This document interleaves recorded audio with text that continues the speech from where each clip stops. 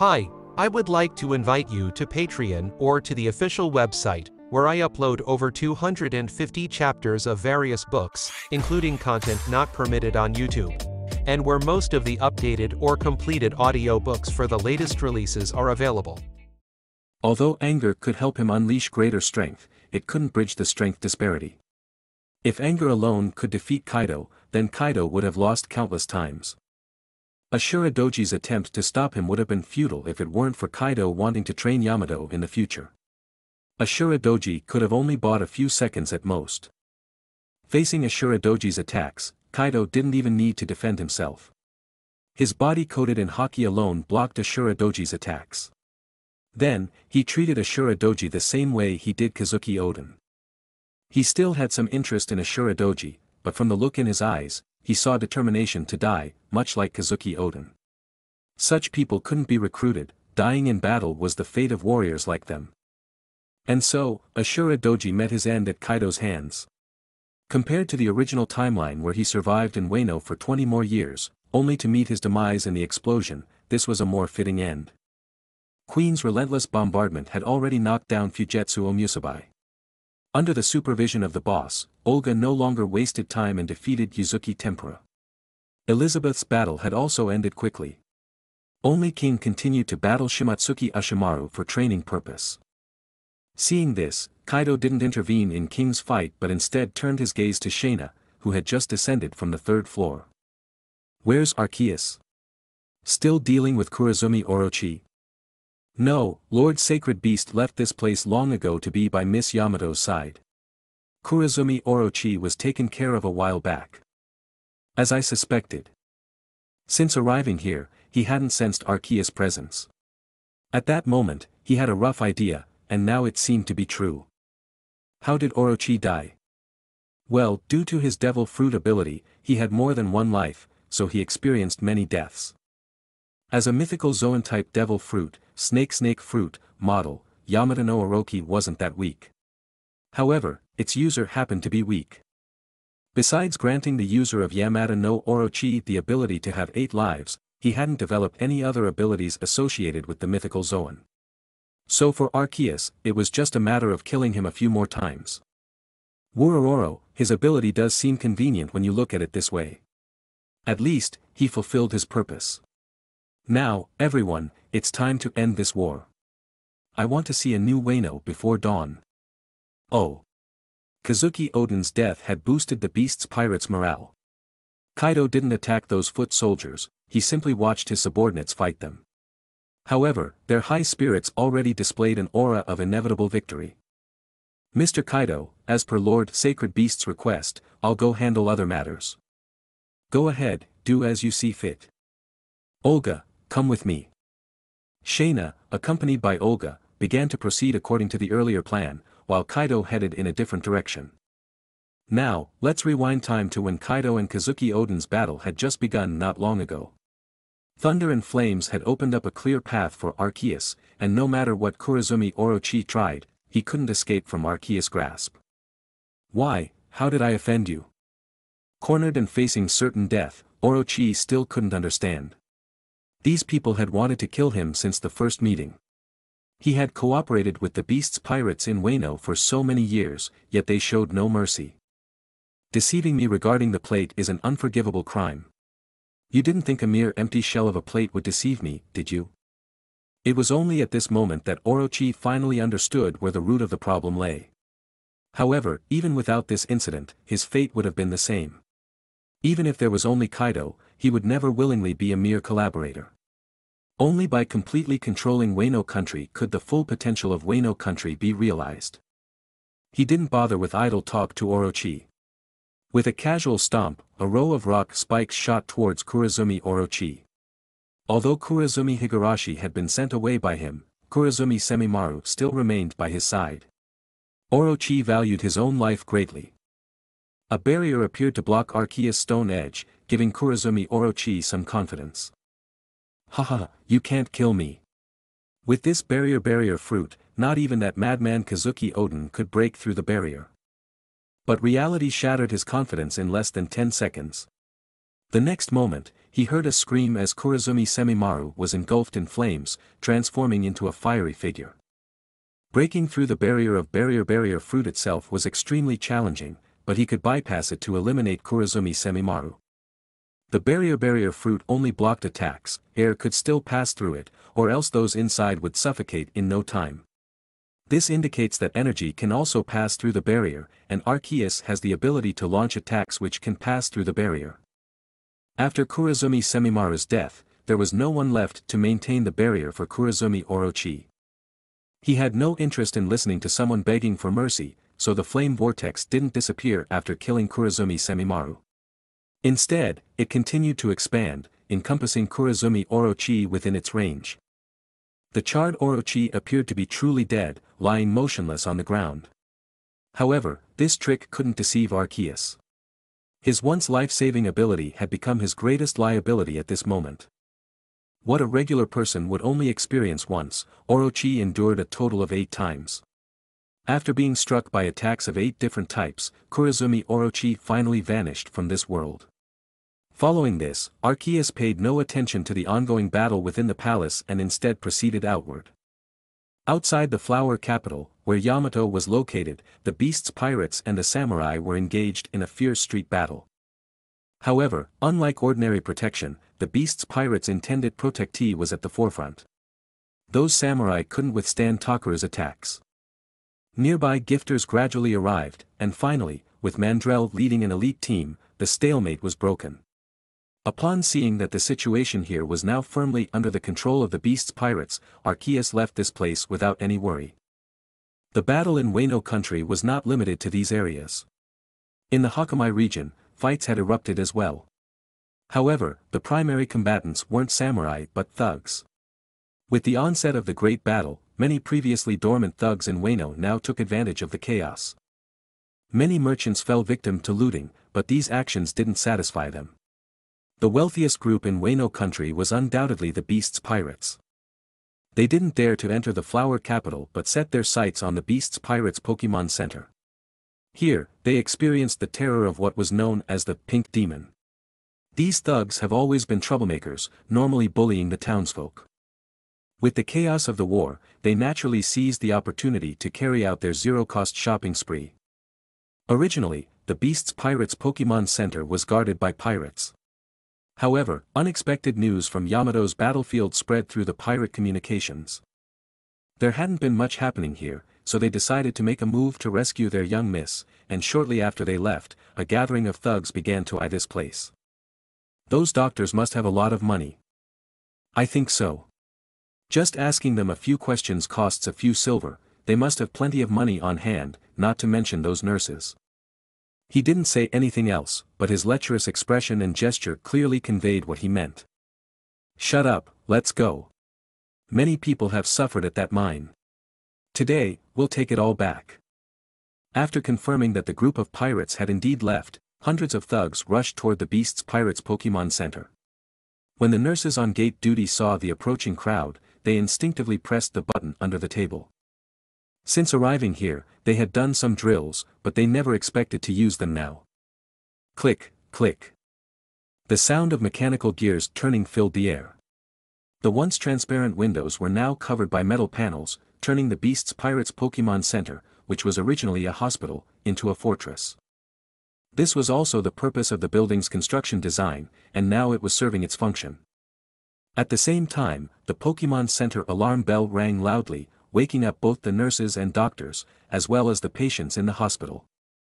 However, there was still a problem.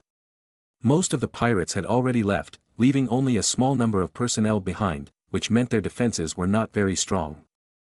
Guarding the Pokemon Center alone wouldn't be an issue, but those thugs, after failing to breach the defenses here, turned their attention to the family area in the back. The defenses there were much weaker, and due to migration, the family members of nurses and doctors were residing there. Upon seeing this situation through Rotom's images, those who had been in a safe spot couldn't sit still. Dr. Toddler, where are you going?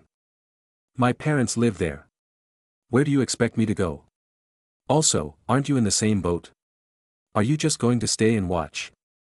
After saying that, Dr. Toddler began searching the hospital for something to arm himself with. A killer might not make a good doctor, but for these experienced doctors, given the chance, they could kill much faster than they could save. A scalpel and a mop were hastily combined, and in terms of sharpness, the scalpel was much superior to ordinary blades. Apart from the elderly professors, the young medical staff gathered together. However, as they were about to open the door and rush out, they found that the situation outside was not as they had expected.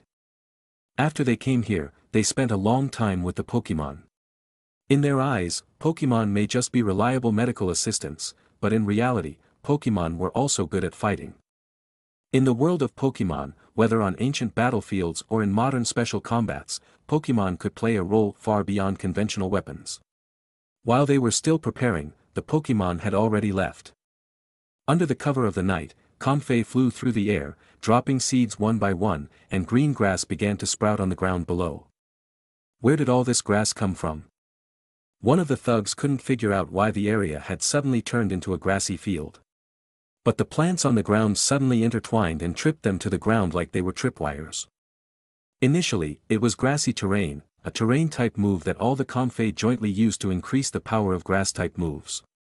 Then, they used grass knot, which tripped up many of the thugs.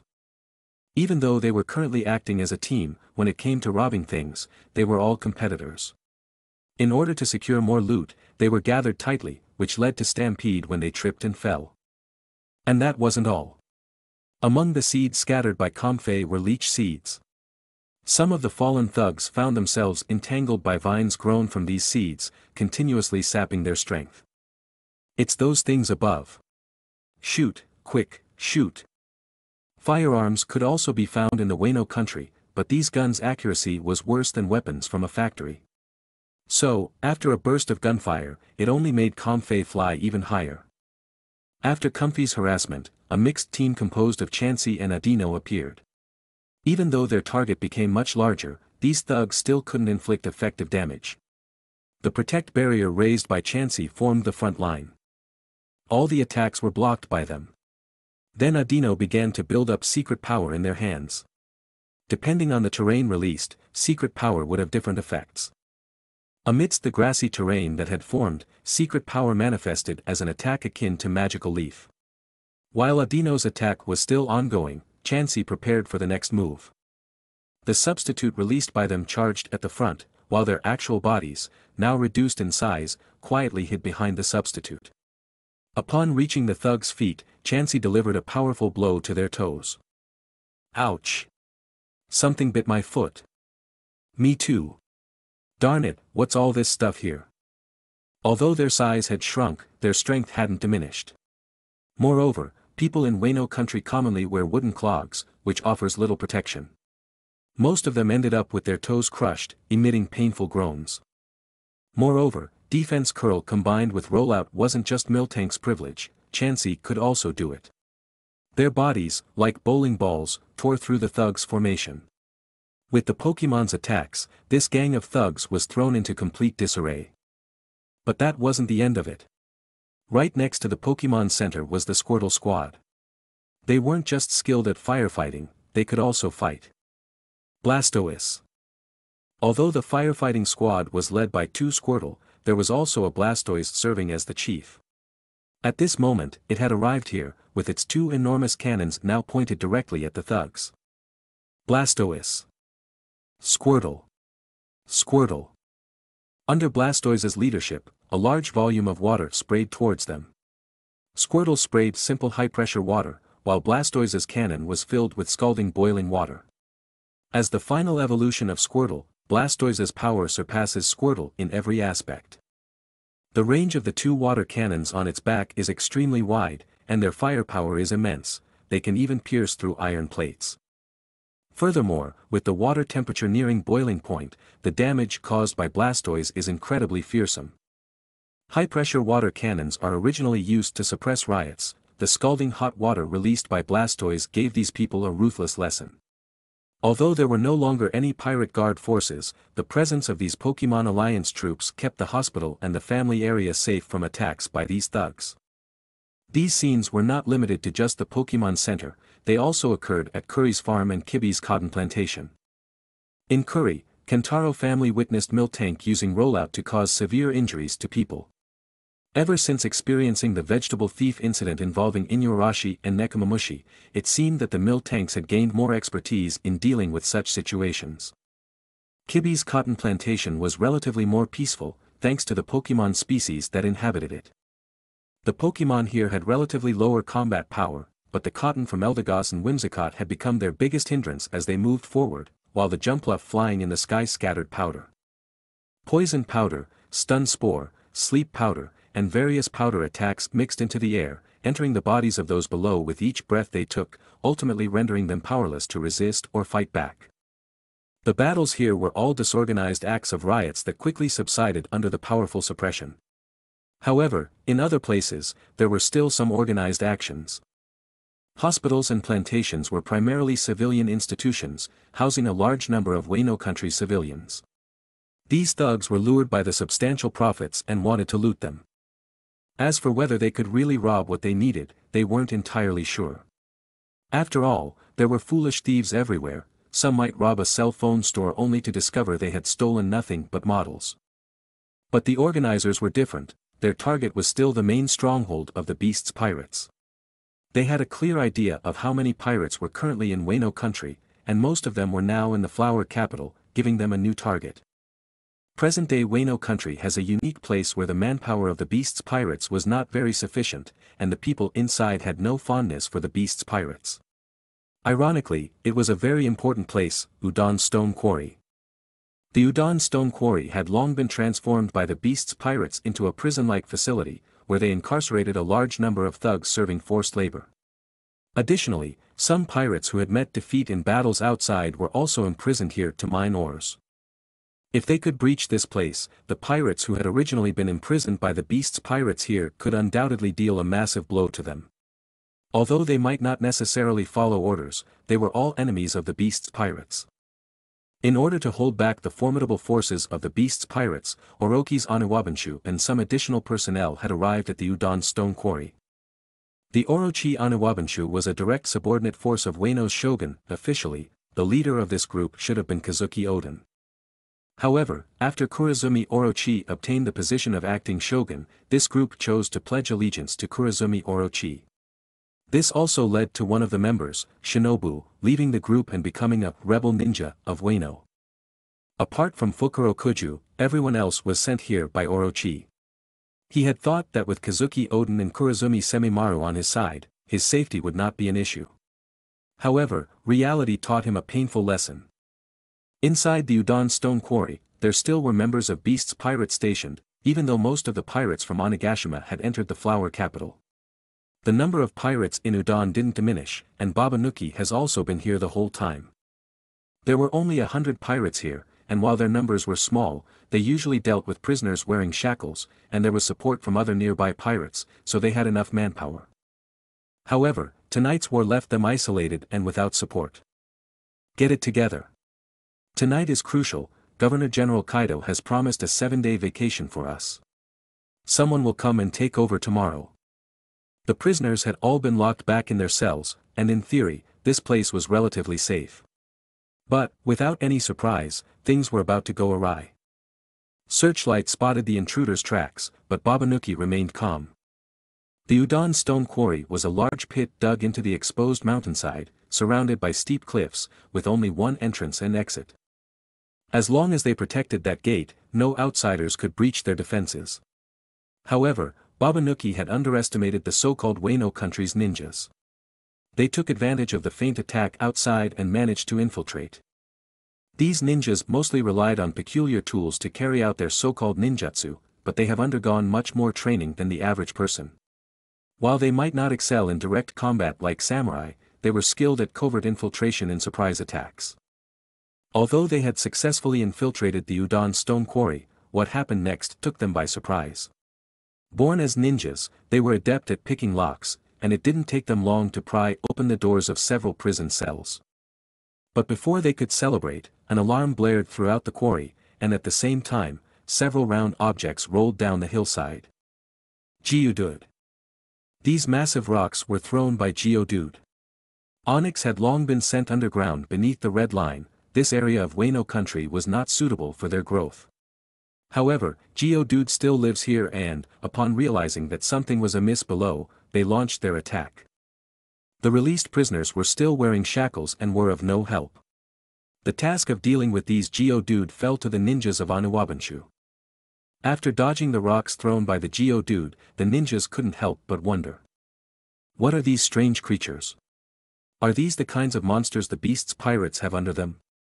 As Orochi's trusted followers, they had seen other Pokemon before, but these rock-type Pokemon in the stone quarry were something they had never encountered before.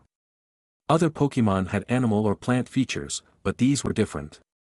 Aside from being able to move, Geodude had almost no animal-like features, leading them to conclude that these were indeed monsters.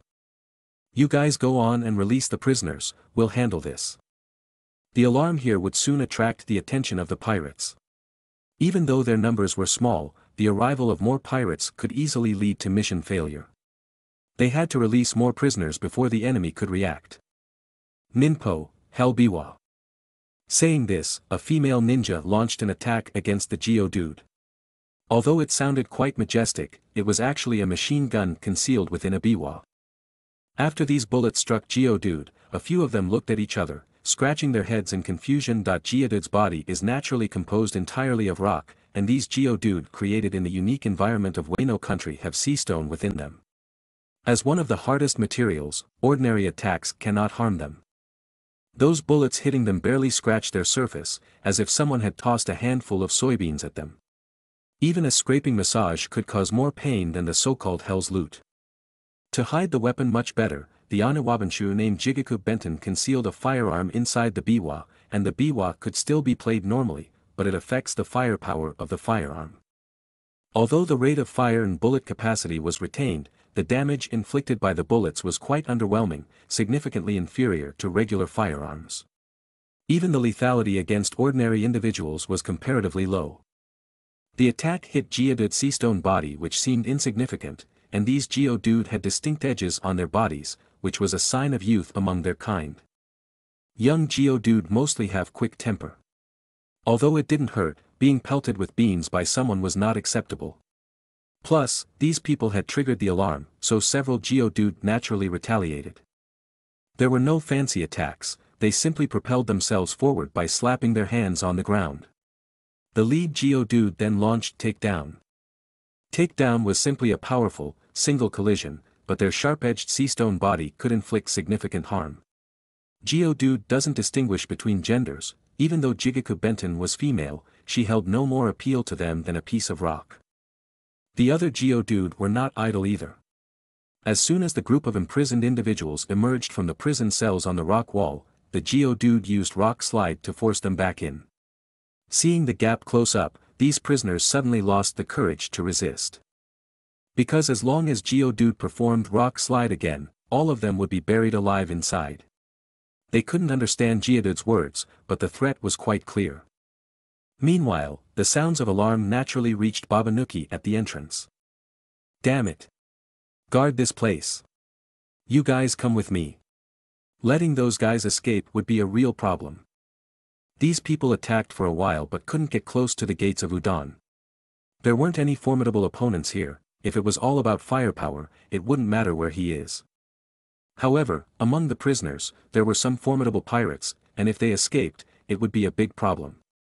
Fortunately, Babanuki had always carried the keys with him, so he wasn't afraid of too many prisoners escaping.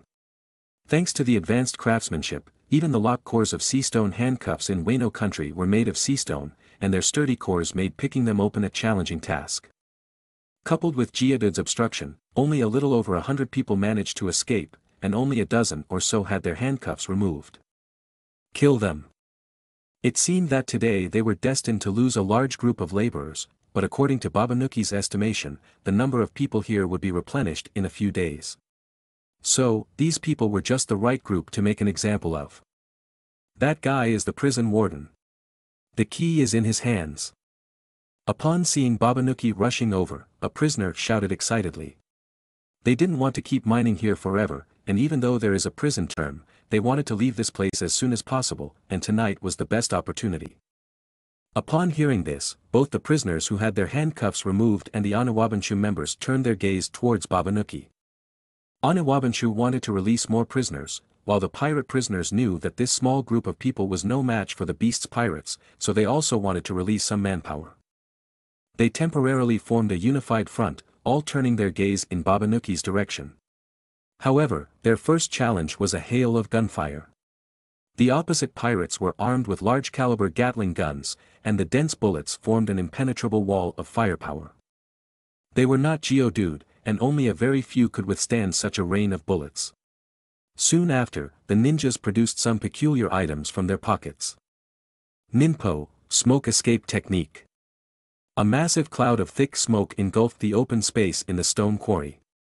Despite its name being Smoke Escape Technique, it was, in fact, a specially crafted smoke bomb. Charging through the smoke bomb was their only chance to get closer to their opponents. The heavy smoke obstructed their vision. While the pirates continued to fire, their accuracy significantly dropped. The massive stones being mined in the stone quarry now served as cover for these intruders. Eventually, they closed in on their opponent. A clinking sound echoed near Babanuki, as an iron chain was thrown and wrapped around his arm. Ha ha ha. You're a devil fruit user, right? Taste the feeling of your own sea stone chains. Most of these prisoners had some knowledge of Babanuki's abilities, and in this place, there were plenty of sea stone products. This chain was rigged up from their sea stone handcuffs.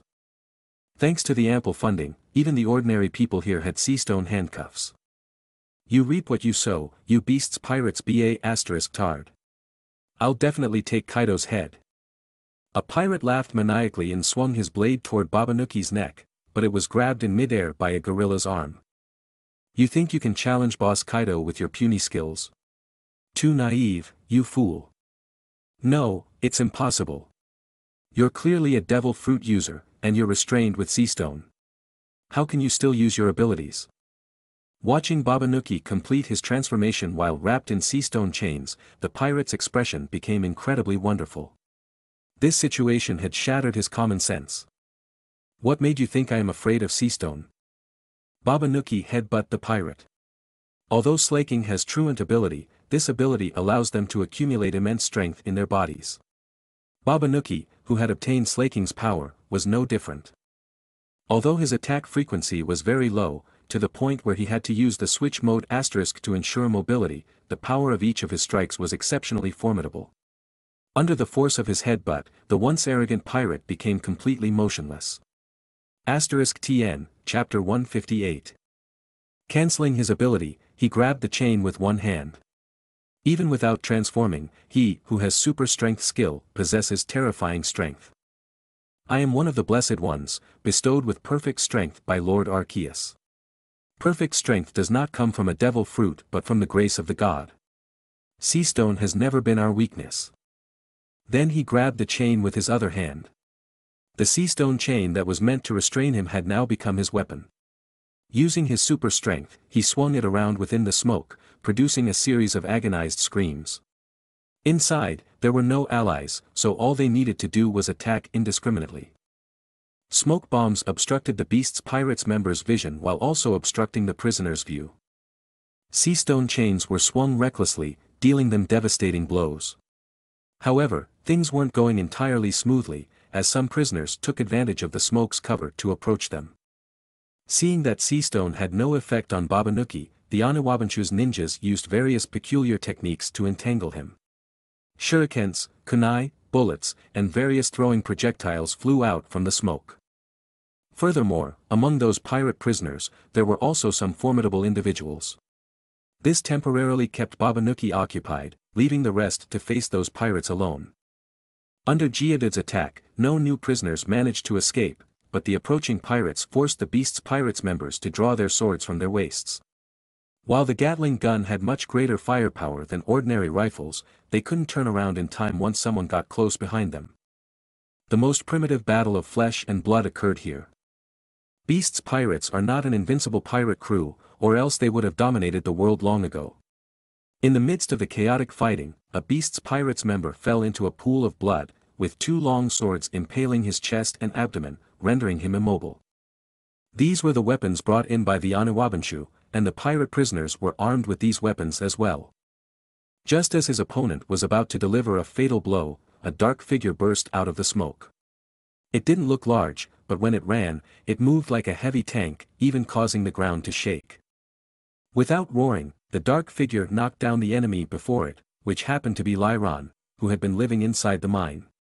In two years, it had completed its evolution, no longer resembling the large ant like Aron but instead turning into a giant lizard like Lairon. Its tail was very short, but the steel armor on its body was even more thick. This Lairon was very sleepy, even the earlier alarms couldn't wake it up. It was only when the Oniwabanshu released smoke bombs that it woke up coughing. The fallen pirate had another identity, he was Lairon's breeder, the one who had the closest relationship with it when it was still Aron. Even after evolving into Lairon, their bond remained unchanged. Even the fierce Gyarados could retain its original emotions after evolution, as long as humans invested enough, Pokemon would naturally reciprocate with genuine affection.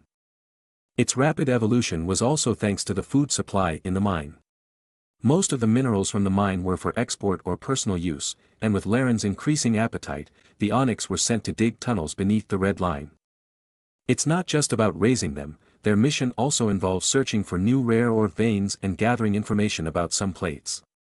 After knocking down the enemy, Lairon did not participate in the battle but stood by the injured pirate. Although it possessed some long-range attack skills, the battle had already become chaotic with the pirate prisoners rushing into the midst of the pirates of beasts pirates in the smoke. Reckless attacks might lead to friendly fire. Tilda. Lairon's voice was very deep and low, almost imperceptible, but the injured pirate could understand the meaning. Don't worry, this little injury won't kill me. I haven't seen Boss Kaido become the Pirate King yet. Although Kaido had not expressed this desire at this moment, in the eyes of the Beast's Pirates Pirates, the One Piece was undoubtedly meant for their Governor-General. Meanwhile, from within the smoke, a rumbling sound of machinery could be heard. Lairon turned its heavy body to look in that direction, and its instinct told it that danger was approaching. As the sound drew nearer, a pirate, roughly the same size as Babanuki, rushed out from it. However, his prisoner attire indicated that he was not a member of the beast's pirates. At this moment, his hands had transformed into a massive drill, which were stained with blood. You've shattered my dream of becoming the pirate king, made me dig these oars for so long. You beasts pirates BA asterisk tard can all die. He was a pirate who had gone out to sea shortly after Roger's death three years ago. Although his bounty was only 90 million, not reaching the level of a super rookie, he had arrived in Sabaody Archipelago as a rookie. However, shortly after entering the New World, he challenged the Beast's pirates' territory. The result was obvious, he was immediately sent here to work in the mines. His hand-spinning drill is his ability. He is a paramecia user with the drill drill fruit. This ability actually suited his identity as a miner, but wearing seastone handcuffs meant he couldn't use his power while digging seastone ore. Sometimes he was also tasked with mining drunken iron ore, and his ability was quite handy at that time, making him an excellent laborer. To get him to work better, Babanuki had given him extra food, which now seemed like a mistake. The pirate on the ground caught his attention, and the drill in his hand continued to spin. You're one of the members of Beast's Pirates too, huh? I'll send you to your death right now. The swords inserted into him were already plunged into the ground. In this state, he naturally couldn't evade. He could only watch the drills approaching him with despair, closing his eyes. However, in the end, there was no pain, only some metal sparks scattered on his body. Lyron, with a metallic sheen on its body, had rammed into the opponent's drill head. The metal shell, fused with drunken iron ore, was incredibly hard. Although there were plenty of sparks generated from the friction, with the added protection of iron defense, Lairon firmly stood in front of the injured pirate. The blue eyes beneath the armor stared fiercely at the opponent. It was protecting its breeder. Where did this beast come from? Do you think you're worthy of blocking Master Arzak? The other hand's drill also aimed at Lairon and targeted the openings in Lairon's armor, the weak points on its body. Lairon, in pain, let out a cry of agony, then lunged at the opponent. The short claws on its feet gleamed with a metallic sheen as it launched metal claw attack towards the opponent. This Lairon's ability is heavy metal, which doubled its body weight. Eventually, one man and one beast re-entered the smoke, and sparks could be seen in the smoke from time to time, with the sound of metal friction echoing out. This battle continued for a considerable time. As the smoke gradually dissipated, the situation in the stone quarry was revealed once more. Babanuki was still fighting, but he couldn't free himself in the short term. The situation with the others and Geodude side was similar. However, the situation for Lairon wasn't looking very good. Several years of mining life seemed to have toughened him, and the current Lairon wasn't his match. But just as he thought he had defeated the monster and was about to attack the pirates of Beast's pirates, a dazzling white light appeared behind him. Roar! A deep growl emanated from Lairon's mouth as a pure white glow gradually enveloped its body. The short figure gradually grew taller, and its lizard-like posture transformed into the figure of a dinosaur. As the radiance dissipated, a bipedal behemoth was standing before him. Aggron. It was Iron Armor Pokemon Aggron, the final evolution form of Aron. In the world of pirates, Haki is a power of the mind, and Pokemon evolution was also closely tied to one's mind. When their physical conditions meet the requirements, the power of the mind could cause evolution to occur early. Lairon evolved in order to achieve its goal. Aggron's entire body was encased in tough armor. A pointed horn extended from its forehead, and two pairs of holes adorned its forehead, with two long horns protruding from the front holes. Both upper and lower jaws were composed of silver-white metal, revealing sharp tooth-like protrusions at the corners of its mouth. Each limb was wrapped in silver steel rings for enhanced defense, and its front limbs had transformed into sturdy arms. Its once short, stubby tail had grown into a long, thick, black tail. Due to its continuous consumption of drunken iron ore, red cloud patterns adorned its silver-white armor, giving Aggron a more frightening appearance. A typical Aggron stood at around 2 meters in height. However, this particular Aggron enjoys abundant food, and its consumption of high-quality drunken iron ore has endowed it with a much stronger physique. Even its evolved size is more than double that of an ordinary Aggron. Combined with its inherent heavy metal ability, it has left two deep footprints in the ground. Boom! Boom! The clash of fists resonated with metallic booms as Aggron charged at Arzak. This was Arzak's first encounter with Pokemon evolution, and the immense transformation left him momentarily perplexed, but he knew he was in deep trouble. Dealing with that lizard-like monster earlier had already taken a considerable toll on him. Now, the lizard-like monster had transformed into a dinosaur-like monster. Both in terms of size and appearance, Aggron appeared much more terrifying than Lairon. Arzak tried the same tactic again, thrusting the drill in his hand towards the hole next to Aggron's eye. He had noticed that the ventilation holes on Aggron's body were its only weak points. However, things are different now, Aggron has acquired two hands. Three claws enveloped in a metallic glow, Aggron used the metal claws on both its hands to swat away the drill, then it charged at him. Covered in steel armor, Aggron was like a heavy tank, and their collision left Arzak at a disadvantage. He hadn't yet grasped the severity of the situation when the drill-shaped hands thrusted at Aggron again. Aggron didn't dodge or block, instead it reached out and grabbed Arzak's drill. Sparks flew as Aggron's strength stopped the drill's rotation. What? It wasn't that Arzak didn't want to continue spinning the drill, it was that Aggron's strength made it impossible. To Arzak's astonishment, Aggron lifted him off the ground. Aggron. After tossing him into the air, Aggron's bulky body surprisingly leaped up. Its long, thick tail gleamed with a metallic sheen as it swung its iron tail like a baseball bat, sending Arzak flying. Just as the saying goes, when it rains, it pours. Arzak found himself landing on a pile of rocks. These rocks were none other than the raw sea stone or excavated from underground, sapping his strength in an instant. Before he could even climb out, Aggron's hyper beam had fully charged. The deadly beam of light shot toward him, and being sprawled on the sea stone ore, he was powerless to dodge it. Even though Aggron's physical attack is much more powerful than its special attack, the hyper beam it unleashed created a gaping hole in his chest. However, after dealing with Arzak, Aggron didn't stop. It knew that only by ending the battle could others have the time to treat its breeder. With a burst of speed, Aggron's colossal body charged toward the Oniwabanshu's ninja and prisoner pirates. The steel-type move, Heavy Slam, deals more damage the heavier the user is compared to the opponent. With its enormous weight and heavy metal ability, Aggron erupted out with its war machine potential. The weapons of the ninja might have been effective against humans, but they were utterly helpless against Aggron, who was covered in special alloy.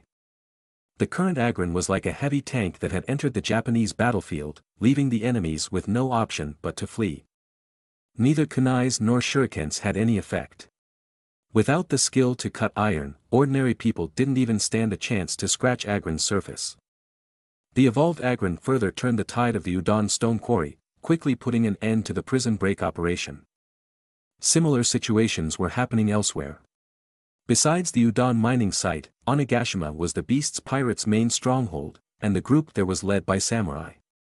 The elite forces of the Beast's pirates were gathered at the flower capital, leaving Onigashima sparsely guarded. To the samurai, this was an opportunity. They didn't take ships but chose to swim across.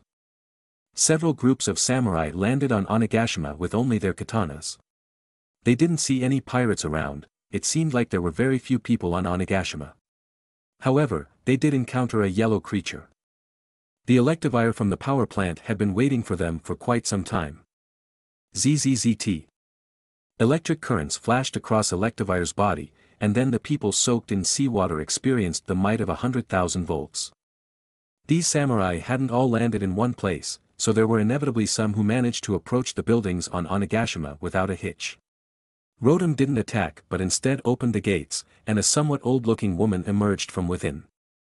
Hey, old lady, move aside. This isn't where you're supposed to be. Oh my, even though I haven't joined them, this is still where I work. You can't just come here and cause trouble. Former World Pirates officer, now employed by the Beast's Pirates as an herbalist, Knighton. Though she appeared somewhat old, she had faced off against the Pirate Empress in combat after rejuvenating herself through medication at the age of 80. Among female pirates, she was considered a formidable figure. Moreover, didn't your mothers teach you to show some respect for a woman's age? Kanpo Kenpo technique, clove kick. Knighton didn't even use the secret method of rejuvenation, she charged at the group of samurai alone. Despite being a ship's doctor, her time on the world's ship made her quite skilled in combat. At that time, Burndy World's officers were a rare breed among the great pirates. His older brother was a strategist without combat abilities, and Knighton, as one of the few three officers, naturally had to fulfill her role. Although she is already 60 years old, her agility remains impressive. Her body, which has not yet withered, brought down a samurai with every strike. Different life experiences can affect a person's condition in old age. Whether old age ultimately turns one into a hunched old lady, an overweight recluse who drinks and smokes, or someone who remains lively like Big Mom, is closely tied to one's quality of life. Unlike the original timeline where Knighton had always been on the run while waiting for World's return, she now has a stable high-paying job. This has improved her quality of life considerably. Kanpo Kenpo, Licorice Spin even if the defenses of Onigashima are weak, these samurai, who lack even a decent leader, are not capable of handling it. In addition to Electivire and Knighton, they also have to deal with a large number of Rotom. Whether it was the Rotom flying in the air without a body or Rotom controlling mechanical bodies like ovens and refrigerators, these were not foes ordinary samurai could contend with. Soon, countless samurai were floating in the inland sea of Wano country. The powerful voltage released by Electivire and Rotom made these samurai, drenched in seawater, experience what it meant to do electrofishing, although they were on the receiving end. Of course, not everyone was involved in this battle. Hyogoro, the head of the flower capital's underworld, stayed out of it. The commotion in flower capital naturally reached his residence. As for the reason for his absence, it was because someone had stopped him. Kojiro, what is the meaning of this? Kojiro abruptly appeared at Hyogoro's residence with Emboar, Emboar's massive body blocking the exit. Sir Hyogoro, I have great respect for you, but the current events outside involve political struggle between upper level. You are, after all, an ordinary person. It's better not to get involved in this mess. Furthermore, you wouldn't want to make your wife sad, would you? During their everyday interactions, Kojiro had received care from Hyogoro's wife multiple times, akin to the care his mother had provided in the past. As the Beast's Pirates official merchant in Wano country, he had some understanding of today's situation. Being a native of Wano country and a member of the Beast's Pirates, he knew the disparity in strength between the two sides. Getting involved in this situation would be a recipe for disaster. Hyogoro and his wife had a deep emotional bond. If Hyogoro were to die, his wife would undoubtedly be heartbroken. That's why Kojiro came to prevent Hyogoro from intervening. As long as they got through tonight, Hyogoro would have no capability to stir up any major conflicts. As the boss of the Yakuza, his attitude toward Wano country's shogun and daimyo class was different from that of ordinary people. Otherwise, he wouldn't have become the boss of the Yakuza. He cared more about the common folk of the flower capital. Now, Beast's pirates' flexible policies had reduced his aversion towards them. Otherwise, he wouldn't have come to some form of understanding with Kojiro. Kurozumi Orochi didn't have the opportunity to use the Beast's pirates to kill his wife. He and the Beast's pirates didn't have any fundamental conflicts. Step aside, it concerns the people of the flower capital. You don't need to worry about that. My men are calming them down. As long as we get through tonight, there won't be any lasting impact. Moreover, your presence outside right now will only create chaos. The longer this battle lasts, the greater the harm it will cause. You can't stop me, even if you have that big guy with you. The muscular Hyogoro is not the same as that wizened little old man. Currently, he is at the peak of his strength. Emboar may be able to stop his subordinates, but not him. Of course, that is why I am here to make a proposition. Everyone in Flower Capital respects you as a chivalrous person, and my father also received your help back in the day. So, I wish to challenge you as a samurai. If you can withstand a single strike from me, I won't stop you any longer. However, if you cannot, then you will stay peacefully here tonight. Is this condition reasonable? Hyogoro enjoys a great reputation among the common folk of Flower Capital. He was different from the daimyo and shogun. Many people had never seen what a daimyo looked like in their lifetime, but they were very familiar with Hyogoro. Beast's pirates aimed to eliminate the aristocracy, but people like Hyogoro were exceptions. Their main approach toward such people was to bring them into their fold, and Kojiro had volunteered for this role. Otherwise, the Beast's pirates would have sent an officer to handle this situation. Hyogoro then noticed that Kojiro had brought a sword with him this time. He had always appeared as a merchant in their usual interactions, so this was the first time Hyogoro had seen him carrying a weapon. Very well, come at me. Make it quick. Reaching his current position had not been achieved solely through chivalry. Although he was friendly to the commoners, his rise to the position of the Yakuza boss in Flower Capital was achieved through real battles. He doubted that Kojiro would be a match for him. In fact, he urged Kojiro to start quickly. Understood, but please wait a moment. Doctor. Is everything prepared? He inquired towards the rear, he had brought a doctor along this time. After receiving an affirmative response, Kojiro put something in his mouth, a secret medicine he had obtained from Nigen. It could briefly enhance his potential. Subsequently, Kojiro assumed a standard IAI stance. Hyogoro scrutinized the sword in Kojiro's hand. It appeared longer than most weapons crafted by the smiths. IAI, is it? It seems you've practiced it for some time. Kojiro remained silent, and Hyogoro stared directly at him because there was a certain conviction in Kojiro's eyes, a quality not possessed by ordinary individuals. Hyogoro then focused his gaze on Kojiro's wrist. If it's just one strike, watching his wrist would be enough to react. Kojiro reversed his grip on the sword, and as the blade emerged, it produced a sharp sound. Hyogoro easily blocked Kojiro's attack, but as the blade made contact, he noticed an issue. Although Kojiro seemed to have attacked only once, he had actually swung the sword more than once. While he managed to block the second strike, the third left a bloody gash on his shoulder. Sasaki family's swords art, secret technique Tsubame Gaeshi. Ugh. It hurts. Doctor, please come quickly. It feels like my arm is broken. The doctor was not there for Hyogoro but for himself. Even though their family's fortunes had declined, the Tsubame Gaeshi technique had been passed down intact. The records were not wrong, it's just that no one in the later generation of his family could reach the ancestors' level, so they couldn't train it. Kojiro was only able to use it thanks to Kaido's guidance. If Kojiro's father had sought the guidance of a skilled swordsman in the past, he might have been able to identify the problems with his technique. However, he didn't, and this inherited technique secret remained a secret within the Kojiro family. But dedicated as they were to practice it diligently, they remained oblivious to the key to master it, and thus, they couldn't perfect it. So, Kojiro made a different choice. During his training, he showed the records to King, but even King couldn't comprehend it. With his vast combat experience, he sensed that this move held its own mysteries, so he passed it on to Kaido. At Kaido's level, even though his weapon was a kanabo, he could discern some insights into swordsmanship. As a reward for Kojiro's loyalty, Kaido personally instructed him once. However, Kaido only helped them overcome the training's challenges. This technique demanded exceptional physique, which Kojiro lacked at the moment. Moreover, strengthening the body was not something that can be achieved overnight, which is why he requested some secret medicine from Niton. In reality, Queen's enhancers would have had a more potent effect, but Kojiro still chose Niton. Queen's enhancers were known to have unpredictable side effects, and the risks were too great. Comparatively, Niton's traditional medicine was a safer option. The results, however, were evident.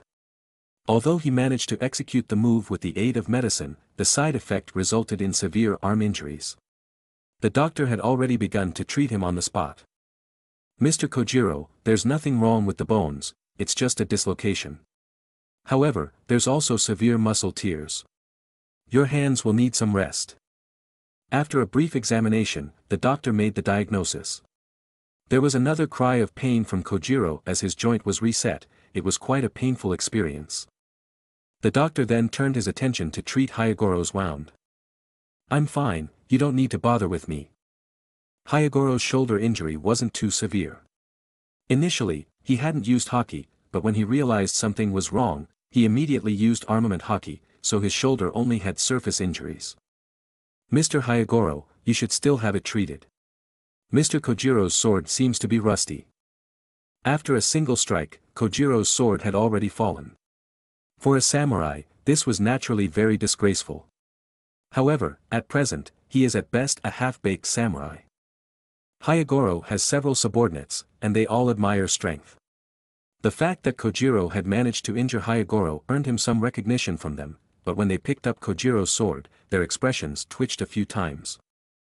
Rusted? Ahem. This, uh, it's an heirloom from my family's storehouse. Perhaps it hasn't been stored properly. Facing Hyogoro's incredulous expression, Kojiro gave an explanation but couldn't help but doubt himself. He had clearly meticulously polished and sharpened the sword. Under the threat of the enchanted weapon, Hyogoro opted for the wound to be treated. While Wano country's medical practices were primitive, they weren't entirely ignorant. Tetanus was referred to as the curse of weapons here. You've won. I won't be going anywhere tonight. But you, you rascal, your sword was rusty. Although Hyogoro was using swear words, those who knew him understood that it was his way of acknowledging the other. Well, I'm just a businessman. A businessman can't wield a sword like that. Is it that Sasaki? The one born in the same era as the swordsman Ryoma? I never imagined he would have descendants. If the family tree is correct, then yes, it's him. That slash of yours was actually three slashes, wasn't it? Swallows can avoid a sword blade by sensing the air currents it creates. This is true regardless of whether the sword is swung quickly or slowly. Any sword creates air currents when it is swung. Swallows can sense these air currents and change their flight path accordingly. Therefore, no single strike can cut down a swallow. A sword is just a line. It is impossible to hit a swallow that is flying back and forth in the air. The solution is to block its escape routes. One strike attacks the swallow, and the other strike blocks the escape route that the swallow uses to avoid the first strike. However, swallows are very agile. A long sword can't keep up with the second strike in time. To succeed, the two strikes must be executed almost simultaneously in an instant. If they are executed at the exact same time, the two strikes will be too slow. Therefore, a third strike is necessary to block the swallow's side escape route. Kojiro described the Tsubame Gaeshi as recorded, the essence of Tsubame Gaeshi lies in the instant execution of three strikes. It's a swift technique, with the first two strikes sealing the enemy's evasion defense, while the third strike is the finishing move. It's truly the work of a renowned swordsman from the past. No, he should have surpassed the level of a great swordsman by now. Kid, you should practice this more. Letting this technique die out in your hands would be a grave sin. Seeing that Kojiro's arm had been disabled with just one strike, Hyogoro let out a sigh. Thunder Bagua. Inside the flower capital, Yamato knocked down the last remaining samurai with a single blow. Most of Wano country's samurai couldn't afford armor, it was a luxury only the nobles could afford. This made it easier for the beast's pirates to identify who the leaders were. Those intricate armors provided decent protection against ordinary pirate swords, but when faced with blunt weapons like kanabo, the effectiveness of the armor was greatly reduced. Whether they were samurai or thugs, most of the enemies within the flower capital had already been eliminated. Gather all the defeated samurai. Don't let these guys continue causing trouble. Mandrill issued orders to the surrounding pirates. Higher-ranking officers within the beast's pirates could assume command directly. Presently, aside from the calamity-level officers, his status within the Beast's pirates was quite high. As the head of the scouting unit, his status was enough to command these ordinary pirates. Those who are seriously injured, take them to the Pokemon Center, and treatment for the people with minor injuries can be postponed till tomorrow. Give the doctor some time to rest. Wait, Uncle Mandrill, please send them there too. While Mandrill was making arrangements for the wounded, Yamato voiced her opinion. Besides the combatants from both sides, the civilian residents of the flower capital had suffered greatly in this large-scale battle. Don't worry, Miss Yamato, there are people taking care of them. Look, someone has already arrived. Mandrill pointed to a person with the Kojiro Trading Guild's emblem. This was also an assignment for them. At this time, their emblem has the beast's pirate's flag next to it, presenting a good opportunity to build a favorable impression. Really? Of course. Miss Yamato, it's time for you to go to the hospital as well. Hospital? But I'm not injured, I'm perfectly fine. It's a direct order from Lord Arceus. After the battle, you must undergo a comprehensive medical examination. Please follow me. Due to Yamato's carefree personality, the real injuries on her body might not be discovered for a while. Therefore, a few doctors have already received orders to conduct a comprehensive medical examination for Yamato. Intimidated by Arceus' name, Yamato obediently went to the Pokemon Center for a checkup, just like Maria and Jack. These rising stars among the new generation had always been highly regarded. However, as they left, Yamato noticed the flames still burning on the horizon. Uncle Mandrill, why is it still burning over there? That's Kuri. Don't worry, Sir Zeraora is already headed there. I believe the fire will be extinguished soon. Oh.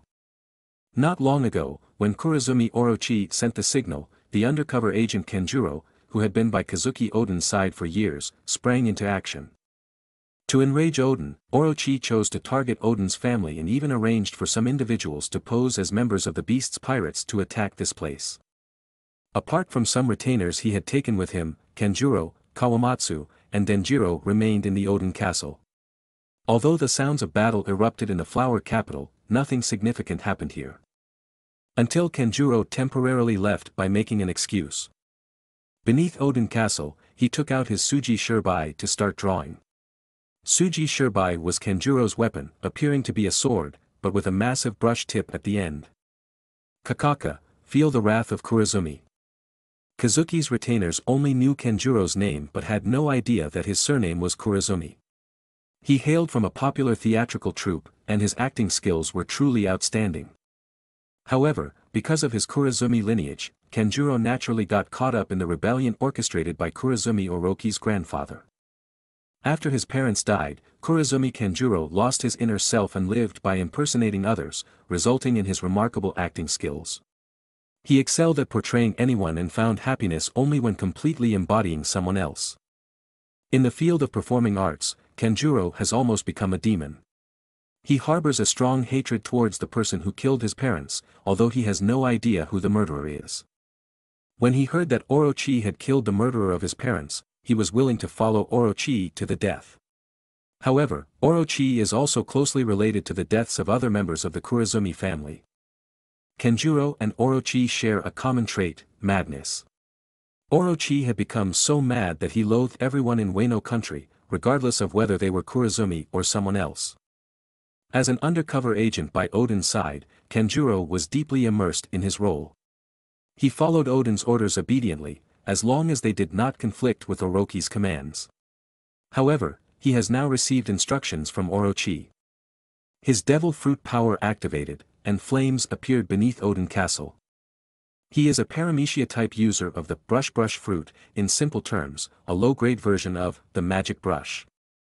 He could materialize things he drew, with Suji Shirbai serving as his medium for drawing. If he didn't have a brush, even his own hair could be used as one. The appearance and abilities of objects drawn by the user are directly proportional to the user's artistic skill. For someone like Usopp, who has a talent for drawing, this devil fruit would be highly suitable. However, this ability has a dual nature. Exceptional skills can enhance the drawn object's abilities, but if the drawing is too poor or ugly, it can directly impact the capabilities and functions of the created object. Normally, Kanjuro's drawings are incredibly ugly and abstract, not only making it difficult to unleash their true power but also prone to dissolving upon contact with water. The most practical thing he can do with it is to draw some cabbages to eat his fill. Due to the rules of this world, it is not allowed to draw cabbages poorly. However, he deliberately used his unskilled left hand to draw in order to conceal his ability. Now, he was using his right hand, and a lifelike flame had already been drawn. Kakaka, come out, Kazenbo. Kanjuro burst into maniacal laughter, and the burning of Oden Castle served as a signal to Orochi's subordinates. However, his mission was just this, and afterward, he reverted to his original Kanjuro appearance. No, this is bad. Lady Toki. Someone's attacking. They've also set fire to the castle. The current Kanjuro displayed no signs of being a spy. He was simply a loyal retainer. He dashed straight into the sea of flames, not even flinching when his hair was singed. He also slew several of Orochi's men who approached him. He wasn't acting, he was truly killing his opponents. The performance lasted a long time. Orochi had sent many people, and at this point, the three of them could barely protect Kazuki Toki's safety. After a while, Kikunojo and Reizo returned with the unconscious Kinemon and the others. Lady Toki, Lord Oden. Lord Oden has fallen in battle. Kikunojo cried out as she recounted what they had witnessed. Lady Toki, please, pack your things quickly. We need to get you out of here immediately, any further delay and it will be too late. The cries of battle from outside the door continued to draw nearer, and Kazuki Toki made a decision. You saying. Go to the future. That's right, that day will come, so go ahead and wait 20 years in advance. Reizo, Kanjuro, I'll leave Momonosuke and Kinemon in your hands. In the end, she chose to send them to the future. As a user of the Time Time fruit, Kazuki Toki was originally from the past but she could only travel to the future, not the past. Lady Toki, what about you and Princess Hiyori? We're uncertain what the world will be like 20 years from now, so Momonosuke and Hiyori must be separated. But you can also do so if you're worried about the future. No, Please trust us to protect Momonosuke-sama. Before Kazuki Toki could finish, Reizo took over the conversation. Then, they disappeared from Oden Castle under the effects of Kazuki Toki's devil fruit ability. Kawamatsu also left Oden Castle with the unconscious Hiyori through the river. The earlier fire had caused Hiyori to fall unconscious. After everyone who needed to leave had done so, Kazuki Toki looked at the remaining retainers. Lady Toki, come with us. We'll get you out. No, only you will escape. Go without worry. This is my home, and I'll draw their attention away from you. With those words, Kazuki Toki firmly rejected them and proceeded to the rooftop alone. As others tearfully left as ordered, she shouted something from the top of Oden Castle. The destructive power of Kanjuro's Kazenbo seemed overwhelming, and just as she finished speaking, Oden Castle collapsed with a loud rumble. Most of those who heard her words were the people of Beast's Pirates. Zeraora, what did that person say just now? Probably some sort of prophecy. Having just concluded their business in the flower capital, Zeraora and Setsuna arrived here and were met with the sight of the collapsing Oden castle. After a night of battle, the ruling class of Wano country had been completely overturned, leaving a huge power vacuum at the top. While this would be a major problem in most other countries, Wano country's situation was unique. This strange situation has one advantage, as long as a member of the Kazuki family could be found, Wano country wouldn't experience the usual power struggles. Kazuki Oden's strength had been a hidden threat to the beast's pirates, and keeping tabs on him had required the personal intervention of Kaido or even Arceus. However, the current situation was different. After Kazuki Oden's death, by using his still young children, they easily established a puppet regime to stabilize the situation in Wano country. Shayna and Olga were working on the follow-up matters, and now they were almost ready. For instance, how Kurozumi Orochi intended to sow discord and plotted to poison during the banquet. Fortunately, Shayna had already found a witness. All the chefs in the Flower Capital Palace were willing to testify that someone associated with Kurozumi Orochi had taken away the dishes before they could be tested for poison. The common people were unaware of the outcome of the battle between Kaido and Oden. Moreover, Orochi had left a notorious reputation in Wano country, and as it happens, his actual strength was also a mystery, so he became a convenient scapegoat. In the eyes of the previous generation, the Kazuki family has always been Wano country's shoguns, but in this generation, they have become mere mascots. Whether they are present or not, the development of two generations is enough to make the influence of the Kazuki family disappear. Zeraora came here to clean up the mess. The Kazuki family members couldn't be allowed to roam freely in Wano country, but upon his arrival, he witnessed Kazuki Toki burning to death. The flames ignited by Kazenbo didn't deter Zeraora. He didn't even contact the firefighting squad as the wind pressure generated by his fists extinguished the flames in Oden Castle. However, standing amidst the ruins, Zeraora felt something was amiss. Zeraora. Is something wrong? Setsuna, standing outside the ruins, shouted towards Zeraora. As a mink, she was sensitive to heat, and even though Zeraora had extinguished the fire on the outside, the residual heat made her reluctant to approach. Nothing's wrong, it's just a bit strange. Beneath Oden Castle, there were many dead bodies burned from the fire. The fire had turned them into ashes, leaving them unrecognizable. Zeraora then looked at the people of the Beast's pirates nearby. These underlings of Orochi were also targets for capture. Upon seeing Zeraora and others appear, they intended to slip away quietly, but a bolt of thunder from the sky blocked their escape route. Stop. Sir Zeraora, we are also here under orders. They were currently pretending to be beasts pirates pirates, so they tried to deceive Zeraora. They felt Zeraora couldn't possibly recognize all of Orochi's subordinates. In fact, they weren't entirely wrong, but Zeraora produced a card reader. You claim to be Beast's Pirates members, so where are your identity cards? We lost them. Lost? All of you lost your cards. Then, an electric current surged from Zeraora, electrocuting these Orochi's people thoroughly. When the real Beast's Pirates members arrived, these individuals were also captured. As for the other Kazuki retainers, Kikunajo and Denjiro were captured and brought back before they could go far away. Meanwhile, the situation of Inuarashi and Nekomamushi had also changed. Originally, due to Oden's boiling oil execution, Inuarashi and Nekomamushi had a falling out and had fled Wano country, returning to Zou Island. But now, none of these events have occurred. After some deliberation, both of them were also transported 20 years into the future. Currently, only Kawamatsu, who escaped through the water route with Kazuki Hiyori, has not been found. He had swum with Hiyori for a long time underwater, and she had nearly drowned in the process. They barely made it to the mountain forest of Kuri with great difficulty. However, just as he believed they were safe, he heard footsteps approaching from behind. Elizabeth appeared at the scene. Shayna only took Olga with her, while Elizabeth followed Zeraora here, following along the water route. Initially, Elizabeth had come to check for any remnants of the Kazuki family here. After confirming there were no other remnants, Elizabeth revealed itself. As a secret agent Pokemon, it possessed unique organs in its body that made it even more adept at tracking missions than most ninjas. Put that girl down, fishmen. In the Beast's Pirates, Elizabeth has a somewhat unique status. Its bounty was still only 50 million, which was the reward placed on it after its first mission with Olga, where they had gone to a marine base to retrieve the drunk Kaido. Since then, its presence had become relatively low profile.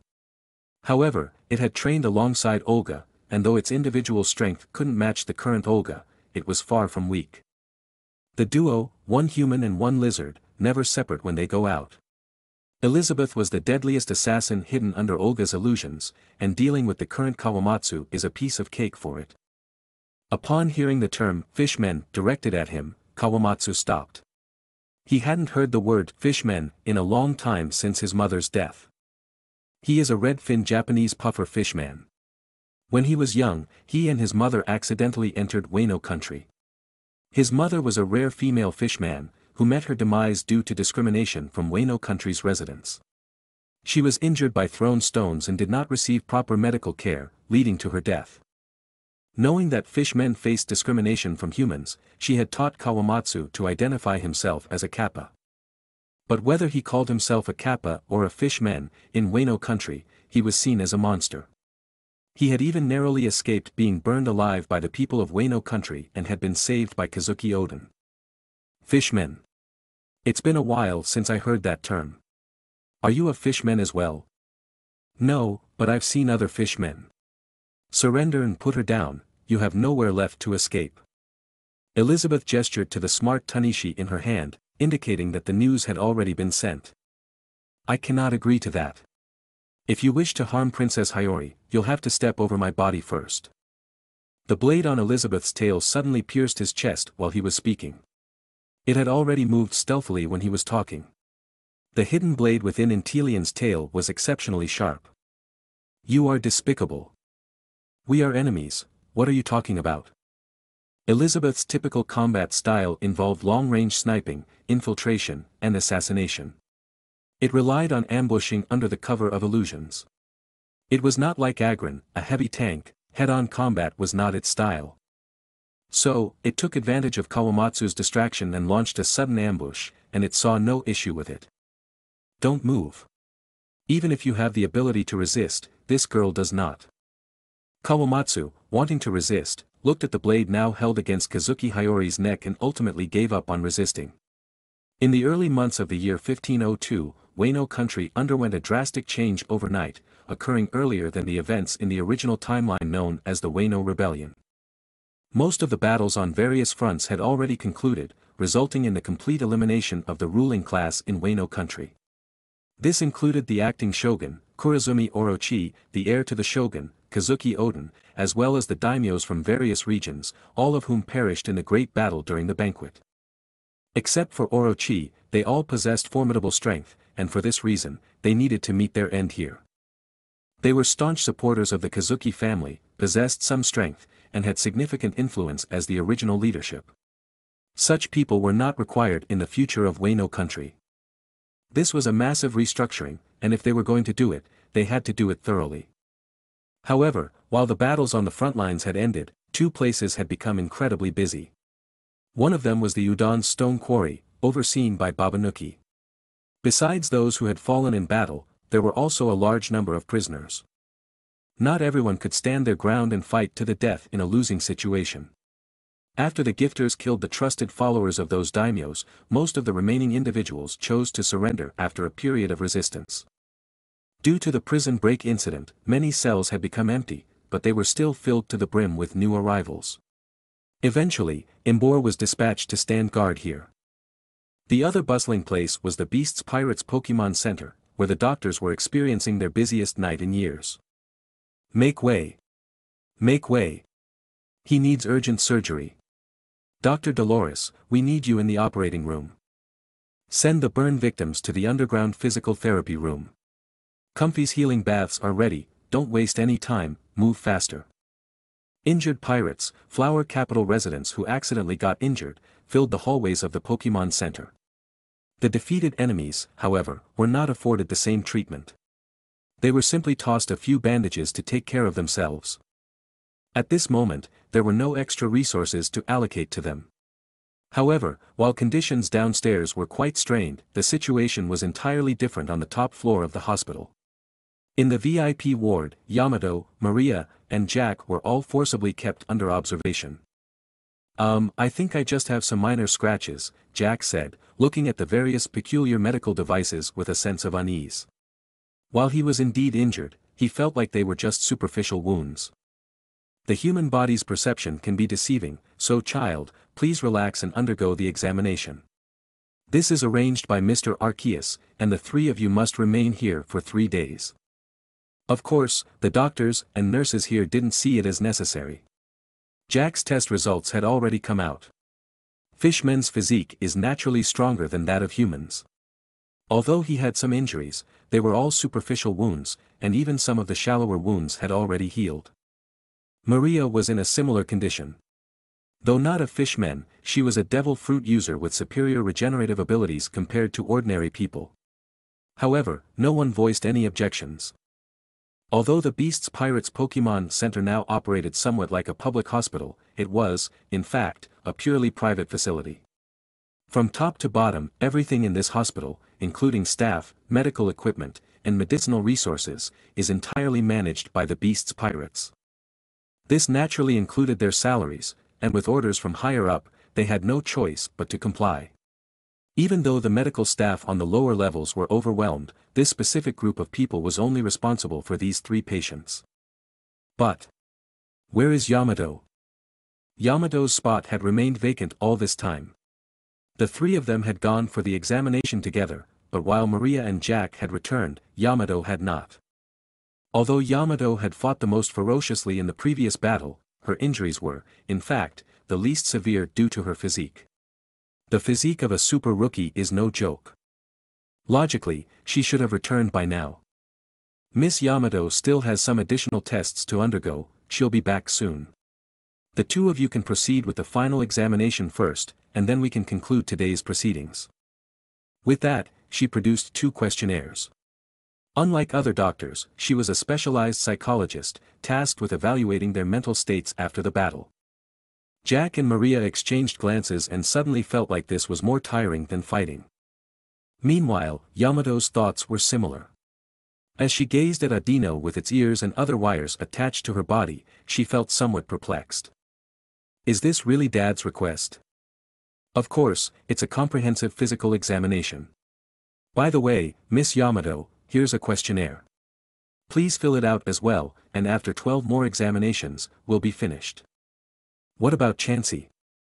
It's doing fine now. After the examinations, you'll be able to see it. Under the urging of several doctors, Yamato, wearing a bewildered expression, completed the various so-called examinations. When she returned to her ward, she looked even more fatigued than during the battle. I'm back. Lying on the so-called hospital bed, Yamato raised her alchemy and began contemplating life. She now felt that being overly concerned might not be such a good thing. The doctors had already left, having conducted overly meticulous examinations to confirm that there were no issues with their bodies. Since this was the case, there was no need for them to stay here any longer. One doctor remained on duty while the others joined the ongoing rescue efforts below. Congratulations, your examination is complete, but you'll need to stay here for three more days. Three days. That's terrible. No, I mean, that's great. At first, Yamato thought this was a terrible situation, but upon closer reflection, it meant she doesn't have to face Kaido's training for three days.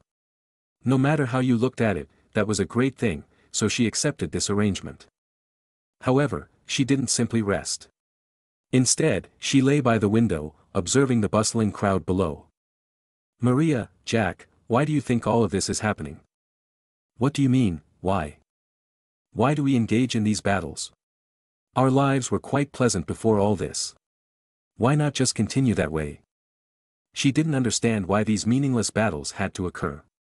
In her view, this was entirely unnecessary. I don't know, but if they want to be our enemies, then we just have to defeat them all, Yamato's words prompted a brief moment of reflection in them, but Jack quickly gave up on pondering the issue. Enemies had to be defeated. Once someone chose to be an enemy, the reason didn't matter. I think Jack's right. Just defeat them, why think so much about it? While this reasoning wasn't enough to convince Yamato, she was about to continue the argument when she heard Chansey's voice from behind. Chansey. The sky was already starting to brighten, and none of them had slept all night. They were still huddled by the window, which, in Chansey's eyes, was a clear sign of danger. Although a Chansey was previously shot, the power of Viridian, combined with the healing from the other Chansey, had it feeling almost back to normal now. Except for a slightly faded patch of color on its body, there was hardly any sign of injury. After a while, that mark would slowly fade away. Upon Chansey's request, Yamato obediently lay back in bed. As they no longer concerned themselves with the outside world, a slight feeling of exhaustion crept into their bodies. There was no need for singing, soon, the room was filled with the sound of snoring. Meanwhile, everything happening in Wano country at night was visible from the Sky Island above, the height of Sky Island was just right to view the fireworks below from a new perspective. However, at this time, the fireworks were interrupted midway by sounds of explosions and flames. The burning flower capital and Odin Castle caught the attention of scholars above. What's going on? Has someone invaded this place? Robin at the edge of Sky Island asked Saul beside her. It's impossible. There currently aren't many forces capable of doing such a thing. Our presence hasn't been exposed, or else we would have been in trouble long ago. So, it's unlikely to be anyone from the world government or the Marines. As for the pirates, the only one capable of attacking the Beast's pirates base are Whitebeard and Big Mom. But Big Mom has a decent trade relationship with the Beast's pirates, and Whitebeard wouldn't take the initiative to do such a thing. At this moment. It's probably an internal conflict. Based on Saul's understanding of the situation of the sea, the Beast's pirates' position in the New World was quite stable. While the Beast's pirates haven't been around for a short time, among the various pirate crews, Kaido is actually one of the youngest. Furthermore, considering his network of relationships, it's unlikely that anyone would attack this place.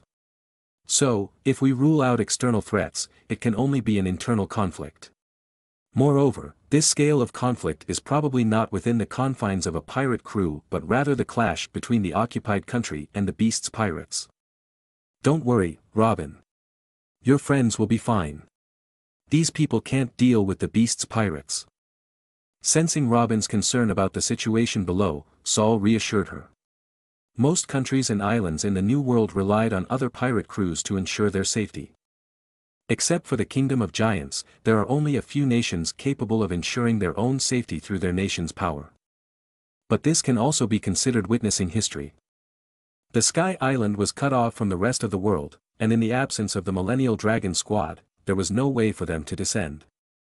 Meanwhile, in Wano, Kaido gazed at the thing in front of him, displaying an expression rarely seen, one that closely resembled Yamato's. Are you serious? Of course. Does it look like you're injured? You're supposed to be the savior of this internal conflict. Although it's a bit of a shame, in the information we release to the outside world, Kazuki Oden cannot be shown to have died at your hands. Queen was currently applying plaster to Kaido as per Arceus orders. Yesterday, he fought to his heart's content, but today was different. That guy was quite a good opponent, just obsessed with Joy Boy. He seemed to have gone to Laugh Tale with Roger. I wonder what's there. You'll find out later. After all, we already know the locations of three road poneglyphs, we're just missing the last one. But for now, I want you to play your part in this final act. You do enjoy theater, don't you? Today, you can perform it yourself. Troublesome. At the same time, Kikunojo and Denjiro were puzzled over the behavior of the beast's pirates in a room. When they were captured earlier, they hadn't been subjected to torture but were instead locked in a room. After all, the blame for the chaos in Wano country has already been pinned on Kurozumi Orochi. The Kazuki family is now the victim, and it would be too strange if only Kazuki Hiyori survived as the sole victim. So, the remaining few will serve as special evidence.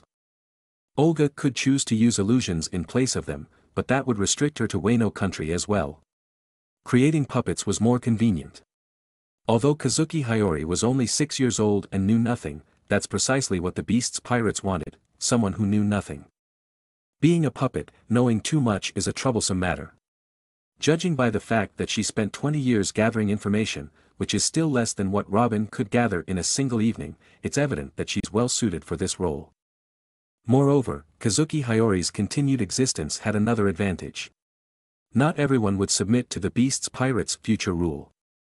There would always be loyalists of the Kazuki family, and Kazuki Hiyori could draw them out, allowing them to be captured all at once. Not long after Denjiro and Kikunojo were locked up, the injured Kawamatsu was also thrown in. Kawamatsu. How did you end up here? What about Princess Hiyori? I, I was captured. Princess Hiyori too. Denjiro's inquiry carried only a faint glimmer of hope, as even Kawamatsu had been captured. Therefore, the likelihood of Hiyori escaping was exceedingly slim. After daybreak, the door was opened, and the injured Kaido appeared together with a jar. These are the ashes of Kazuki Oden. After being poisoned by Orochi at yesterday's banquet, he went mad and ultimately perished. What a pity. What kind of joke is this, Kaido?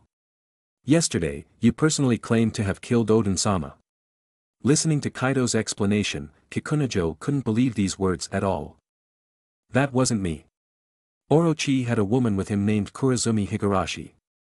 She's a devil fruit user with the clone clone fruit, and she transformed into me to deceive you all.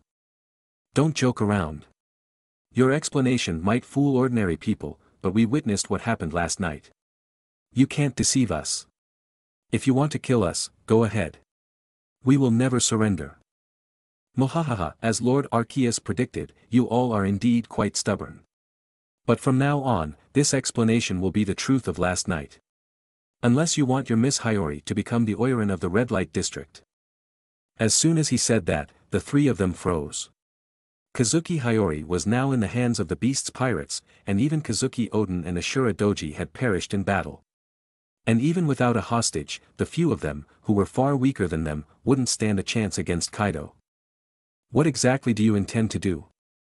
Do. Kurozumi Orochi intended to overthrow this country. Boss Kaido discovered Orochi's plot and thwarted it. To maintain control over Wano country, Kaido will have Kazuki Hiyori inherit the position of shogun. Also, Kurozumi Orochi poisoned all the daimyos yesterday. The two incidents involving the Kurozumi family have shown that the daimyos are not reliable.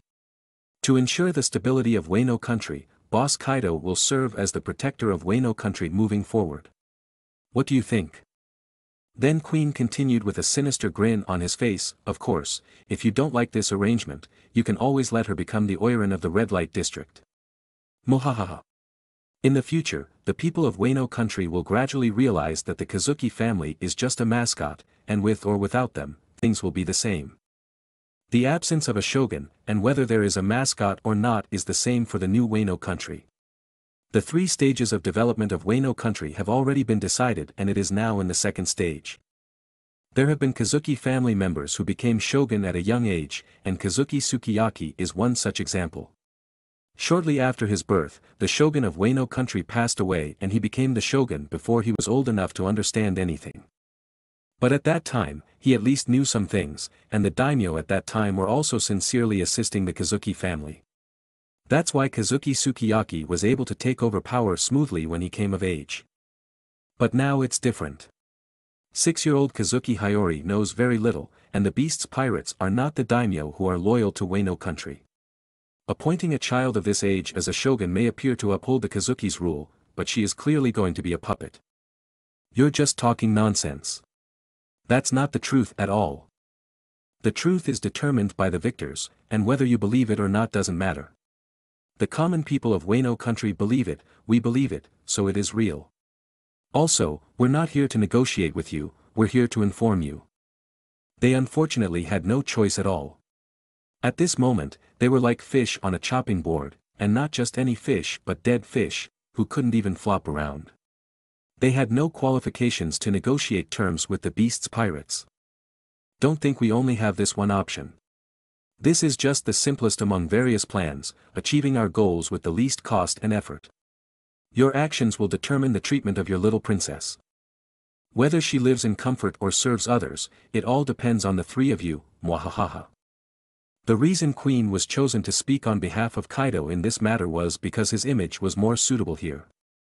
It could be said that there was no one more suitable for this villainous role. In an instant, the pressure fell on Kikunojo, Kawamatsu and Denjiro. With Kazuki Oden's death, Kazuki Momonosuke going to the future, and Kazuki Toki's disappearance after leaving a prophecy, the safety of Kazuki Hiyori was now the responsibility of these retainers who were left in Wano country. What exactly do you want us to do? You will pledge your loyalty to your Princess Hiyori as before and protect her.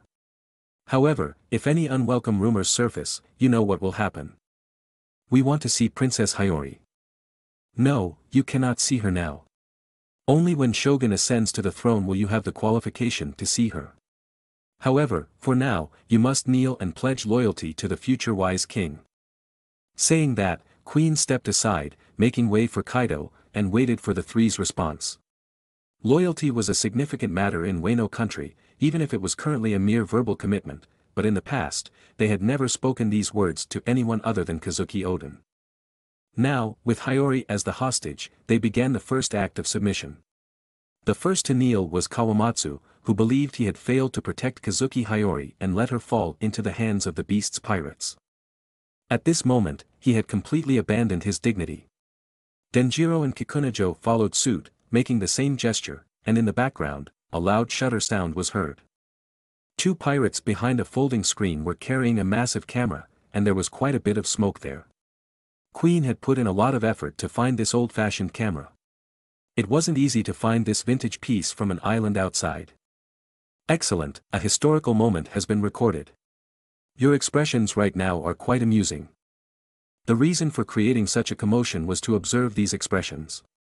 At least for now, his objective has been achieved. UBA asterisk tard. Watching Queen's smug look, the three below gritted their teeth but had to endure it due to Hiyori. These are the ashes of Kazuki Oden. That guy was quite a good opponent. You can take care of his vigil yourselves before his burial. After saying these words, Kaido left since his purpose for coming here had been achieved. Queen, following closely, also intended to leave, but before doing so, he gazed at the tearful Kikunojo and felt that this young lady was quite extraordinary. So, he pinched Kikunojo's face a few times and made a few flirtatious remarks before finally leaving.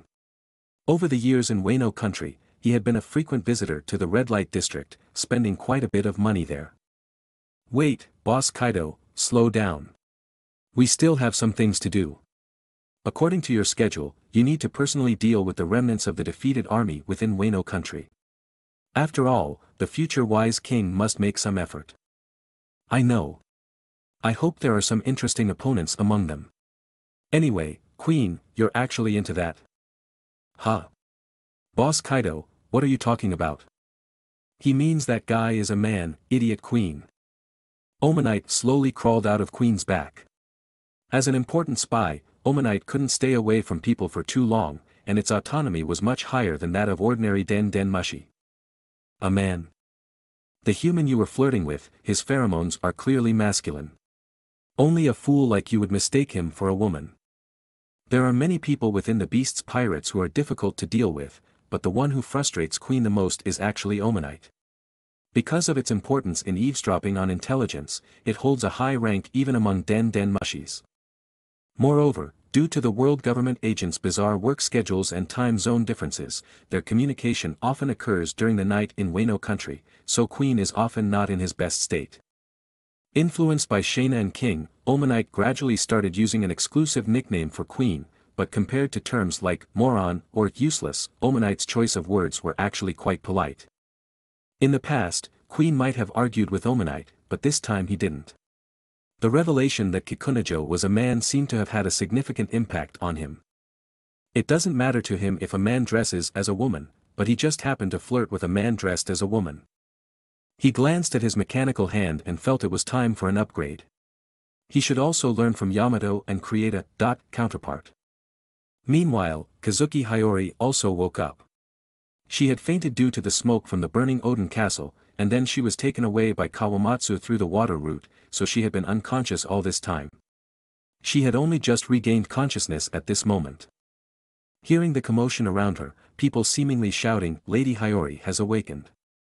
But, when she opened her eyes, the first thing she saw was King wearing an all-black mask, and it nearly made her faint once again. A room near the flower capital palace. The previous battle had already destroyed the palace. Although it hadn't been burnt to ashes, it was in a precarious state now. The people taking care of Hiyori were not members of the beast's pirates, they were the palace servants who had been there from the beginning in the flower capital. These people had served the shogun of Wano country for generations. Initially, they worked under Kazuki Sukiyaki, but after Kurozumi Orochi took the position of shogun, Orochi's commands held sway over them as well. They were completely unaware of what had happened last night. To be precise, their survival owed much to Zeraora, who had not participated in the battle but had acted as a firefighter. This included extracting these people from the burning palace. They were somewhat inclined to believe the reasons given by the beast's pirates because what they said about Kurozumi Orochi's past was indeed true. For example, the fact that Sukiyaki was killed, and that Kurozumi Higurashi was a sorceress who can change her appearance. Moreover, the head chef recalled that Kurozumi Orochi had forcibly cancelled the poison testing process, which raised further suspicions. It could be said that, thanks to Kurozumi Orochi's efforts, he had successfully diverted much of the suspicion. After Kazuki Hiyori was brought back, many people began to believe this. However, the beast's pirates did not entirely trust these people. They wanted to leave a reliable person here to ensure nothing unexpected happens. In this regard, King had taken on this responsibility. After the battle last night, they hadn't been idle. With a significant vacuum in the top leadership of Wano country, the Beast's pirates had naturally taken the opportunity to bring most of these high-ranking officials into their fold. However, they had no intention of reinstating daimyos. A puppet is sufficient for Wano for now. The rest would be directly governed by the Beast's pirates. Mom, where are you? Kazuki Hiyori, still groggy, instinctively searched for Kazuki Toki. However, she did not receive Kazuki Toki's response like usual. Instead, she was met with King's cold gaze. The unfamiliar gaze startled her, and then a sharp scream escaped her lips.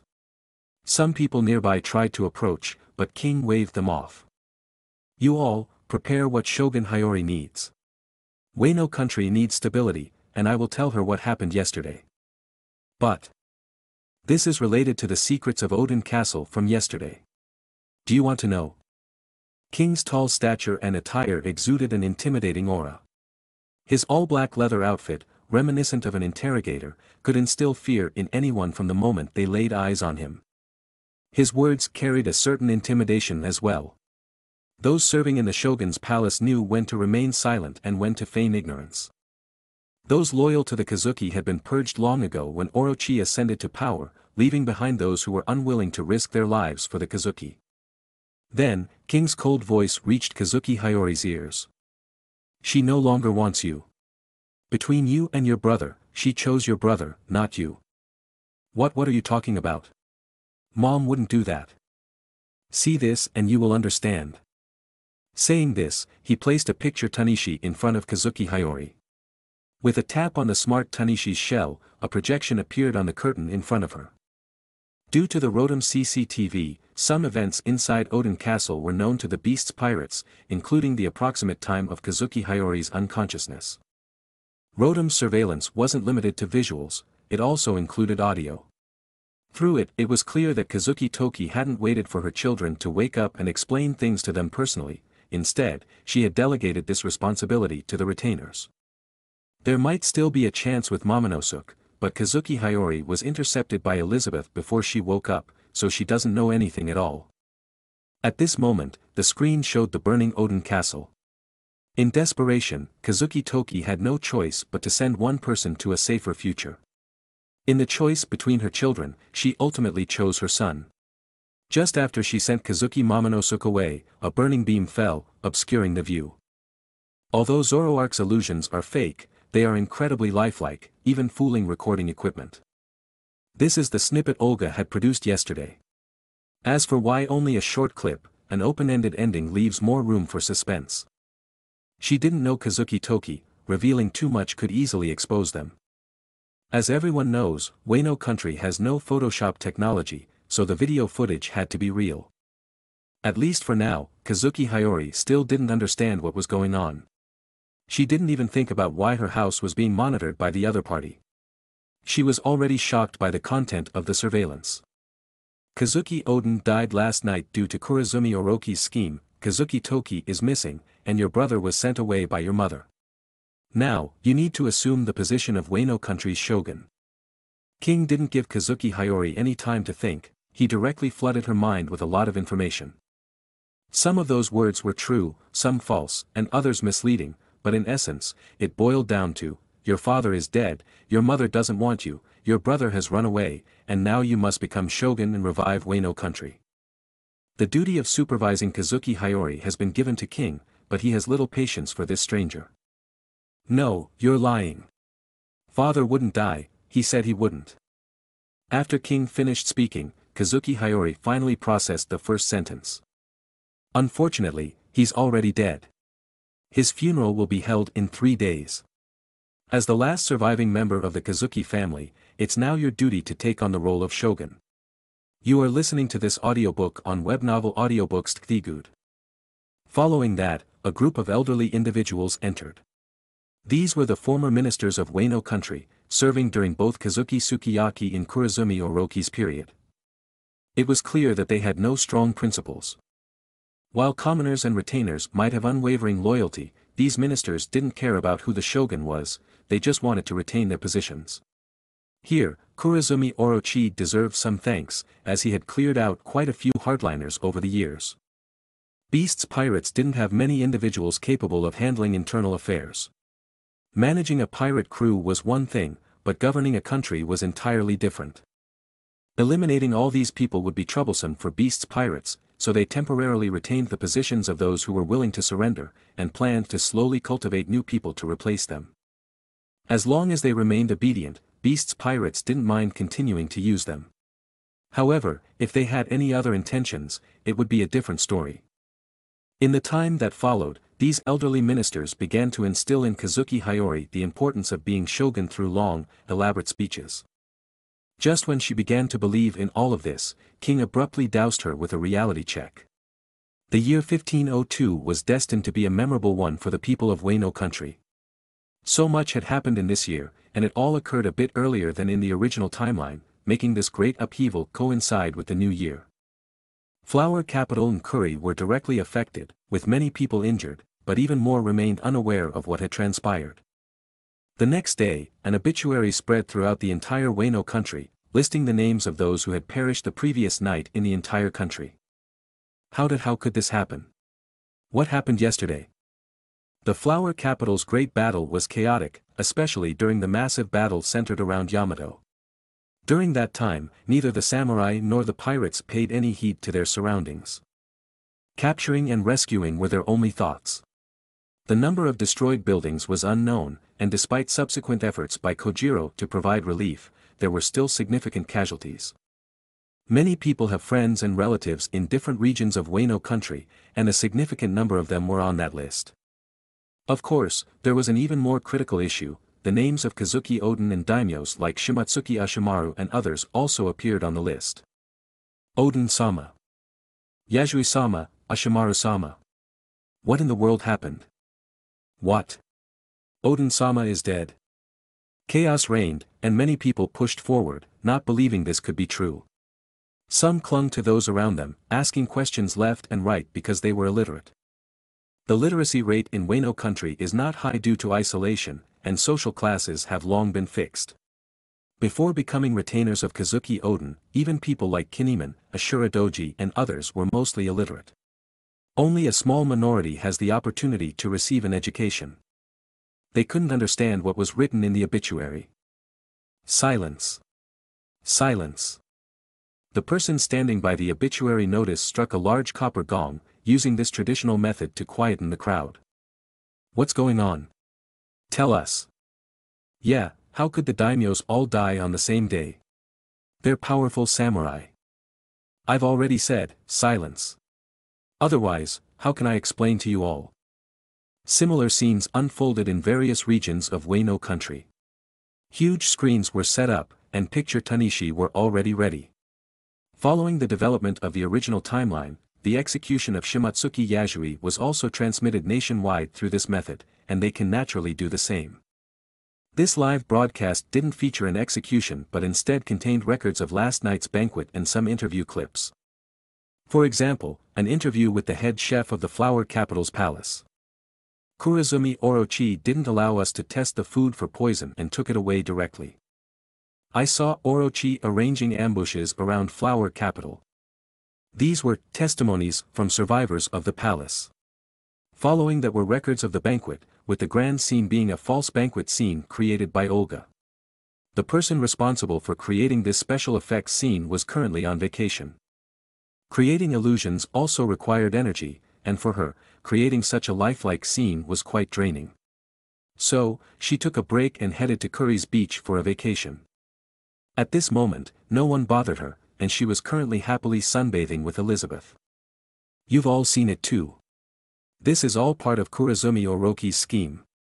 He secretly killed Kazuki Sukiyaki-sama a few years ago. Then, one of his sorcerers impersonated Sukiyaki-sama, allowing him to take the position of shogun.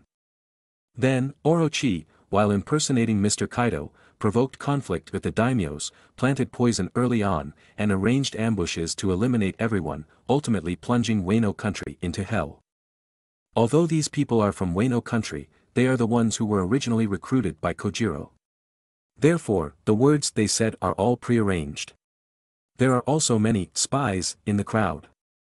Now, these spies were recounting how Kaido had dealt with the stragglers yesterday. Some were genuine supporters of the beast's pirates, like the farm residents who were protected by the Pokemon from thugs. Relatives of those being treated at Pokemon centers and so on. Finally, under deliberate guidance, Kurozumi Orochi became the root of all the evils. Even the rebellion that was initially downplayed, involving his grandfather, was brought back to light. In Wano country, the Kurozumi surname became synonymous with sin. The kind of widespread hostility that Kurozumi Orochi had experienced in the past as a member of the Kurozumi family was almost happening all over again. But this matter was far from over. While there have been many unfortunate events, there is some good news. Oden-sama's heir, Hiyori-sama, is still alive. She was just rescued and is under Mr. Kaido's protection. She will succeed the position of shogun in a few days. Shogun's position, stolen by Kurozumi Orochi, will return to the Kazuki family. Initially, there were many voices of opposition, but when this statement was proclaimed, the dissenting voices instantly disappeared, replaced by cheers. Wano country's centuries-long policy of isolation has given rise to this abnormal cultural trend. Attempting to directly remove the Kazuki family would undoubtedly lead to widespread rebellion. Crushing the rebellion with force was easy, but it would result in an unstable rear, and the beast's pirates would need to allocate more troops to maintain control. This did not align with their goals. A puppet would suffice to address this issue, and with a stable rear, the new generation of Wano country residents will eventually change this situation over time. Alright, everyone, there's one more thing. Some people incited riots during the chaos last night. Kuri, Hakumai, Flower Capital, Kibi, Budon, all except Ringo, were affected by these riots. Many people have suffered as a result of this. Now, the leaders behind it all have been captured, and they will all face execution. The primary blame was pinned on Kurozumi Orochi, and the group of rioters was executed. Through this method, the beast's pirates shifted the blame and effectively distanced themselves from the situation. Not everyone believed this, though. The remaining retainers of Oden were reluctantly forced to accept it, as well as one person who knew a bit more due to Kojiro but had stayed out of this murky situation, Hyogoro. Hyo, what's wrong? Observing Hyogoro, who seemed a bit out of sorts, his wife asked in puzzlement. Nothing. Although the beast's pirates provided an explanation for Oden's dancing, stating that he had been deceived by Kurozumi Orochi, who tricked him into thinking that ordinary people working for the beast's pirates were hostages. Given Oden's character, this wasn't surprising. However, he was aware of another fact, Kurozumi Orochi didn't have the capability to kill the shogun and daimyos. The beast's pirate's words contained both truth and falsehood, and this matter was undoubtedly not as simple as it seemed. He couldn't figure out what had happened, so he chose silence and observed everything that was unfolding. He had another reason for doing this, which stemmed from his own overthinking. He thought that Oden's sudden estrangement lately was a hint to him, meaning that if anything really happened, he should do nothing. Originally, he didn't understand why Kazuki Oden had suddenly started ignoring him, even when his wife personally invited him to their home. Now, it all seemed to make sense. After the funeral of Kazuki Oden and the daimyos, and Shogun's inauguration ceremony, he chose to pay his respects alone. Preparation of many things was entrusted to the people of Wano country, and among those was also Kojiro. His status had undergone a significant change after that night.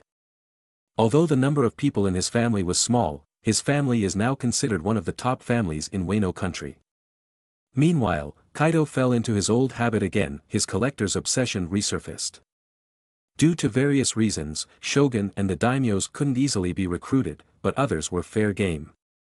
At this moment, in the Udon quarry, the group of prisoners and pirates who rioted had been executed, while the remaining ones were being recruited by Kaido. I'm giving you all a chance now. Join me, and your crimes from last night will be forgiven, but this offer is only for the samurai. His standards have also risen. There are plenty of foot soldiers, but those low-level thugs are not worth recruiting. Instead, he is interested in those samurai who fought his men to a standstill. However, most samurai resisted, and they ended up staying here as a new mining team. While the quickest to surrender were Orochi's Oniwabanshu. These special ninjas managed to spark some interest in Kaido, so he gave them a chance. During last night's battle, Fukurokuju, Daikoku, Hanzo and Jigoku Benten all met their demise. The remaining seven people almost immediately surrendered without hesitation. They had done the same thing when Orochi became shogun. Kaido didn't need such people, but he was planning to give the Oniwabanshu to Kazuki Hiyori to use as an honor guard. And it just so happens that these so-called ninjas have some reputation in Wano country, so he decided to make use of them. After Kaido left, one of Babanuki's subordinates approached him. Boss Babanuki, why didn't you tell the Governor-General about that matter just now? Are you new here? Babanuki didn't answer but looked at the pirate with some hesitation. Oh, I joined the Beast's Pirates two years ago and only recently got transferred to Wano country from the outside. No wonder you don't know anything. It's useless to tell Governor-General Kaido about this kind of thing. Just wait for Lord Arceus' arrangements. The question he wanted to raise was simple, he realized that he couldn't let the miners eat too much because when these people were well fed, they would cause trouble. However, if they didn't eat enough, it would also affect their mining efficiency. The turmoil from last night left Babanuki in a dilemma, and he couldn't figure out how to handle this problem. So, he escalated the matter higher up. Shortly after Kaido's departure, Arceus arrived at the quarry. The group that had assembled in the mining camp to welcome Kaido had not yet dispersed, and they promptly gathered once again. Lord Arceus, why did you come here in person? I came to resolve the issue you mentioned and to check on that child. As soon as he spoke, some pebbles on the ground shook, and Aggron, almost the size of a pacifista, rushed over. You could still see some iron shavings at the corners of its mouth, suggesting it had been in the middle of eating. Watching the steel giant behave as gently as a pet in front of Arceus, the expressions of some prisoners changed. They had earlier seen just how terrifying Aggron could be when it goes berserk. Previously, it seemed to have smashed a massive ore for training purposes. The pirates were already accustomed to it, as even when it was still Lairon, it often used its head to collide with mountains as a form of practice. At Aggron's feet, there were several Geodude. These normally irritable rock-type Pokemon displayed extreme gentleness in front of Arceus. Is that so? I see, you've done well. Today, you'll have some new companions. Arceus responded to the Pokemon's words, and upon hearing this, Aggron immediately brought a large piece of sea stone ore. The Geodude were eagerly waiting nearby. Under the influence of the power of the stone plate, the sea stone ore underwent a huge transformation. Under this power, the ore began to disassemble and reassemble, giving rise to a Pokemon with a body made of rocks, similar to Geodude. However, it wasn't a sphere, but a Pokemon with a body and four limbs covered in sharp and protruding multicolored crystals. Compressed Pokemon, Gigalith 2. Gigalith's main body consists of a roughly conical rock structure, with a distinct differently colored crystal in front of its chest and at the center of its back. On Gigalith's head, there is a crystal that extends from its forehead to its brow and down to its chin. Additionally, there is a crystal on each side of its chin and head. Triangular rocks formed its limbs, each ending in two sharp crystals that form its claws. Gray-black joints connect its body and limbs, and while typical gigaliths have orange-colored crystals on their bodies, this particular gigalith has crystals that are deep blue, similar to the patterns on Geodude. These crystals serve to absorb sunlight and, after undergoing a reaction in its energy core, emit them as energy balls from its mouth, which is Gigalith's primary method of attack. In the Pokemon world, these creatures often buried themselves underground, exposing only their crystal-covered heads. Even though the color had changed, the deep blue light-absorbing properties actually became better. The energy balls launched by Gigalith are incredibly powerful. With it here, it's like having an additional mobile artillery at the mine. The disadvantage was that it couldn't fire during the night or in rainy weather, it could only do that under clear skies. Furthermore, Gigalith has always been the favorite Pokemon of miners, thanks to its strength and abilities that make it a valuable asset in mining, whether for digging tunnels or breaking apart rocks in the mountains. Arceus has come this time to create Gigalith, not only to enhance the mining capabilities of the mine but also to bolster its defenses. However, when it appeared, the Geodude seemed to become restless. Shortly after its appearance, they surrounded Gigalith. This was because Geodude and Aggron were both male, but this Gigalith was different, it was female. Arceus had randomly decided on the gender, not paying much attention to it. However, both Geodude and Gigalith belonged to the mineral egg group, and these Geodude, who had never seen a female Geodude, apparently developed romantic feelings. Gigalith kicked Geodude to the side as it had no interest in these round stones. After he was done with the creation, Arceus left the mine. Gigalith gazed at the sun in the sky and proceeded to choose a spacious location within the mine. Although Udon Quarry is not entirely composed of seastone, the surface here is rocky due to the abundance of seastone veins below, with a hardness far surpassing ordinary rocks. However, the crystals on Gigalith's claws easily tore through the ground beneath its feet. It then dug out a suitable pit to bury itself in, with its crystalline body exposed on the surface, beginning its life of absorbing sunlight. Meanwhile, in Wano country, life continued as usual.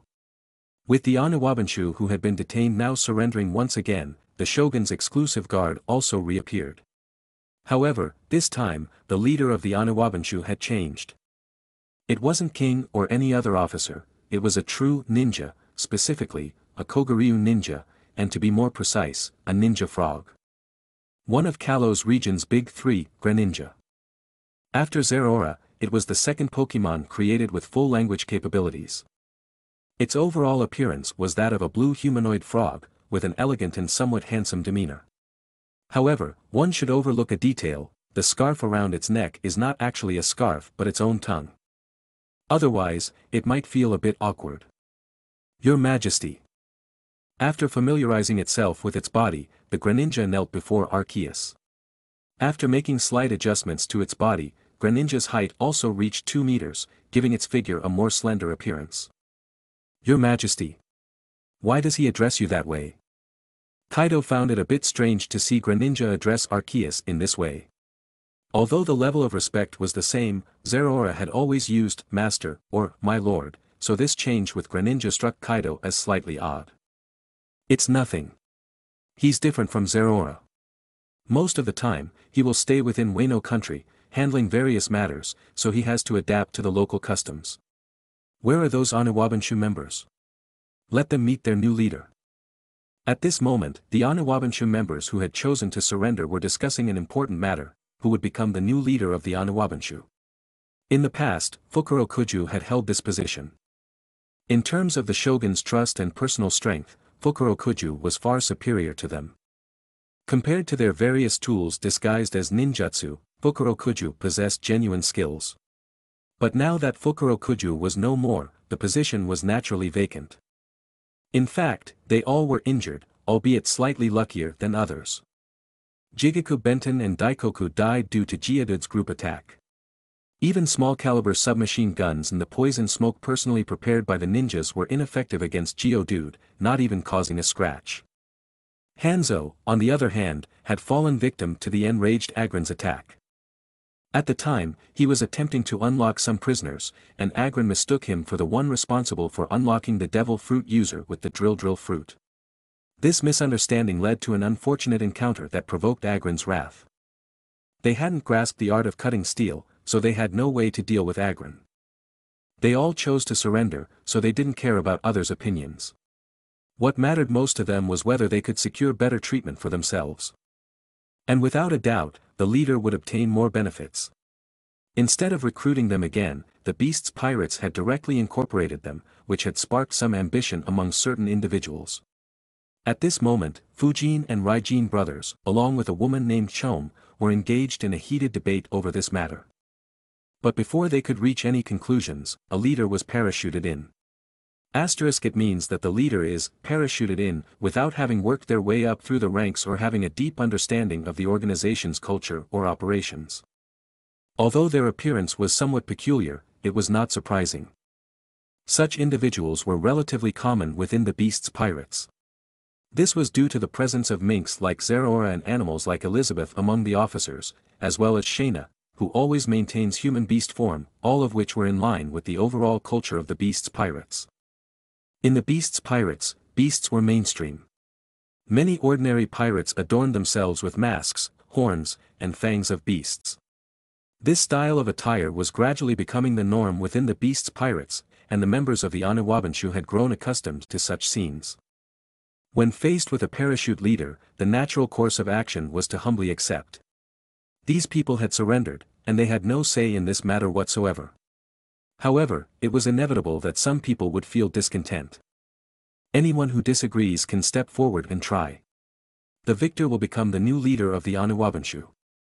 As a parachute leader, Greninja sought to establish authority, and in such situations, making an example out of somebody is always a good choice. Yesterday, the Beast's pirates had executed the leaders of the riots for this very reason. However, Greninja underestimated the patience of these ninja. They excelled in the art of endurance. Confronted with his provocation, not a single ninja stepped forward. Instead, they all obediently followed his instructions. This completely caught Greninja off guard, he had not expected these ninjas to be so docile. This was the result of the unique circumstances of Wano country. The Oniwabanshu served as the shogun's guards, and in the history of Wano country, only the Kurozumi family had attempted to seize power. However, this occurred only after the shogun's death. Before Kurozumi Orochi, no one had actively plotted against the shogun. Therefore, the Oniwabanshu was more like an honor guard, and their combat experience had dwindled over the years. Moreover, their purpose was solely to protect the shogun, regardless of who the shogun was. It was this very logic that allowed them to maintain their position through three generations, from the time of Kazuki Sukiyaki to Kurozumi Orochi, and now to Kazuki Hiyori. In the absence of an appointed leader, they fought for power, but faced with a greater force, they simply gave up resistance. So, Arceus is only going to use them as an honor guard to maintain the nominal status of the shogun in Wano country. In reality, these people had no real authority whatsoever. Nevertheless, Greninja's plan proceeded successfully. While the members of the Oniwabanshu did not resist, there were still those who sought to claim the position of leader. On the day before the shogun's succession ceremony, a woman arrived, identifying herself as a former member of the Oniwabanshu. Shinobu, the user of paramecia-type ripe-ripe fruit, had originally served the Kazuki family as a member of the Oniwabanshu. However, when Kurozumi Orochi seized power, Oniwabanshu's betrayal led her to leave the squad. She was arguably the only member of the Oniwabanshu who had genuinely remained loyal to the Kazuki family. She returned here once again because she had heard news about Kazuki Hiyori's succession. In the original timeline, Kurozumi Orochi had used hostages to threaten Oden into dancing. However, on that day, Shinobu happened to be lurking in the shogun's residence and became the only person who knew the truth. Now, many things have changed greatly. For instance, Shinobu is equally unaware of what happened that day. On New Year's Day, Shinobu was spending time in Ringo with her older brother Shinosuke, and the next day, all she saw was the obituary. Both Oden Castle and the Shogun's residence in Flower Capital have both turned into ruins. She returned here simply because she heard the news that Kazuki Hiyori is going to become the Shogun. She believes that the former Oniwabanshu are no longer fit to protect the shogun, which is why she came back. This was also the goal of the beast's pirates. Instead of allowing those loyal to the Kazuki to remain hidden in the shadows, they decided to use Kazuki Hiyori as bait to lure them all out. Now, the first fish has taken the bait. She had already fallen out with the members of the former Oniwabanshu, but seeing them all injured, she couldn't shake the feeling that something was amiss. Why are you all injured? What really happened that night? Neither Chom nor Raijin answered her question. These opportunists only wanted to stay alive and avoid angering the beast's pirates because of Shinobu, who had already fallen out with them. Forget that they didn't know all the details, and even if they did, they didn't want to divulge it. They didn't want to be sent back to the mine to work under the supervision of those monsters. So, Chom provoked her a bit, suggesting that she challenge Greninja. Hey, Chom, was that really necessary? Who told her to be so high and mighty? Our paths diverged years ago. If she's so adamant, let her go find trouble on her own. Otherwise, that person will always look for an opportunity to assert his dominance. If you don't want to be killed, then just watch from the sidelines. Besides, who knows what he's capable of? Let Shinobu test him out. Without provoking anything, she simply told Shinobu that Greninja was the leader of the Oniwabanshu who had been parachuted in by the beast's pirates, and that beating him would give her the position of leader.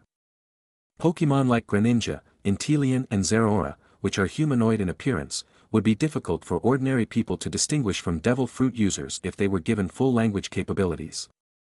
In their eyes, Greninja is simply an unusual sorcerer. Greninja didn't decline the challenge either, he needed an opportunity to showcase his skills. Even though he was just born and lacks real combat experience, for a sparring match, it was more than sufficient. What are we going to compete in? Shinobu, dressed in all pink, turned to Greninja and asked. Before becoming a plump middle-aged woman, Shinobu was indeed a seductive kunoichi, with titles like Bewitching Kunoichi and Menkiller. Among the motley group of the Oniwabanshu, Shinobu was relatively strong. However, it was of little use against Greninja, as attempting to bewitch a frog was essentially impossible for a human. Oniwabanshu is a ninja squad, so let's keep it simple. Since you claim to be a ninja, you should at least know the three bodies technique. Greninja's knowledge came from Arceus, so he started talking about ninja techniques that Shinobu couldn't comprehend. 3 3 bodies jutsu. Substitution, clone, teleportation. You call yourself a ninja and don't even know this? Greninja said as he demonstrated substitution jutsu by creating a substitute using substitute move. Clone jutsu, or more accurately, multi-shadow clone jutsu, he used double team to directly create multiple illusionary copies of himself. Teleportation jutsu, quick attack, he nearly teleported behind Shinobu and swiftly swiped his finger across her neck. By the way, I forgot to mention, the Oniwabanshu under my command is different from the previous Oniwabanshu. You can't just come and go as you please. If you betray us again, I'll make you understand the cost of betrayal. As he spoke, he condensed a water shuriken in his hand. Water-type Pokemon have many special uses for water, such as Inteleon's high-speed snipe shot and Greninja's water shuriken. Since Greninja has been parachuted into becoming the leader of the Oniwabanshu, Oniwabanshu's former gathering place had become his territory. There were several practice targets for the ninjas here, albeit they were only straw-stuffed wooden dummies. Normally, the shurikens they threw would at most embed themselves in the target, but Greninja's water shuriken directly sliced through several straw dummies in a row and disappeared into the sky. The three bodies technique and water shuriken marked the end of this so-called challenge. While Wano Country's ninja system is different from Greninja's, the clones and shurikens are still the basics. This shows that Greninja is far stronger than them. However, she still chose to return to the Oniwabanshu as she cares about the Kazuki family. The day of Kazuki Hiyori's succession arrived quickly. The collapsed palace had not yet been fully repaired, but during these days, the old ministers had instructed Hiyori in what they called etiquette. In his youth, Oden had never paid them any heed, and after Orochi's usurpation, they had dared not voice their opinions. Now, with a young shogun in power, these people could finally make use of their skills. Under their guidance, Hiyori's mind was filled with thoughts of how a shogun should act, what a shogun should do, and the like. The ceremony was originally supposed to be attended by all the shogun and daimyo's families, but now those seats were empty, with only nominal nobles present, such as Kojiro. As well as the former retainers of Oden. Seeing Kazuki Hiyori safe and sound was their greatest relief at this moment. For Hiyori, the ceremony was a burden as the clothing she was wearing weighed around 30 kilograms in total, even after being downsized. Just wearing the hat made her neck ache. In the presence of a live broadcast, the citizens of Wano country witnessed Kazuki Hiyori becoming the new shogun. On this day, a new official position was also established in Wano country, known as the shogun's attaché. TN, here this position also means that shogun is a puppet and the attaché controls the affairs from behind. I had translated this term to puppet shogun in chapter 205. 1. This position meant that it was dedicated to managing the shogun's affairs, acting like a confidential secretary, and the person appointed to this position was none other than king. In summary, everything that needs to be handled by shogun should be conveyed to Kazuki Hiyori through king. Even if someone wishes to meet Kazuki Hiyori, they have to go through king. After the complex and exhausting ceremony, she hadn't yet had a chance to rest when king approached. Shogun Hiyori, there are many tasks ahead. Firstly, the previous samurai squad, the Mimawarigumi, has been disbanded. Shinsengumi will now serve as the new samurai squad, and under the leadership of the Oniwabanshu, a new ninja squad will be established. Boss Kaido has been appointed as the wise king of the country. King held a stack of files, which were the future development policies discussed by Arceus and Aesir during the preparations for Kazuki Hiyori's inauguration ceremony. The top priority for development remained military power. Besides Beast's pirates, which is the greatest military deterrent, Arceus now turned his attention to Wano country's native military power. The former Mimawarigumi was a samurai squad under Orochi's command, and during that fateful night's battle, it was essentially destroyed. Now, Kaido aims to reorganize Shinsengumi as Wano country's internal security force. Kojiro will assume the role of the Shinsengumi's leader, while Greninja's Oniwabanshu will also be recruiting a ninja force, King announced the upcoming arrangements to Hiyori in a matter-of-fact tone, paying little attention to Hiyori's views. Wait. After King had spoken a lot, Hiyori finally reacted and interrupted King, who wanted to continue speaking. Hmm.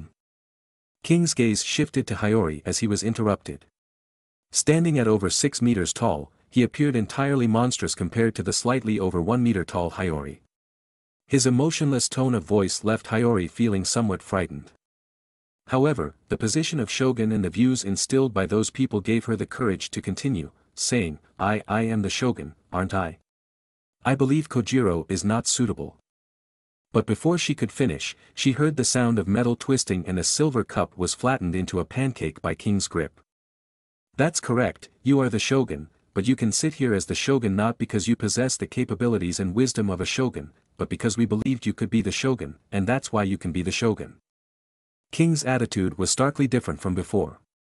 In the presence of outsiders, he had appeared as a bodyguard, standing silently by Hiyori's side. However, now, he treated Kazuki Hiyori with no trace of respect, as if she were nothing more than an insignificant insect. In other words, you don't need to think, and we don't need your consent. I'm just informing you of what needs to be done, and your role is simply to agree with what I say, or else things will become very difficult for everyone.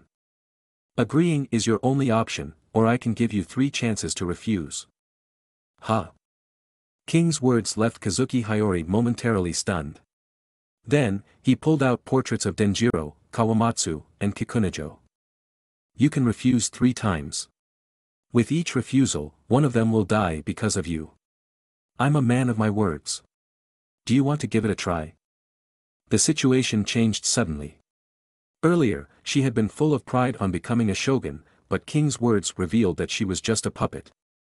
She was just a transition, a means to gradually make the people of Wano country accept that the Kazuki family was nothing more than a mascot. It would eventually be abolished in one or two generations, which was why the Beast's pirates approach was so direct. Arceus didn't believe Hiyori could sincerely join the Beast's pirates. Killing her father and then trying to recruit his daughter was something he considered impossible. Therefore, he simply let King make everything clear. Threatening Kawamatsu and the others through Hiyori's life and then using Kawamatsu and the others to threaten Hiyori, they have eliminated a lot of trouble. Don't. Don't kill them. I'll do whatever you want. Suddenly without her family, she only had these three left as acquaintances. Facing King's threat, she was terrified that her words would lead to their deaths. So, she chose to compromise decisively. That's better. Don't worry. You can have everything a shogun should have. In this palace, you are the real shogun. You can order the ministers and attendants as you wish, and if you don't like someone, you can even kill them without hesitation. This is a temporary palace, and the ministers here were originally attendants in the flower capital palace. They are the people Kazuki Hiyori can order around, but only within the palace, this is the extent of Kazuki Hiyori's authority. I will give you respect in front of outsiders. As long as you obey, we can live in harmony, you will have your share of wealth and glory, and no one will be able to threaten you. But if you don't behave. The silver cup, previously crushed into a pancake, transformed into a puddle of liquid. Hell and heaven, it all depends on how you choose. Anyways, there are still some things to discuss about the future development. You can decide for yourself, why bother telling me when it's already come to this? What are you talking about? This is Shogun's work, we still need to follow the process. That day, Kazuki Hiyori realized that her role as shogun was nothing more than that of a puppet. Once she left this palace, her words carried even less weight than an ordinary foot soldier of Beast's pirates. Meanwhile, in Wano country, the recruitment for the Shinsengumi had begun, but Kojiro was overseeing these matters, having gained the trust of the Beast's pirates. Kaido's title as the Wise King resonated throughout Wano country through a series of propaganda efforts. Under the absolute military deterrence, many wandering samurai chose to join the Beast's pirates faction Shinsengumi, led by samurai of some repute in Wano country such as Hotei. A large number of individuals were recruited and screened. Meanwhile, what happened within Wano country had nothing to do with Yamato and her group.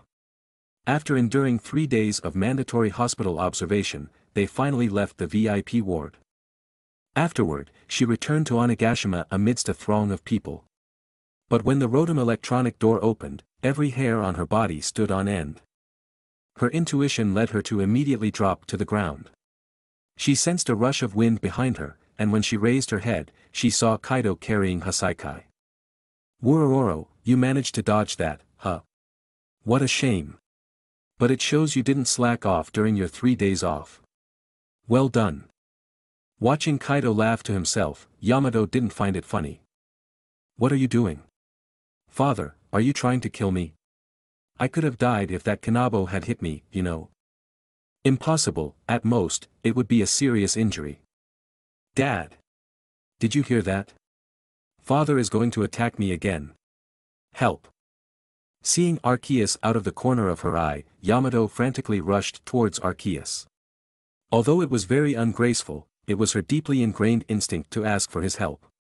What Kaido said with a serious tone might not necessarily come to fruition, but the training he spoke of in a jesting manner would definitely be carried out. Wuororo. Yamato, this time even your dad can't save you. Only I can train you in Conqueror's Haki.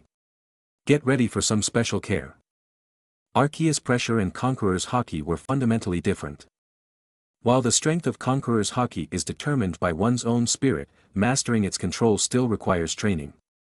Whether it's controlling the range, power, or the nuances of Conqueror's Haki, this training can only be conducted by Kaido. Seeing Arceus gaze, Yamato seemed to sink into a new despair. However, for the pirates of Onigashima, they were now very excited because after the great battle, it was time for the Beast's pirates to reward their achievements. Participating in the banquet of Wano country failed to pique the interest of the pirates. Only a few of them could tolerate the bland food. What they truly looked forward to was the post-battle party of the Beast's pirates. Furthermore, the post-battle party wasn't just about good wine and food, it was the abilities granted as rewards that excited them the most. Yo-ho! Are you all ready? Inside Onigashima's banquet hall, Queen took the microphone and began hosting the party. His plump figure swayed incessantly atop the stage, accompanied by several dancers, showcasing his graceful dance moves. We're ready. Very well. Since we're all old pals, I won't waste any time. The compensation for the fallen in battle has already been distributed. Lord Arceus has made it clear that anyone who dares to bully the families of those individuals will be dealt with severely. However, next, let us welcome the brave warriors of this great battle. We will now introduce three new blessed ones. Oh! Spotlights, at Queen's command, roamed throughout Onigashima's interior, searching for their targets. First, we have Holdem. In the previous battle, he defeated seven samurai and was the first to break through the samurai's line of defense to reach Miss Yamato. Two spotlights focused on Holdem, these were the candidates previously reported by the officers. The complete lottery process for obtaining abilities had already concluded. Today is merely an occasion to announce the results and grant the abilities to them. Furthermore, at the Udon mining camp, Vice Warden Daifugo made significant contributions in quelling the rebellion. He assisted Babanuki in dealing with a large number of rebel pirates. And last but not least, the young mink girl Setsuna. She, uh, she defeated a large number of Orochi's underlings during the cleanup operation in Oden Castle. It wasn't that he forgot the words, but it seemed like there was an extra card in the cue cards he had prepared for hosting. In terms of achievements, Setsuna did far less in this battle compared to Holdem and Daifugo. However, her connections were stronger. Ever since she returned to Zou Island with Zeraora, their relationship had developed significantly. Originally, the list only included Daifugo and Holdem, but Setsuna was added at the last minute. Within the Beast's pirates, those with abilities could rise to the top, but the so-called absolute fairness doesn't exist. For example, Yamato, the beloved daughter, Jack, and Maria, those who had been groomed from childhood, their futures are destined to be different.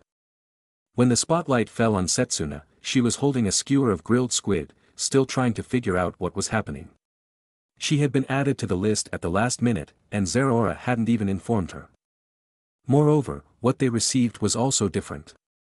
Holdem, modified form, Pyroar, male lion form, which looked similar to a regular lion but had mane-like flames in red and yellow. Daifugo, on the other hand, received a devil fruit. Initially, they had obtained two devil fruits from the auction, one being the insect-insect fruit, bombardier beetle form. The remaining one, after Daifugo's personal experience, was confirmed to be the insect-insect fruit, ancient Zoan, giant isopod form. It was later modified by Arceus into the insect-insect fruit, mythical Zoan, Golisopod form. The Golisopod form resembles that of a towering, giant isopod standing upright, with two massive arms bearing enormous claws, and two pairs of auxiliary feeding pincers. It is a waterbug dual-type Pokemon created by modifying the insect-insect fruit with Splash Plate. Its entire body is covered in extremely tough scales, and it is said that its hardness rivals that of a diamond. This way, the mining camp's security increased by a few notches. However, the most special one is Setsuna. The modification she underwent was different from Daifugo and Holdem. Her modification was the result of genetic changes guided by Arceus, and it was because she was a wolf mink, possessing wolf-like genes in her body that allowed for this modification. Appearing frequently in certain picture books with Zeraora, the Aura Pokemon, Lucario. Live a good life with Zeraora. This is an early wedding gift for both of you. Make good use of this power. Thank you for the power, but Lord Arceus, we're not getting married anytime soon. That's why it's an early gift. I can see it's only a matter of time for you too. The combined power he expended for Holdem and Daifugo couldn't compare to the power he expended for Setsuna alone. If it weren't for her relationship with Zeraora, she would never have gained this kind of power. The changes in appearance when using her ability weren't significant for Setsuna, it was just a change in color with the addition of a spike on the back of her hands and one in the center of her chest. The biggest enhancement Lucario provided her was the power of aura. Aura was something unique. To Lucario, who could sense aura, all living things had their own aura. By detecting the aura emitted by others, it could read their thoughts and actions, even perceiving the movements of invisible opponents through aura fluctuations. When this power combines with the native abilities, it can greatly enhance one's observation Haki.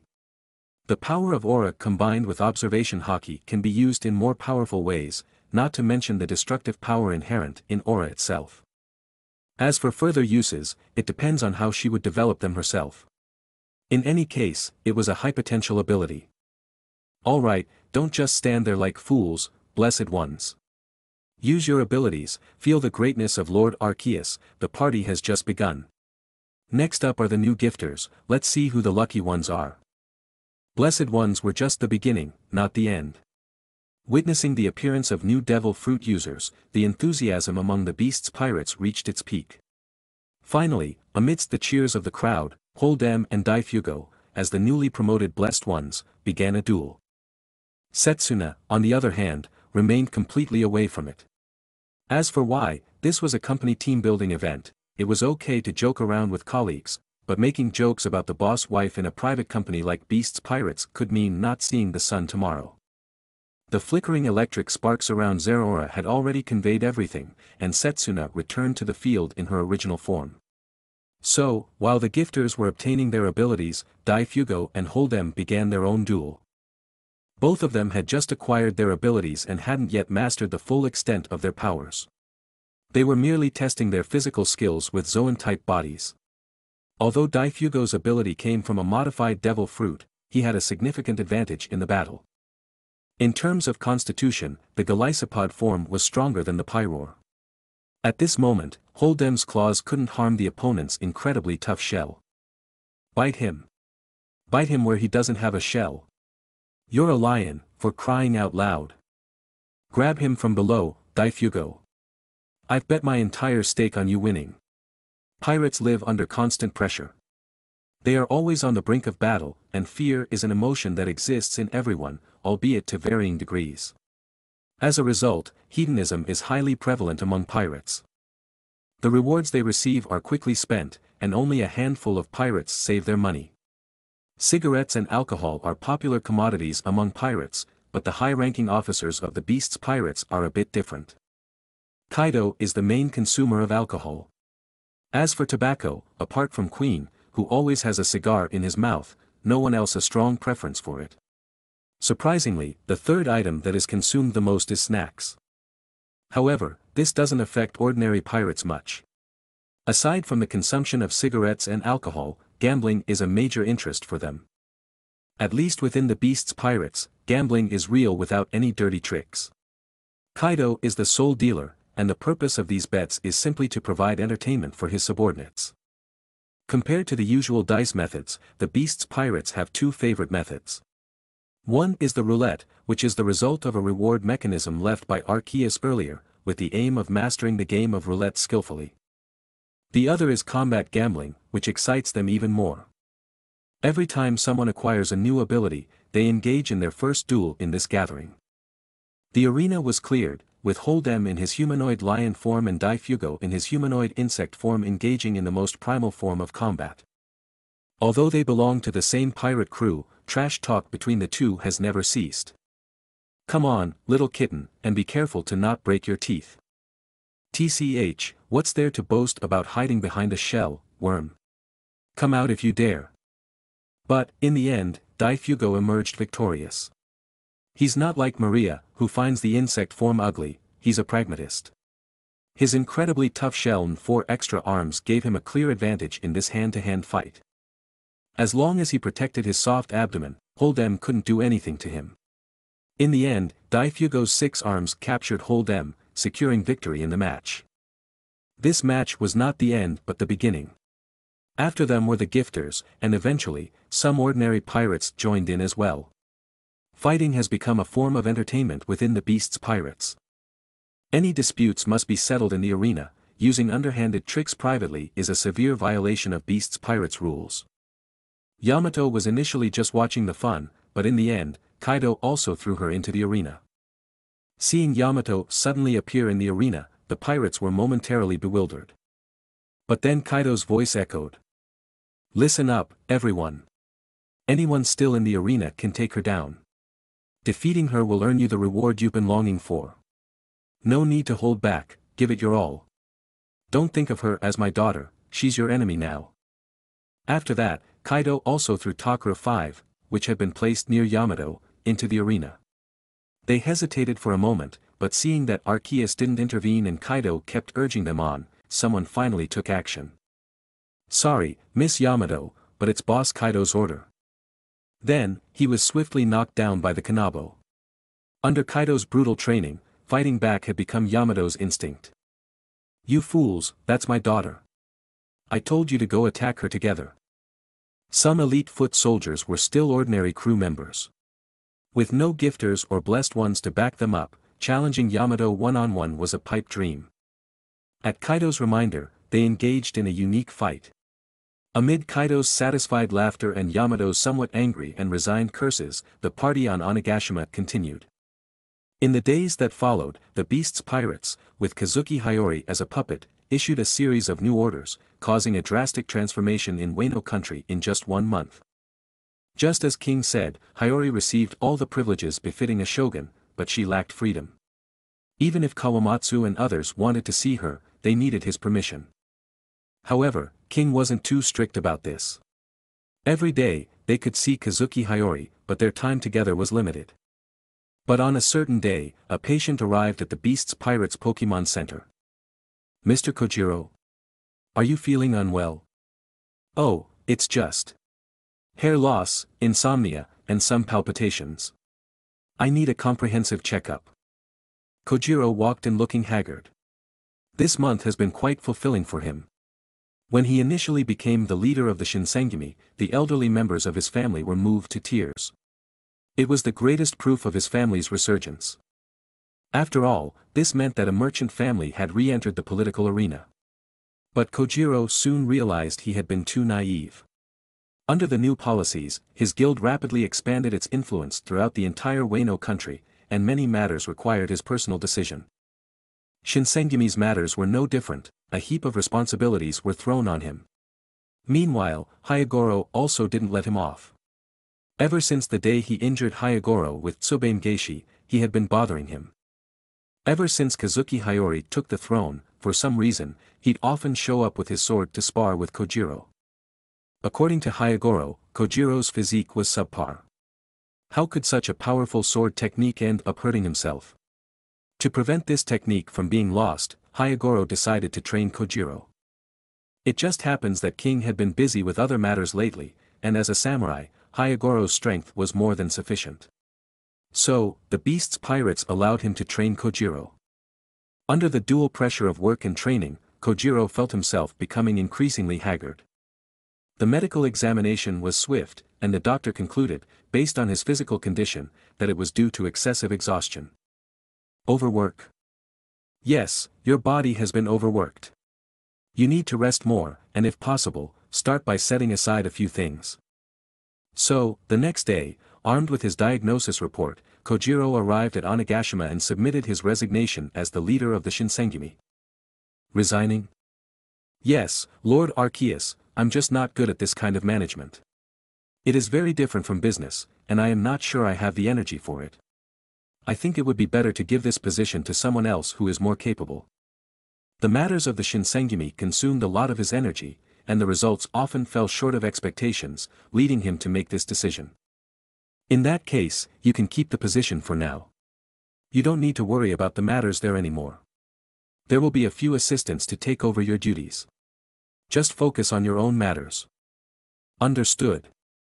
I'll do my best in the guild. For now, it is better to let a local be the nominal leader of the Shinsengumi. After all, the current Shinsengumi in Wano is going to be a violent agency responsible for maintaining internal security. While the Beast's pirates function as an external army, the Shinsengumi serves as an internal armed police. Kojiro is the most suitable person to be the leader, but if he cannot handle the workload, he can be the nominal leader. For this role, Beast's pirates can still find qualified professionals. Kojiro was quite satisfied with this outcome. After all, he didn't even have time to pet his dog before. At the same time, following Arceus requirements, Kojiro found himself an assistant. Musashi, who had been the head of security guard, was gloriously promoted to full-fledged role. Flower Capital and Oden Castle were still under reconstruction. Most of the residents' lives hadn't changed much. The effects of the new policies would take some time to come into full effect. For example, the Kentaro family continued to lead their usual agriculture and animal husbandry life. Kentaro, now in his teens, went about his routine of milking the Miltank, having become the primary workforce in his family. Currently, they were saving money for him because he had reached the age when he should be getting married. However, the process was still quite lengthy. The savings from their jobs had just been used to renovate their house, so at this point, everything was starting from scratch. With milk bottles stacked on a cart, Kentaro skillfully milked Miltank. Then, he went to prepare fresh feed for them. After several years, he had gradually figured out what Miltank liked to eat. As he collected berries from a shrub, he stumbled upon something strange on the ground, a fruit that resembled a mushroom, but its red and green colors made it peculiar. Is this thing poisonous? The more vibrant the colors of fruits and mushrooms, the more likely they were to be toxic. Kentaro couldn't identify this wild fruit, so he didn't dare to feed it to anyone, including himself. However, he decided to collect it. Whether it was herbs or poisons, they could fetch a good sum of money from the beast's pirates, so they often collected herbs on the mountains. His instincts told him that this thing was worth a pretty penny. When he delivered the milk, he also brought along the fruit. Meanwhile, at the purchasing station of Paradise Farm, a pirate with a prosthetic limb was inspecting crops. He was over 60 years old now, he had joined the Beast's pirates as an older pirate 11 years ago. During a battle, he had lost a leg, and since then, he had taken up a retirement job here. Uncle Haffet, here's today's milk. Got it, it's already recorded. Just wait for your payment at the end of the month. By the way, uncle, I found something strange today. How much do you think this is worth? Kentaro said as he put down his backpack and started searching inside. Herbs. Ordinary herbs don't fetch much money. Didn't you go up the mountain today? We usually don't. Before he could finish his sentence, he saw the peculiar mushroom that Kentaro had taken out. What's the matter, Uncle Haffet? Don't you accept this? Gulp. Haffet swallowed hard and then said, Of of course, we accept it. Kentaro, my boy, you've earned big. This is a treasure worth 500 gold. With its unusual colors and spiral patterns, there was no doubt that this was a devil fruit. Prices in Wano country didn't correspond to the outside world, but the beast's pirates had regulations for this. If someone presented a devil fruit, they would receive a reward of 500 gold, and their family would receive special protection from the beast's pirates. In Wano country, this was a dreamlike sum, and Kentaro couldn't believe that an ordinary, poisonous mushroom would be worth so much money. Although Kentaro is ignorant, Haffet had no intention of secretly hiding the devil fruit to eat it or exchange it for money. While this position is typically reserved for disabled pirates, it has also undergone internal scrutiny by the Arceus cult. They possess better qualities than regular pirates, and there's also a notice posted above. However, Kentaro hasn't come across it yet. It wouldn't be in his best interest if Kentaro made a big fuss once he discovers the truth later on, and there's another critical issue to consider. His own talent was just so-so. Otherwise, he wouldn't have retired after getting an ordinary prosthetic limb. Most people with combat talent, like Scotch, continued to fight on the front lines even after modifications. He never really had a habit of saving money. Whether he should enjoy a good time for a short while after pocketing this money or rely on the beast's pirates to live the second half of his life, he was quite clear about that. At this point in his life, he had achieved Mandrill's life goal, a smooth retirement. However, Mandrell was far from retirement age, and as he gradually gained control over more things, he had bigger ambitions. His goal was to retire as a high-ranking officer, but that was still a long way off. I'll take it away with me for now. Gold is not a small amount.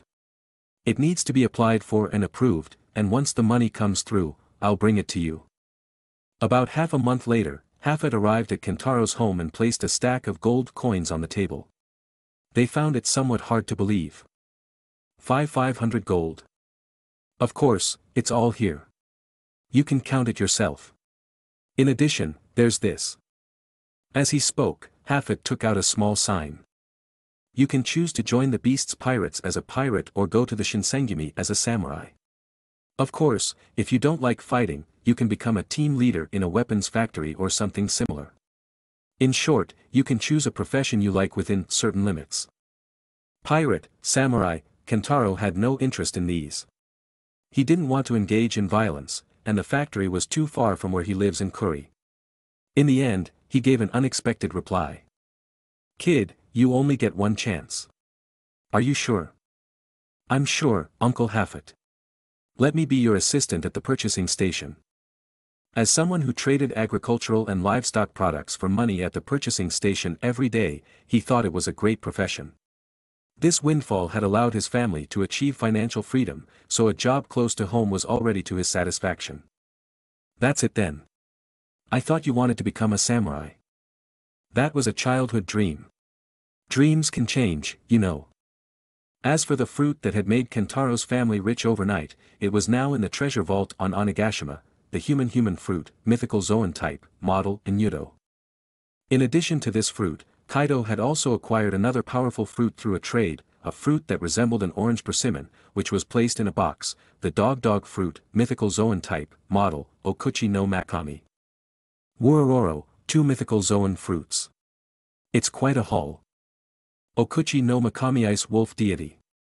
Kaido, give me that fruit. I want to try something. What do you intend to do? This is a powerful fruit that I obtained at quite a cost. Just a small experiment, but I'm not sure if it will work. Go ahead, but be careful. Finding such a powerful mythical Zoan fruit isn't easy. People never complain about having too much wealth, and Kaido certainly wouldn't complain about having more devil fruit users in his crew. For Arceus, modifying a devil fruit is much easier than modifying a person, which is why the beast's pirates have been collecting devil fruits. The existence of the millennial dragon Farron has already shown that modified forms and devil fruit abilities can coexist, making this mythical Zoan fruit perfect for Kaido's needs. However, Arceus had other thoughts, and this matter concerned what ability to give to Yamato. Hey, Kaido, do you remember we talked about what ability to give to Yamato? Oh. Have you decided what ability to give her? Not yet, but I have an idea for now. Those exceptionally powerful Pokemon are called legendary Pokemon. They are different from ordinary Pokemon, their strength is a sum of all their parts. Kaido pondered for three seconds and then picked up the sake gourd from his waist to take a sip. I don't understand what you're saying. Can you simplify it? Legendary Pokemon are embodiments of certain concepts. These concepts such as life, destruction, earth, ocean, sky, time and space are all related to their power. In order for them to reach their full potential, these things cannot be missing.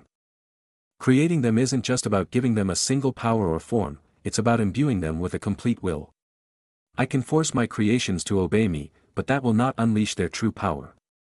Ordinary modifications allow immediate use of the acquired power, but legendary Pokemon's power, like tailed beasts asterisk, requires their acknowledgement to be able to unleash their full powers. Asterisk Naruto so, you mean that to be able to use these powers, one needs to go through a test. That's about right. Which one do you think suits Yamato? I need to observe further, but I have a rough idea. It aligns with my expectations since that ability is unique. I want to try using the Okuchi no Makami to create a new vessel. The conversation had once again reached a point where Kaido couldn't understand anything.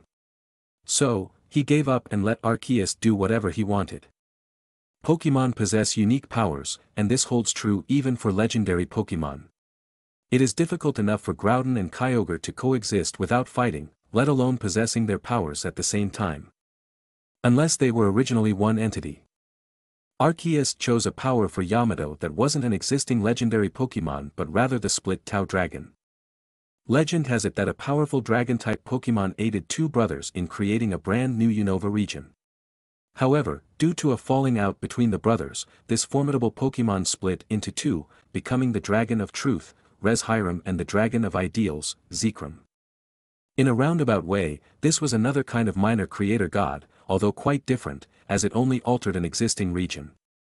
Their powers are the only ones that could coexist among legendary Pokemon, and when they split apart, it gave birth to the body which became Kyurem. Reshiram and Zekrom represented will and power, while Kyurem represented the body. However, Kyurem's personality is too volatile, so he planned to use the Draco Plate to modify the Okuchi no Makami, forming a new body in the form of an Ice Wolf Dragon. At the same time, use this body to carry ideals and truth, to create a new Tao Dragon. Yamato's slightly naive thinking is increasingly becoming more like Zekrom's ideals. As for how she will gain the recognition of Reshiram's truth in the future, he believes that Yamato can do it. Both the power of Viridian and the super rookie's physique seem to be preparations for this matter. Ideals and truth are not absolute conflicting in nature. Only when they achieve a balance can true beauty be realized. However, what he is doing now is something different. Devil fruit users fear water, and artificial devil fruit users fear water as well. In other words, there is a substance that can be made artificially which is an essential part of devil fruits, and that substance carries the power of devil fruit, and it can also make people powerless in seawater. What he wants to attempt is to retain the original power while removing that harmful substance. His power has grown significantly, so he was starting this experiment. A month's time passed quickly, during which Yamato experienced what is an abyss of suffering. Since Arceus hadn't appeared for a month, Kaido intensified his crazy training. It was another familiar morning. Yamato woke up on time, then glanced at the Chansey-shaped clock, starting a mental countdown. Before she could count down to one, the Conqueror's Haki pressed down on her. According to Kaido, there's no specific way to train Conqueror's Haki. If that's the case, then she should experience his stronger Conqueror's Haki as much as possible, hoping that it might make hers Conqueror's Haki stronger. So every day, Yamato endured Kaido's Conqueror's Haki baptism. Currently, she couldn't withstand the impact of Kaido's Conqueror's Haki, and each time, she would fall unconscious. She had no idea how long she was out for, but upon waking up, she immediately looked around vigilantly. Walls, ceilings, and floors offered her no safety. At this moment, Kaido could launch an attack on her from anywhere, making her fully tense. However, it was all in vain. Not only Conqueror's Haki, but she also couldn't compare with Kaido in armament Haki and observation Haki. Her half-baked and partially mastered observation Haki was ineffective against Kaido. It wasn't until the afternoon that the wounded her could get a brief rest. Wurororo, this super rookie's physique is quite useful. Now I can train you even more rigorously. Where's Dad? He's been gone for a month, hasn't he? How could Dad just leave without a word? He's on Onigashima, but he doesn't have time for you right now. He's busy with something else. Congratulations, though, you've passed the first stage of training. Hearing Kaido's words, Yamato showed a hint of happiness on her face. Is the training over? Of course not. It means our second round of training is about to begin. Another month passed, and it was exactly two months later she saw Arceus again. His experiment had succeeded, but for now, it was still too energy draining for him. To summarize what he did in simple terms, he used a piece of steel wire to extract all the seeds from a hole without damaging the overall structure of the devil fruit. Furthermore, the pulp had not been turned into mush, and the seeds remained completely intact. This was mainly achieved through the power of fairy-type plate and dark-type plate. If he could add ghost-type and psychic-type plate, this task would become much simpler. Until he found more plates, he wasn't planning to undertake such a strenuous task again. During this time, Arceus had been staying in the underground treasure vault of Onigashima. After greeting Rotom, he left the vault once more. However, as soon as he emerged, he sensed some vibrations. What the heck is Kaido up to now? According to Wano country's historical records, earthquakes were rare here, and this particular tremor clearly came from above. Other than Kaido, no one could cause such a disturbance. When he arrived on the roof of Onigashima, he witnessed Kaido's unique training. In fact, it was no different from before, he was stylishly beating up Yamato. However, Yamato seemed to have seen her savior. Dad! Are you finally done with your business? During Kaido's training, no one would dare to come here. Jack and Maria, who were already lying lifelessly on the ground, are proof of that. They don't have Yamato's endurance. However, Arceus' appearance momentarily distracted Yamato, and Kaido had no intention of stopping due to this, so Yamato also proudly joined the ranks of the fallen. Done already? It seems her training class is about to come to an end. For some reason, Yamato, who had endured for two months, suddenly felt like crying upon hearing this. She could only say that these past months had been incredibly tough for her. Dad, what have you been doing? Two whole months, do you know how hard it was for me during this time? Two months. I've been busy for that long. Of course. You've certainly taken quite a bit of time this time. Temporarily concluding Yamato's training, Kaido fastened Hassaikai around his waist and approached Yamato. In the past, Yamato had to be wary of Kaido launching a sudden attack on her, but now, with Arceus reappearing, she finally felt at ease. It really did take a great deal of effort, but it doesn't matter now. Yamato, this is for you. Saying this, he handed Okuchi no Makami to Yamato. However, Kaido felt something was off.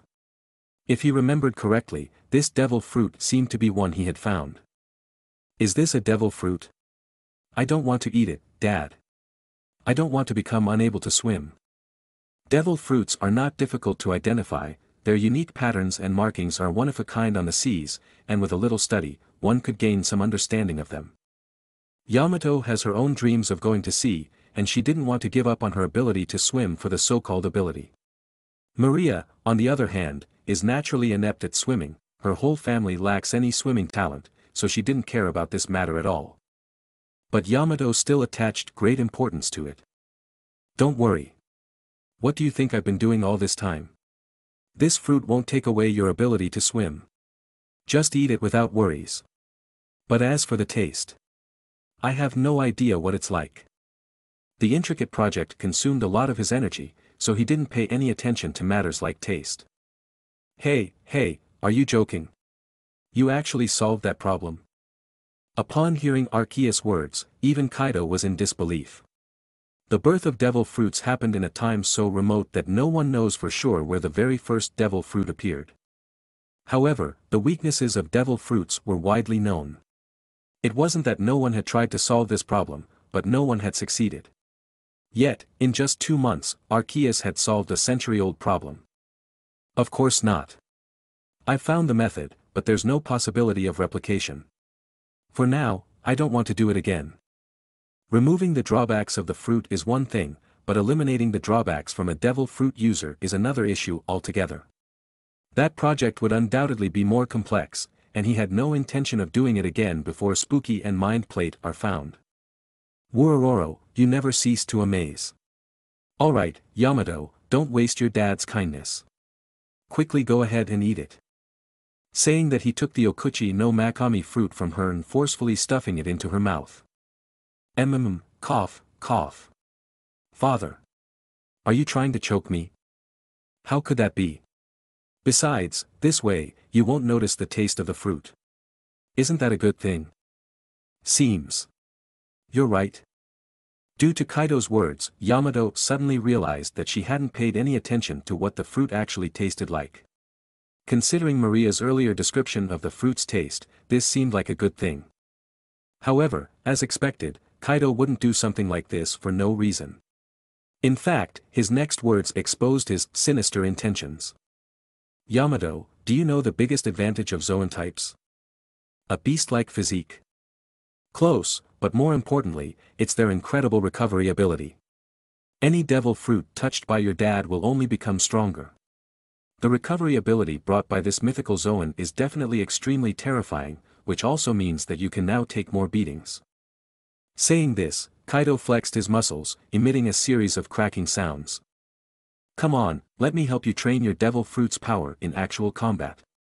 Now use that power, and show me the power of a mythical Zoan. This time, Kaido isn't going to use Kanabo or Haki.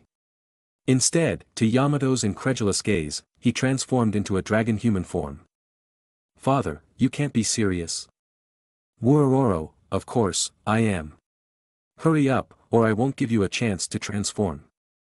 This was Kaido's logic, to learn something, you had to experience it. So, when teaching Thunder Bagua, he used Hassaikai, and when teaching Conqueror's Haki, he used Conqueror's Haki. When faced with a Devil Fruit ability, it made sense to use the Devil Fruit's power. Arceus also intended for Yamato to quickly grasp this power, so he allowed Kaido to do whatever he wanted. Okuchi no Makami is a special vessel that he modified, so its appearance hadn't changed much, except for sharper teeth. At this time, watching what was happening in the field, Jack, who had regained some strength, seemed to have thought of something. Lord Arceus, Lord Arceus. What is it? Well, I also want to have an ability like Yamato and Maria. Can I? The young ship king was a bit shy at this moment, but as the only one among the trio who was raised in poverty, he felt a bit envious. Sure, do you have a favorite animal? Can it be an elephant? I think elephants are the strongest land animals. An elephant? Sure, but you'll have to wait a bit longer unless you want to become someone who cannot swim. Yes, I understand. In a way, he was easily deceived. After receiving a positive response, he sat obediently on the side and didn't say anything further. Meanwhile, far away in paradise, some events were unfolding. During the two months that Arceus spent in seclusion working on the devil fruit, Mandrill arrived at the Shakira Kingdom's Kuraigana Island in the first half of the Grand Line with a shipload of weapons. The arms trade in the Wano country has not been abandoned. Most of this business is conducted through the underground black markets of the New World. The underground industry of the New World has long been divided, and no one else can join it except for Beast's pirates who joined it back then. Warehousing and shipping has dedicated merchants, so all the Beast's pirates need to do is to deliver goods. As the business expanded, they ended up earning even more by giving up a portion of their profits to middlemen. However, for some new customers, they would have the Beast's pirates deliver the goods on their own, such as those located in the first half of the Grand Line. With the increasing influence of the Great Pirate Era, various countries, forces, and pirate crews were becoming more reliant on weapons. Just adding a bit of drunken iron or powder to a sword could make it sharper. Adding some drunken iron or powder to the barrels of firearms also increased their service life and durability. Therefore, the weapons produced by the Beast's pirates continued to dominate the high-end market. Standard weapons leaked from the Marines and those produced by the Beast's pirates remained the most popular types. This trip, Mandrill was going to meet their new client. Shikiru Kingdom, a nation on Koraigana Island in the first half of the Grand Line, was a non-allied kingdom member. At this moment, the island was engulfed in flames of war, with the kingdom's army and rebels engaged in battle. The war had started not long ago, and the cause was taxation. Two years ago, King Sekai V ascended to the throne. Despite being of royal blood, he was not content. He desired to join the world government and become an allied nation, ultimately becoming a celestial dragon. But one strict requirement for joining the world government was the payment of additional heavenly tribute. To make up for extra heavenly tribute, he began targeting taxation. Within a year, the Shakira kingdom had seen all sorts of bizarre taxes. However, it was far from enough. Even bribing others wasn't enough. There were so many countries in the world, and getting a recommendation to join the world government wasn't easy. They wouldn't recommend just anyone for free, so they had to pave the way with berries. In this situation, he chose to continue increasing taxes. The original taxes had made life difficult for the people, but they could still manage to survive, so no one had chosen to become a rebel. However, by doing so, he pushed the patience of the citizens to the limit. When a family was arrested for being unable to pay taxes, the conflict finally erupted the kingdom experienced its first uprising, initially aimed at demanding the cancellation of taxes. However, a certain genius minister gave him an outrageous suggestion, if the commoners were still able to resist, it meant the taxes weren't high enough. They should continue increasing taxes until the people had no strength left to resist. Thus, in this situation, the protest groups transformed into a rebel army. Since they were going to be heavily taxed regardless, they decided to raise money and buy weapons from passing merchant ships. In the Great Pirate era, weapons were worth more than gold, so 8 out of 10 merchant ships carry weapons. This was how the rebellion in Shikiru erupted completely. One side had greater numbers, while the other side possessed superior equipment and training, leading to a stalemate to appear in Shikiru. As time passed, both sides contemplated how to deal with the other, and the rebels began searching for better weapons. Eventually, they succeeded in finding the beast's pirates. However, this had little to do with the beast's pirates. When they sell weapons, they don't check identities. Mandrill was here to deliver this batch of weapons simply because they offered a high enough price. Boss Mandrill, we've arrived. I can see that, but it's really lively. Where's the person who is going to receive the goods? It would be embarrassing if we delivered to the wrong party, reputation is still important. This chaotic situation was not to their advantage. If they accidentally delivered the weapons to the enemy of the owner of the cargo, they would become a laughingstock. They said they're waiting for us at the harbor on the east coast. Lower the sails, we'll go over in the evening. Their battle has nothing to do with us. Mandrill had no intention of getting involved in their battle. Beast's pirates offer mercenary services, but that came with an extra charge. If they encountered enemy forces during the day, they would have no choice but to fight them, but Mandrill had no intention of letting the other party freeload on their strength. At nightfall, Mandrill and a few others landed first on the eastern harbor of Kuraigana Island. Who goes there? The moment the boat docked, several armed figures appeared from the shadows. Mandrill could sense that there were a few more people hidden in other places who hadn't shown themselves. We're here to deliver weapons. Is Seth your man? Mandrill mentioned the consignee's name, but the other side didn't relax their guard because of it. Instead, they asked for the agreed-upon password. After getting the correct answer, they were taken to the base of the Revolutionary Army, as they referred to themselves, but in the kingdom's eyes, they were simply a rebel army. Ammunition, swords, we've brought everything you need. What about the payment? It's here, but it's only half. The rest will have to wait until we defeat the enemy. Our funds are a bit tight right now. Hey, old man, are you kidding me? Do you think this business allows for credit? When Mandrill heard there was no money, his expression immediately changed. In this line of business, extending credit was out of the question, once that door was opened, it couldn't be closed. You don't think I'm easygoing, do you? Your funds are your problem. If you can't pay the remaining amount, we won't refund the deposit. Having the money was what made a customer, not having it meant they were being fooled.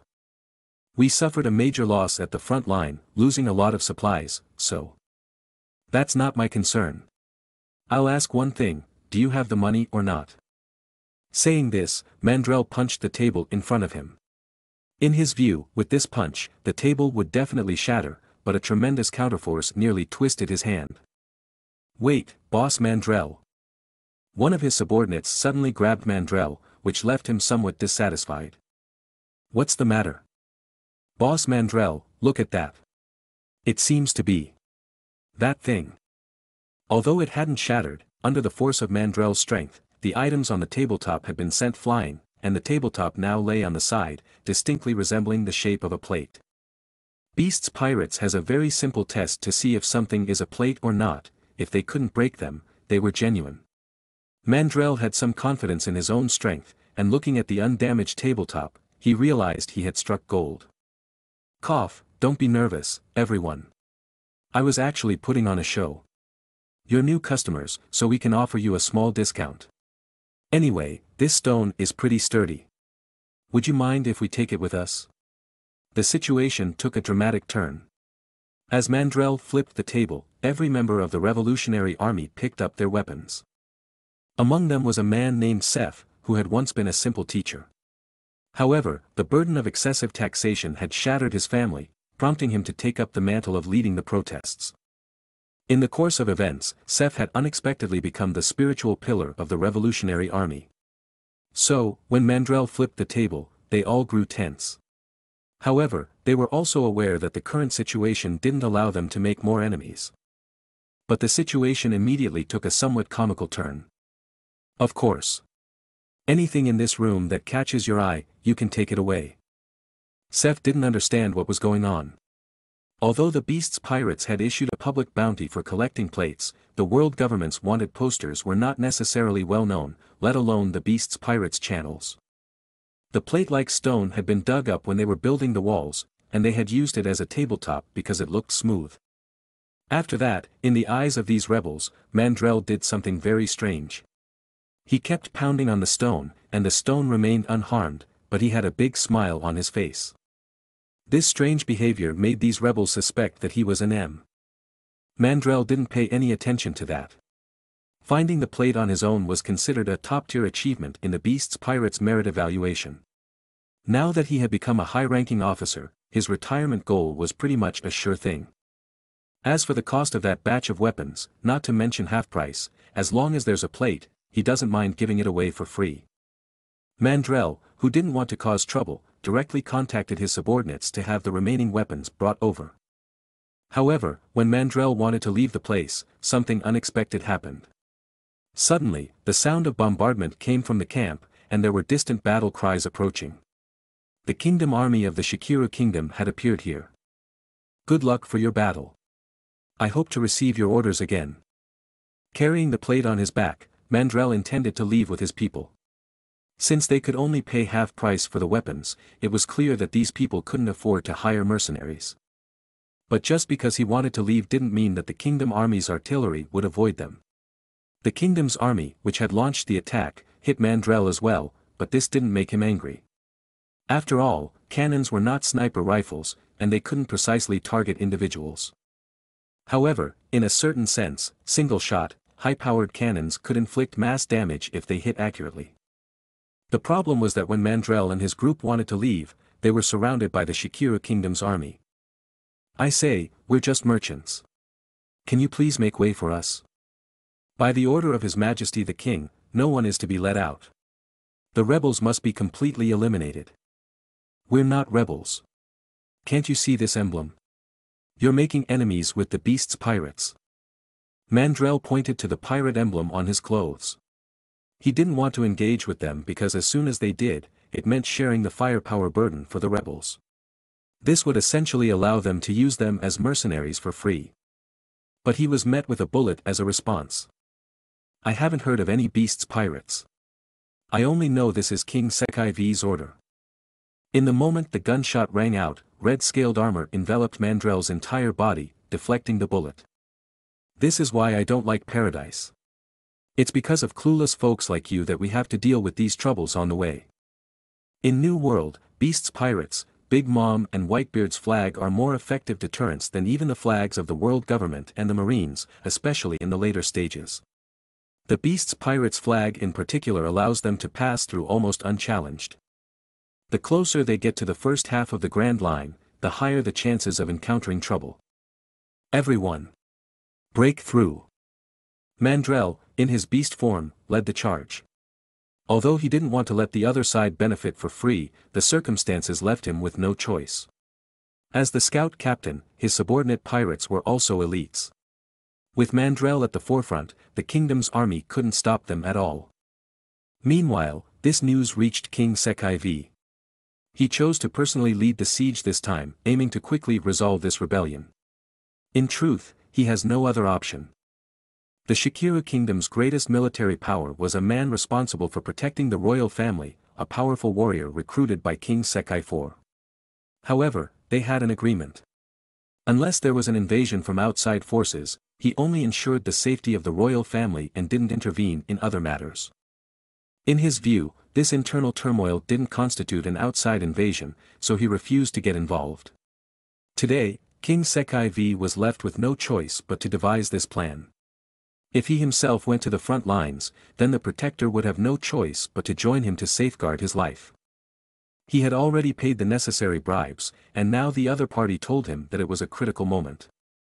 He has to settle this before the next levely, that's why he was stepping onto the dangerous front line. Everyone, attack. We must capture that rebel Seth. Your Majesty. There's a report from the East Coast garrison. A group of people is trying to break through forcibly, our forces are unable to stop them. They were unaware of the situation within the Revolutionary Army and believed Seth was attempting to escape by ship. So, King Sekai V immediately led his guards in pursuit. The royal protector reluctantly followed suit. It was part of the agreement he had made with the fourth king. Little did he expect that the fifth king would be so different. Senior, don't cling so rigidly to your rules. In the end, you still have to act. Why not cooperate with me this once? I promise there won't be a second time. This will be a one-time exception. If you breach this agreement again, the agreement between me and your father will become invalid. To prevent him from continuing to take unnecessary risks, he eventually agreed to intervene this once, as his method of forcing himself to act was becoming even more dangerous. Boss Mandrill, there are quite a lot of them. They are the kingdom's army, after all. Don't underestimate them too much, any non-allied kingdom member capable of maintaining an intact regime in the Grand Line is capable in its own right. Being a non-allied kingdom member means they had the military power to protect their own countries. In a ruthless place like Grand Line, the military strength of non-allied kingdom members that could maintain an intact regime was generally stronger than that of allied nations.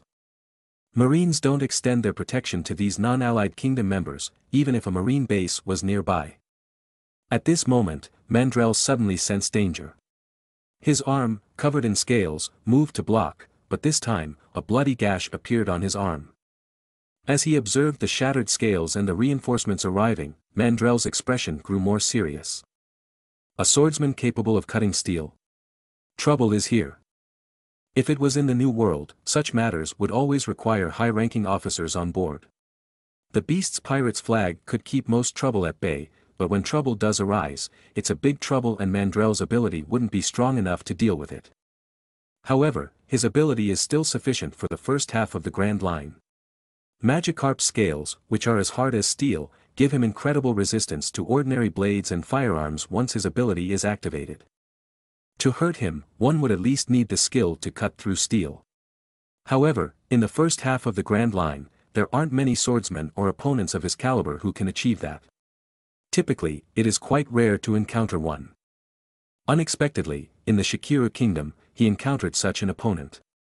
After a brief clash, he realized this opponent was different from the kingdom's soldiers from before. Looking at the unfamiliar swordsman and the well-equipped team behind him, Mandrill's expression darkened. You are listening to this audiobook on webnovel audiobooks Tgthegood. At the same time, a thought crossed Mandrill's mind. Is luck really something that abides by the law of conservation? Feeling the weight of the plate behind him, Mandrill suddenly recalled the esoteric theory of the law of conservation of luck that had been circulating within the Arceus cult for many years. It states that one's luck is finite. Finding this plate was surely a stroke of luck, but it was quickly followed by a series of misfortunes. Similar thing had happened to him before when he had acquired the new ability. Due to the support of King Sekai V's royal guards, the breach that Mandrill and his team had made was quickly closed, and they were surrounded once again. The swordsman was particularly troublesome. He wielded a medieval two-handed sword that caused Mandrill significant trouble with each swing. As the leader of the scout team, Mandrill was proficient in both types of Haki. He didn't initially use Haki against regular bullets since there was no need.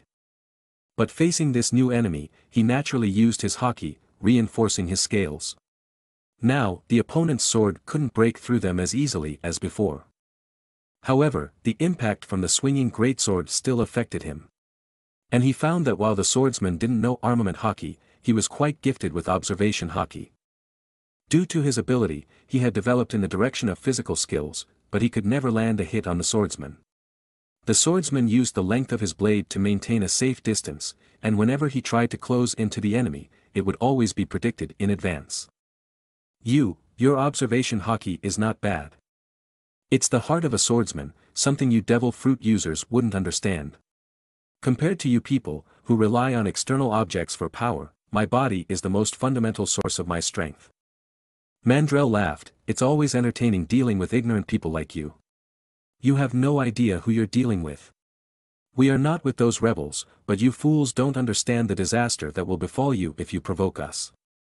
I don't need to understand, the swordsman retorted. I just follow King Sekai V's orders. Surrender now. You won't be able to escape. You're up against the most elite royal guards of the Shikira kingdom. Ignoring him, Mandrill turned to his subordinates, Pierman, contact those staying on the ship. Use the ship's cannons to open a path, and you lead them back to the ship. And what about you, boss? I'll handle this old man, you people are not his match. Don't worry about me, I have my ways to escape. The most formidable among those before them was the swordsman. His subordinates were no match for him. Exposing their backs to him would surely result in them being cut down one by one. Yet, if they didn't break through, they would eventually be defeated by the encircling royal guards. At that moment, those left on the ship would become their additional reinforcements. The so-called artillery support was a classic infantry tactic, infantry-artillery coordination. This tactic was practiced by the Beast's pirates only after they entered Wano country and started recruiting in large numbers. Apart from the confrontation between higher-ranked officers, their battles could determine the outcomes of some wars. The infantry-artillery coordination tactic required high skills from both the infantry and the artillery. The cannons crafted in Wano country far exceeded previous cannons in range and accuracy. Only then did this tactic become popular within the beast's pirates. However, it's a tactic that is only used in large-scale siege battles. On Mandrill's ship, there were only two main cannons whose range could reach this position, and considering the firing interval, they had to closely follow the pace of the cannonballs so that they could rush out easily. Understood. Pierman took out a flare gun from his pocket and shot four signal flares into the sky. It was a prearranged signal indicating they were surrounded and needed a pathway cleared with artillery. They cannot guarantee that they will always have time to communicate using Den Den Mushi, so this signal method is also crucial. Upon seeing the flares, the pirates on the ship began calculating distance with a special telescope and brown paper. Precision in cannon firing is also a skill. These elite artillerymen had been tormented by countless mathematical formulas before they became proficient. Adjust the cannon angle by 3 degrees. Fire a test shot. Within a minute, a cannonball landed within the encirclement of the kingdom's army. Seeing the position was about right, Pierman fired another flare. During this time, the swordsman tried to stop them but was held back by Mandrill. This signal meant the position was accurate. Then, cannonballs rained down non-stop and they gradually began to retreat. Boss, you must make it out alive. Saying that, Pierman used rollout to charge into the encirclement of the kingdom's army. Mandrill had assigned him the task of clearing the path due to his gifter identity. Hurry up, my goal is to retire smoothly, but not to retire all alone he could have chosen to retreat first. If it were just him and Pierman, these people wouldn't have been able to stop them. Even facing the swordsman would result in minor injuries at most. However, he made this choice so as to ensure that maximum of his subordinates could retreat. He then charged at a uniquely dressed individual surrounded by many. By the looks of it, that person was the so-called King Sekai V. By doing this, he forced the swordsman to focus on him and not on anyone else. He then rushed off in another direction. King Sekai V, who was shocked and angry, issued the order to pursue Mandrill. Eventually, on a cliff by another coast, Mandrill was surrounded. You have nowhere to run. As a devil fruit user, the sea hates you. Why don't you surrender? Surrender? I would advise you to cherish the time you have left, for your days are numbered. You have touched the taboos of both my leaders at the same time, while his subordinates successfully broke through under the cover of cannon fire, he who was drawing the attention became the main target. He just made one mistake, he shouldn't have kept Arceus plate with himself. When Pierman led the breakout with others, he didn't have the time to hand over the plate. Later, facing the attack of the royal guards and the swordsmen, the plate he carried on his back unfortunately fell and was seized by the kingdom's soldiers. To be precise, they had long been interested in the plate Mandrill was carrying wrapped in cloth, hence they kept attacking that spot. They believed that what Mandrill was carrying was not ordinary. King Sekai V considered it a treasure. That's why Mandrill, who is trapped here, saying these words. There are many taboos in the New World, which can now be summarized as Charlotte Linlin's food, Whitebeard's son, Kaido's business, and in the future, possibly also Shank's reputation. All these would draw the wrath of these pirates. Kaido was no exception. Attacking them while ignoring the beast's pirate's emblem was something no major pirate would tolerate. And King Sekai V seeing the plate as a treasure and wanting it for himself has touched Arceus's taboo. In Mandrill's view, King Sekai V was already a dead man. The death knell had already rung for him. Kid, I think you've gone mad, but it doesn't matter. Regardless of what the future holds, you'll die here today. Sir, please do me a favor and kill him. Fool, did you think I came here because I had no other choice? This is the escape route I've planned all along. Saying that, Mandrill jumped off the cliff under their astonished gazes, and soon after, a splash was heard. He's a devil fruit user and he jumped into the SEA.is he trying to commit suicide. The change in Mandrill's body had already confirmed his devil fruit user identity. So the swordsman didn't understand why he chose to jump into the sea. Meanwhile, Mandrill didn't show off anything and directly dived deep into the sea, swimming towards his ship. The people on shore didn't know all this. After thinking they had resolved the issue here, the royal guards, led by King Sekai V, headed towards another battlefield against the rebels. Meanwhile, Mandrill transformed into a Magikarp, swimming alone on the bottom of the sea. After about 20 minutes, he found his ship near the east coast. Boss, you're back. Seeing Mandrill climb up from the sea, everyone on the ship was excited. After all, Mandrill had willingly stayed behind to cover their escape. Hmm, how are the casualties? Seven injured, eleven dead. Pierman was slightly hurt, but he's already been treated, the ship's doctor reported. But boss, Lord Arceus item. There was a slight mishap. That old man was somewhat skilled. But no worries, give me the Den Den Mushi. They'll understand what true terror is. Picking up the Den Den Mushi, Mandrill dialed the one on Onigashima. After just two rings, the call was picked up. Mandrill? Weren't you out making a delivery? What happened that you're calling so late? Boss Shayna, good news, I've found Lord Arceus' plate. Directly contacting Arceus and Kaido is a privilege reserved for the All-Stars. Normally, Queen handles communications on Onigashima, but for certain matters related to the plates, some members of the Arceus cult will directly contact Shayna. Hearing Mandrill's report, Shayna's expression changed. It had been a long time since they received any information about the plates after the trade with the world government. Is the news reliable? Most likely. It's identical in shape, and my attacks left no marks on it. However, something unexpected happened. When I broke out of the enemy's encirclement, the enemy accidentally managed to snatch it away. You report to Lord Sacred Beast yourself. Wait a moment. Shayna got up and went to the place where Arceus lived. There was a special attic built on the roof of Onigashima, and Arceus was there at the moment. When Shayna brought the Den Den Mushi, he also heard Mandrill's report. Sorry, Lord Arceus, I couldn't bring it back directly due to my incompetence.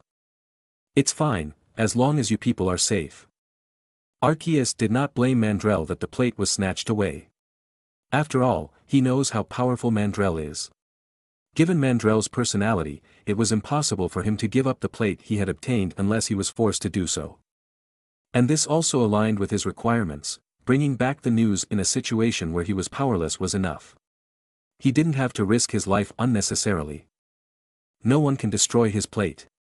As long as there's news about it, it can be located. Lord Arceus. Wurororo, that's right, Mandrill, don't overthink it. If the enemy was too strong, then it can't be helped. Just focus on becoming stronger in the future. Kaido's voice chimed in from the side. Kaido never blames his subordinates for failures. It just means the other party was too strong. In this regard, he was somewhat biased if it was someone he liked, but for mere collaborators, failure was due to their own weakness. If it was a gifter, Kaido wouldn't have cared much about them, but a veteran like Mandrill had long been on his radar. Governor General Kaido? Why are you here? What nonsense are you spouting, kid? This is Onigashima, remember? Anyway, those guys disregarded my flag and interfered with your retreat while you were bringing back the payment, right? Yes. It's Kurigana Island, isn't it? Mandrill, stay there, and keep an eye on them.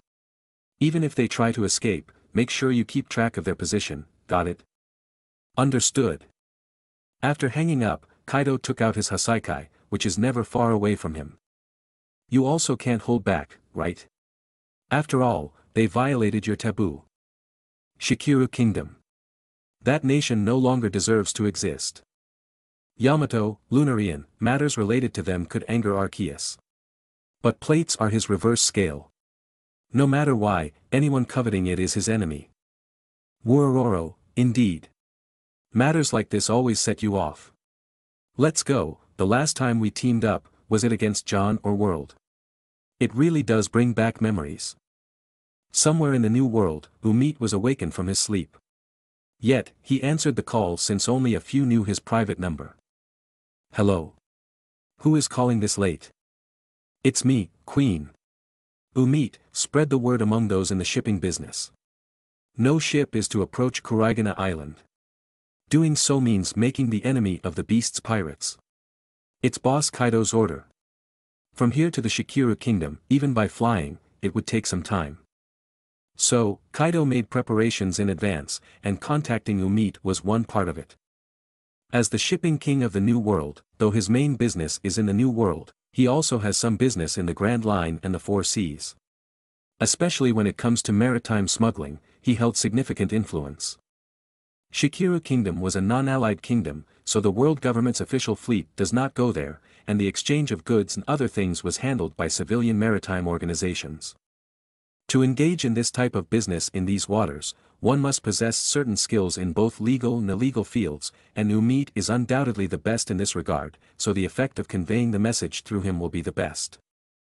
Queen's words were like order, but Umit, disturbed from his rest in the middle of the night, had no complaints. After all, the beast's pirate status was unquestionable, and it wasn't worth offending them over such a minor issue. Meanwhile, Queen made one call after another, notifying the beast's pirates other territories. Three ships gathered on different islands and began to rendezvous. This time, they didn't need to draw away the elite forces guarding Wano country, because it wasn't necessary. Their primary role was to create a spectacle. With Arceus and Kaido personally moving out, without high-end combatants to stop them, numbers were meaningless. Beast's Pirates flagship set sail in the dead of night, making many people nervous, including the Marines. Although the Marines have limited control in the New World, they have a fair number of reconnaissance ships. Marines reconnaissance ships can be found near Whitebeard's territory and in the vicinity of Totto Land's waters, as well as near the territory of the Beast's pirates. They definitely have to keep tabs on the movements of these major pirates, after all, they are remnants of the Rocks pirates. While it was unlikely for someone like Rocks to appear again, if these three suddenly went berserk and followed Rock's example by targeting a celestial dragon, it would be a massive problem for the Marines. If only those celestial dragons would stay obediently in Mariehua, but they always seem to enjoy wandering around everywhere. Marines cannot assign an admiral to accompany every traveling celestial dragon, so monitoring the pirates with the capability to cause significant disturbances became the best choice. The sudden large-scale personnel movement within the Beast's pirates' territory is already a significant disturbance. Marines, having received this news, remained vigilant but took no further action, merely observing. By the time the second day dawned, the Beast's pirates' flagship had long left the Wano country waters. Kaido and Arceus had left abruptly in the middle of the night, which left Yamato feeling somewhat uneasy. The absence of Kaido's sudden attack after the alarm clock rang didn't make Yamato let her guard down. As per the usual pattern, Kaido could attack her at any moment, so her vigilance persisted until noon, and it was only then that she realized both Arceus and Kaido were nowhere to be found. Not only that, even Shayna, who usually handled their training, had disappeared as well. When she learned about Arceus and Kaido's departure from others, she didn't experience any negative emotions. Instead, she jumped up with joy. With everyone gone, it seemed like she could play as she pleased. Meanwhile, in the Shikiru kingdom, Seth-led revolutionary army did not face defeat as they received significant reinforcements last night from Mandrill. After passing on the news, Mandrill arrived at the revolutionary army's camp with his men, and then their ship's cannons immediately opened fire on the kingdom's army without hesitation. Originally, he hadn't intended to help the revolutionary army for free, but the actions of the kingdom's army directly turned them into enemies, pushing them onto the opposing side.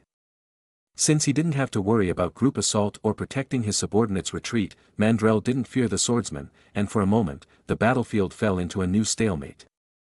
How? You clearly fell into the water. How can you still be alive being a devil fruit user? There were no ships nearby to rescue you. I don't need to explain these things to you. As I said before, cherish your last moments.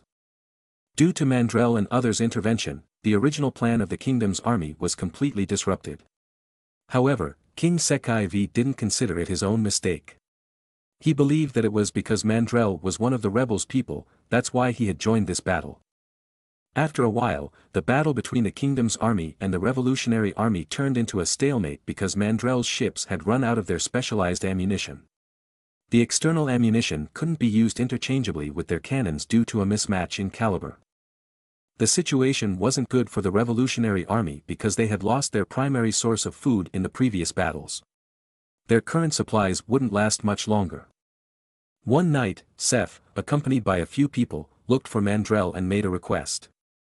You want us to help you defeat that king? Yes, afterward, we can pay you from his treasury. He has been extorting and looting for so many years, the treasury must be full of money. We don't accept empty promises like that. We are here only because we have a vendetta against that king. But don't worry, he won't live much longer. By the way, if you were to live on a different island, where would you want to live? Why do you ask? Because the fate of this island has already been sealed. Mandrill uttered some words that Seth didn't quite understand. And over a month later, on a clear morning, a massive pirate ship arrived at Kurigana Island, cutting through the morning fog. Most of the time, Kurigana Island was like this, with thick sea fog and rare clear days. But today, the residents of Kurigana Island experienced the hottest sunlight of their lives. The colossal sun dispelled the dense fog and woke up King Sekai V, who was still asleep. What's going on? Why is the sun so bright? Just as he was puzzled by the weather change, his palace suddenly shook violently. At the city gates of the royal palace, the guards were left dumbfounded, their weapons dropping to the ground as fear gripped everyone. Because the once majestic city walls and gates were nowhere to be seen, replaced by a seemingly bottomless chasm. Just after the sunlight had illuminated the area, a beam of light traced a circle along the remnants of the city walls, and then it transformed into this appearance. What the what is that? Is that the rebel army's weapon? I, I don't know. While they were still bewildered, red figures flew through the sky. These were Rotom in loudspeaker form, and the loudspeaker beneath them began to broadcast messages to everyone. Rotom. Attention, everyone except the royal family and the royal guards, you have three hours to leave the city. Divine punishment is coming. Rotom, you have only three hours. Please leave the royal city as soon as possible. Rotom, everyone, please hurry. The loudspeaker-shaped Rotom broadcasted this message everywhere. It was a command from Arceus, giving them three hours to evacuate. According to estimates, three hours should be enough for these people to leave the royal city. As for those who chose not to leave, it was no longer his concern. The sunlight that dispersed the thick fog and the pillar of light that demolished the city walls were both the work of Arceus. His release of Sunny Day has the power to completely alter the weather. With his current strength, Arceus can interfere with the climate in Wano country with his own power. Whether it be natural disasters or fair weather depends entirely on his mood. After sunny day came solar beam. Plumes of white smoke rose from the chasm, the traces left by the intense heat of solar beam. Although the surrounding land seemed unchanged, it had already become like a flame mountain. This was what Arceus did after he arrived here. He refrained from indiscriminate attacks, but that was his last bottom line. According to Mandrill's intelligence, he had targeted the royal family and the royal guards. As for others, even soldiers, as long as they laid down their weapons, he would ignore them. The kingdom's army still had some semblance of order under the command and jurisdiction of their respective commanders, but the common people were different, especially those who had seen with their own eyes how the city walls were destroyed. Tears welled up in their eyes, caused by the intense light from solar beam, but they couldn't afford to dwell on it now. The previous war hadn't allowed them to escape, as the battle between the rebels and the royal army had remained within their acceptable range. However, what was happening now exceeded their comprehension. Faced with something they couldn't understand, escaping was the first thing that came to their minds. The beam of light that could destroy the city walls could also destroy the city itself, and they didn't think their bodies were any more resilient than the walls. Get up. Don't sleep. Hurry, let's go. What? What's happening? Have the rebels breached in? It's not the rebels. Anyway, let's leave quickly, we can't stay here any longer. The news was spreading throughout the city. More and more people began to gather their valuables and flee. Although those outside the city were the so-called rebels, they didn't fear them. Many even had relatives among the rebels. They were just ordinary civilians forced into rebellion, and their opposition was solely against the royal family. Most of the army was still under control, but the guards on duty were different. Even commanding officers didn't stop them, as they themselves had fled long ago, the inhuman nature of the attack left them with no inclination to resist. Meanwhile, the people inside the royal city also heard the sound of Rotom loudspeakers. King Sekai V, however, didn't believe in the so-called divine punishment and even fired his gun at the Rotom in the sky. Shut up. What nonsense are you monsters yelling? I am the only king of the Shikiru kingdom. Here, I am the god. The bullets left a dent on the Rotom's body, but they didn't care. To them, this body was just clothing, even if it was crushed, it didn't matter. Ignorant fools, Rotom, ignorant fools who covet master's treasures, Rotom. Rotom in the sky didn't get angry, instead, they increasingly began mocking King Sekai V. However, at this moment, another development completely shattered the relatively stable situation. Arceus had only released attack towards the clouds and had given them time to evacuate. But Kaido had no such intentions. A massive azure dragon appeared in the sky, and it unleashed a blast breath toward the royal city. The scorching flames divided the royal city in two, and the capital of the Shikiru kingdom, which had existed for centuries, was engulfed in flames. Hey, Kaido, it hasn't been three hours yet. I know, but wasn't it the civilians that you gave time to? These folks in the royal city clearly don't count. I can't hold back anymore. Hey, you're the so-called fifth, right? The one who laid a hand on my subordinates. Kaido's massive form descended slightly, and just the breath from his mouth made King Sekai V collapse to the ground. TCH, I thought you were someone significant, but turns out you're just a coward, huh? What happened to your earlier courage? Daring to lay a hand on Mandrill, Kaido thought this man would at least have some courage and be unafraid of death. But he didn't expect him to get frightened like this just from a few words. Why are you all standing around? Anyone not from the royal family and royal guards can leave. But let me remind you, if anyone from the royal guards or royal family manage to sneak out with you, then everyone on this island will die.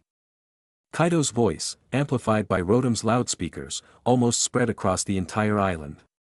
His destructive actions not only accelerated the pace of escape but also sparked some internal conflicts.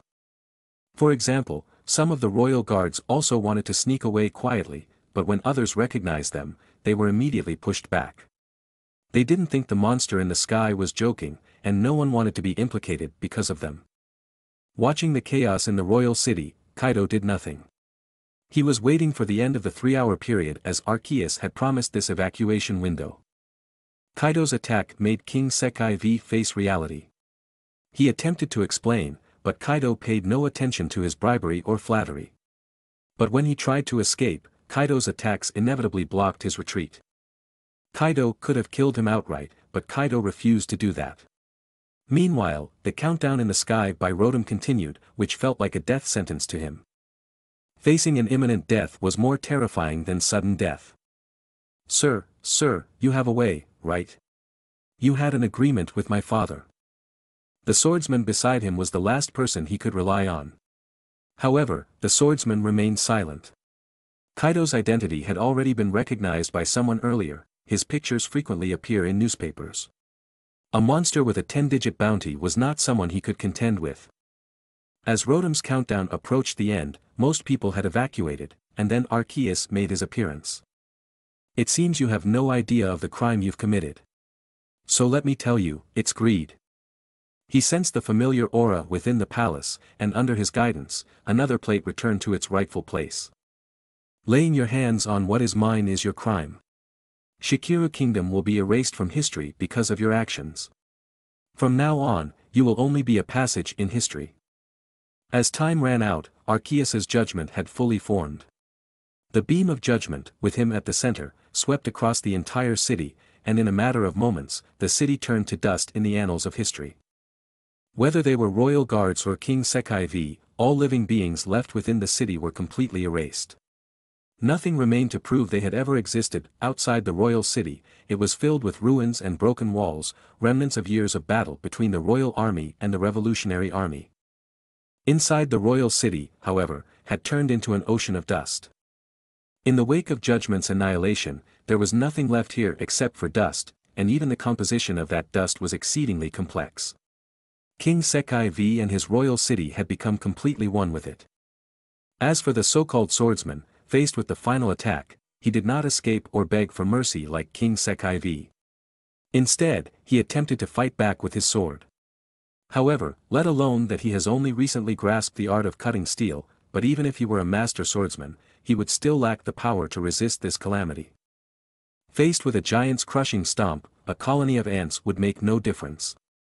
Whether it was the ant queen, worker ants, or even larger soldier ants, their fate would be the same. The slower individuals attempting to escape were knocked to the ground by the force of the shockwave. Afterwards, as they rose from the ground, the towering royal city behind them had already vanished, leaving behind an empty basin on Kuraigana Island. The expressions of both the kingdom's army, who once protected this place, and the revolutionary army who sought to conquer it, froze completely. Many of them, who had lived in the first half of the Grand Line, had never left Kuraigana Island, and today, they were seeing the consequences of encountering the highest level of power. Relying on the walls of the royal city, the kingdom's army had been resting easy, as the revolutionary army struggled to breach them. Likewise, in their efforts to breach the city walls, the revolutionary army had suffered significant casualties. However, it now seemed that the royal city they had long coveted was nothing more than a toy in the hands of the other. The evil dragon spewed dragon breath, and judgment rained down from the heavens, turning the majestic city into mere illusion.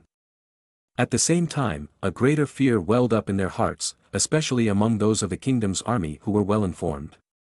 They knew that after that night surprise attack, the revolutionary army had gained a powerful reinforcement, accompanied by fierce artillery support. The mobility of that ship was far superior to theirs, and the firepower and range of their naval guns far exceeded the kingdom's weapons. If it weren't for their limited ammunition, they would have had no chance at all. And a few months later, this terrifying existence descended upon Kuraigana Island. It was clear that the actions of that day had provoked someone. If these people were allies of the rebels. Thinking of the consequences, many in the kingdom's army gave up.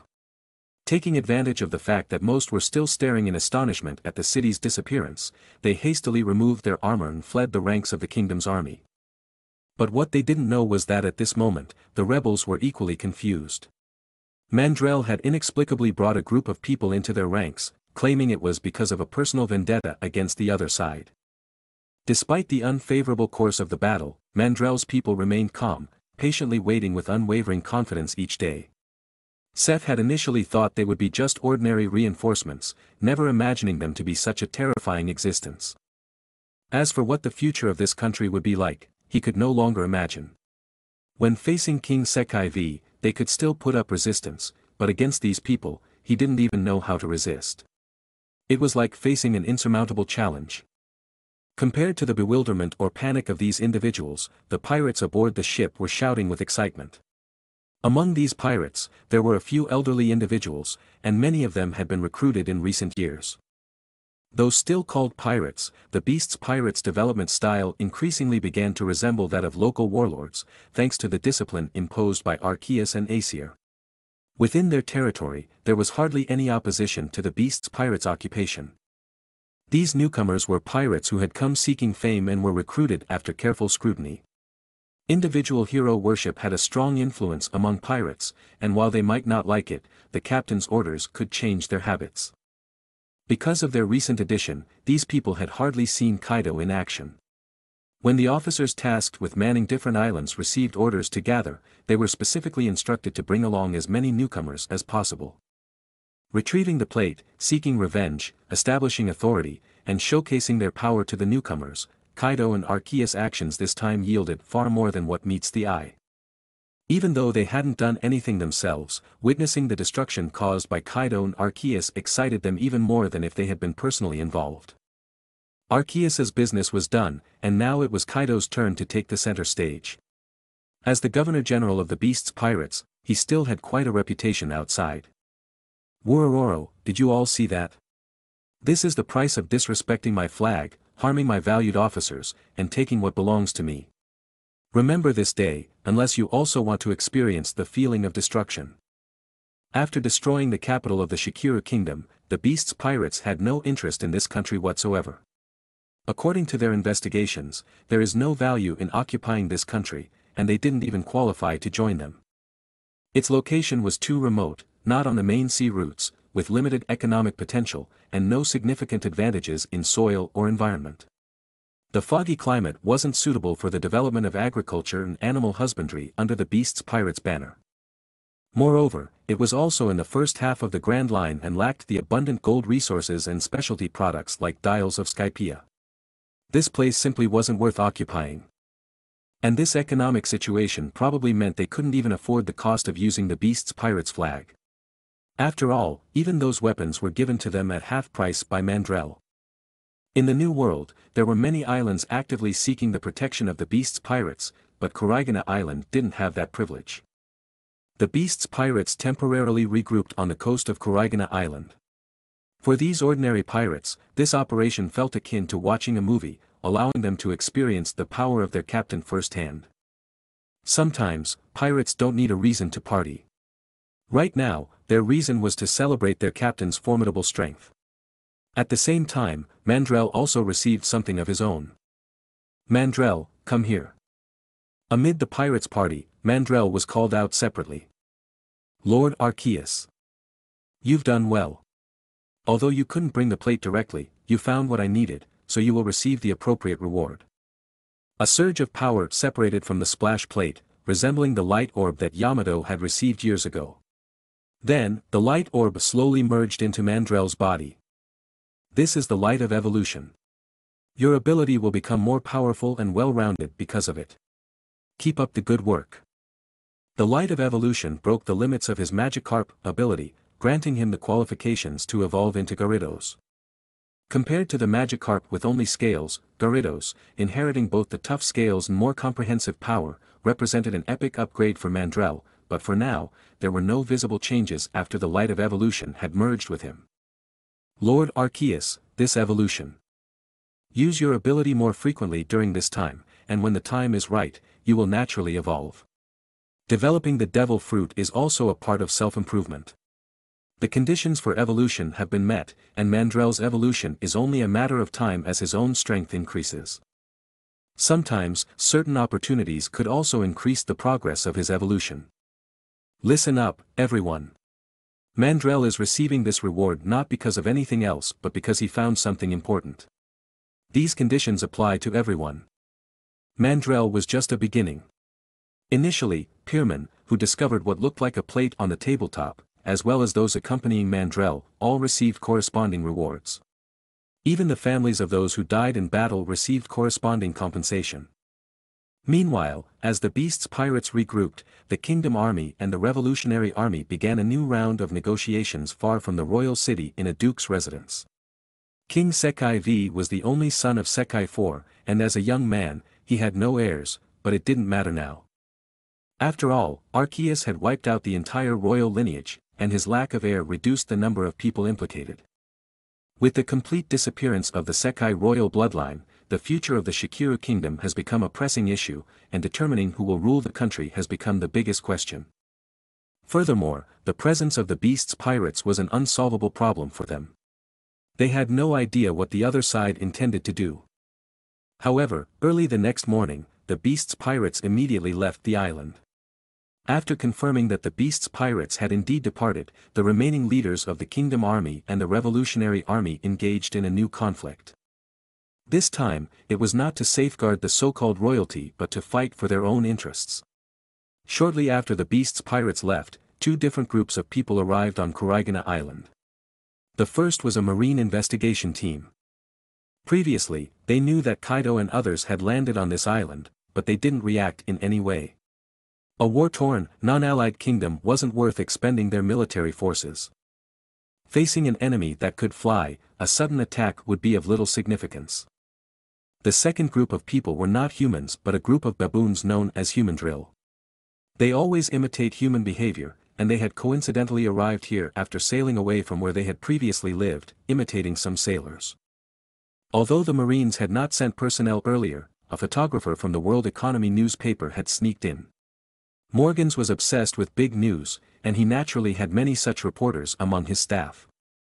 Queen, through the embargo message conveyed to Umit, managed to spread the news throughout the underworld, and Morgans naturally received the news. His intuition told him that something significant was about to happen. So, he dispatched some capable subordinates here before the embargo. World Economy newspaper had its branches in every seas, and at this point, he had already transmitted the photos back using special equipment. The flattened royal city, Kaido spewing flames in the sky, and his most satisfying picture this time, a photo of Arceus. Initially, when Arceus released Solar Beam, he was too shocked and forgot to press the shutter. But in the end, it had an extraordinary effect. Arceus stood above the clouds, with the sunlight enhanced by sunny day forming a perfect halo. Coupled with that towering posture, although Arceus's body in the photo was not as massive as Kaido's Azure Dragon body, compared to the pet photo that CP agents had captured at the bow of the ship, this photo highlighted the other's elegance even more. It's like divine punishment, this is simply a work of art. It's a pity it's a pirate, otherwise, this photo could definitely win the world government's photography award. Official contests do not promote activities that give publicity to pirates, so his photo could at most participate in some private events. And the confidence in winning was his confidence as a photographer. As he immersed himself in his work, on a certain island in the New World, Morgans looked at the photos and news drafts sent back by his subordinates and burst into laughter. Quahaha, that Kaido sure knows how to make a splash in the news. Guys, start writing. The prize money for this issue will depend on your performance. This is a monumental feat, annihilation of a country. In his albatross form, he looked at the report sent back by the frontline reporters and began to think about how to write the news headline. Violent news always grabs people's attention, especially an act like country annihilation. Panic, shock, these complex emotions are bound to stir up a big news story. Let's make a change here. Only mention the annihilation of a country, don't mention injuries or casualties. It's best to make them think everyone is dead. Quahaha. Morgans was skilled in false propaganda. The original information about the incident didn't change, but he only mentioned a part of it, and then some ambiguous words would be said, letting people imagine things for themselves. As for the reason. Let's change it. Say they offended the beast's pirates, hmm, that'll do. Morgans made a daily practice of embellishing events, and as far as he knew, Kaido wouldn't retaliate for this. After all, his actions were bringing Kaido fame. Moreover the headquarters of the World Economy newspaper looked like a giant tea kettle, but the top was actually a giant hot air balloon. Their headquarters could move, and Morgans often changed locations because the news he reported sometimes caused quite a bit of trouble. There are people within both the world government and the pirates who hoped that he would completely keep his mouth shut. He even has decent combat skills, but no one knew that. The reporters from the headquarters had impeccable writing skills and quickly produced four or five drafts for Morgans to review. Well done, well done, it's written excellently. Let's change the front page headline for the next issue. What's the new song that famous singer is releasing? Compared to Kaido's annihilation of a country, no one cares about a song. President, what should the newspaper's headline be? Ah, good that you reminded me. We need an exaggerated title. Country annihilating emperor doesn't do justice to them. Got it. The emperor of the sea who rules the world. That's how we'll write it. Morgan's mind spun rapidly, and he eventually came up with such a headline. Wait a minute. It's not enough with just Kaido. We need some competition. Lin Lin and Whitebeard, bring me the pens. I'll personally write this article. The next day, Morgan's newspaper had the following descriptions. The pirate queen of Totto Land Sea, Big Mom, Charlotte Lin Lin. The man hailed as the closest to becoming the pirate king after Roger's death, the world's strongest man, Whitebeard, Edward Newgate. Beasts Pirates Kaido, the terrifying pirate who directly destroyed a country when provoked. They reign over the new world like emperors of the sea, dividing most of its territories and vying for the legendary One Piece. Morgans is known for enjoying a good spectacle. He not only isn't afraid of making things big, but he also works hard to amplify their impact, like with the title of the Emperor of the Sea. None of these three personally propagated it, but Morgan took it upon himself to bestow these titles, especially in the case of Whitebeard and Big Mom. Their children unexpectedly stumbled upon this news.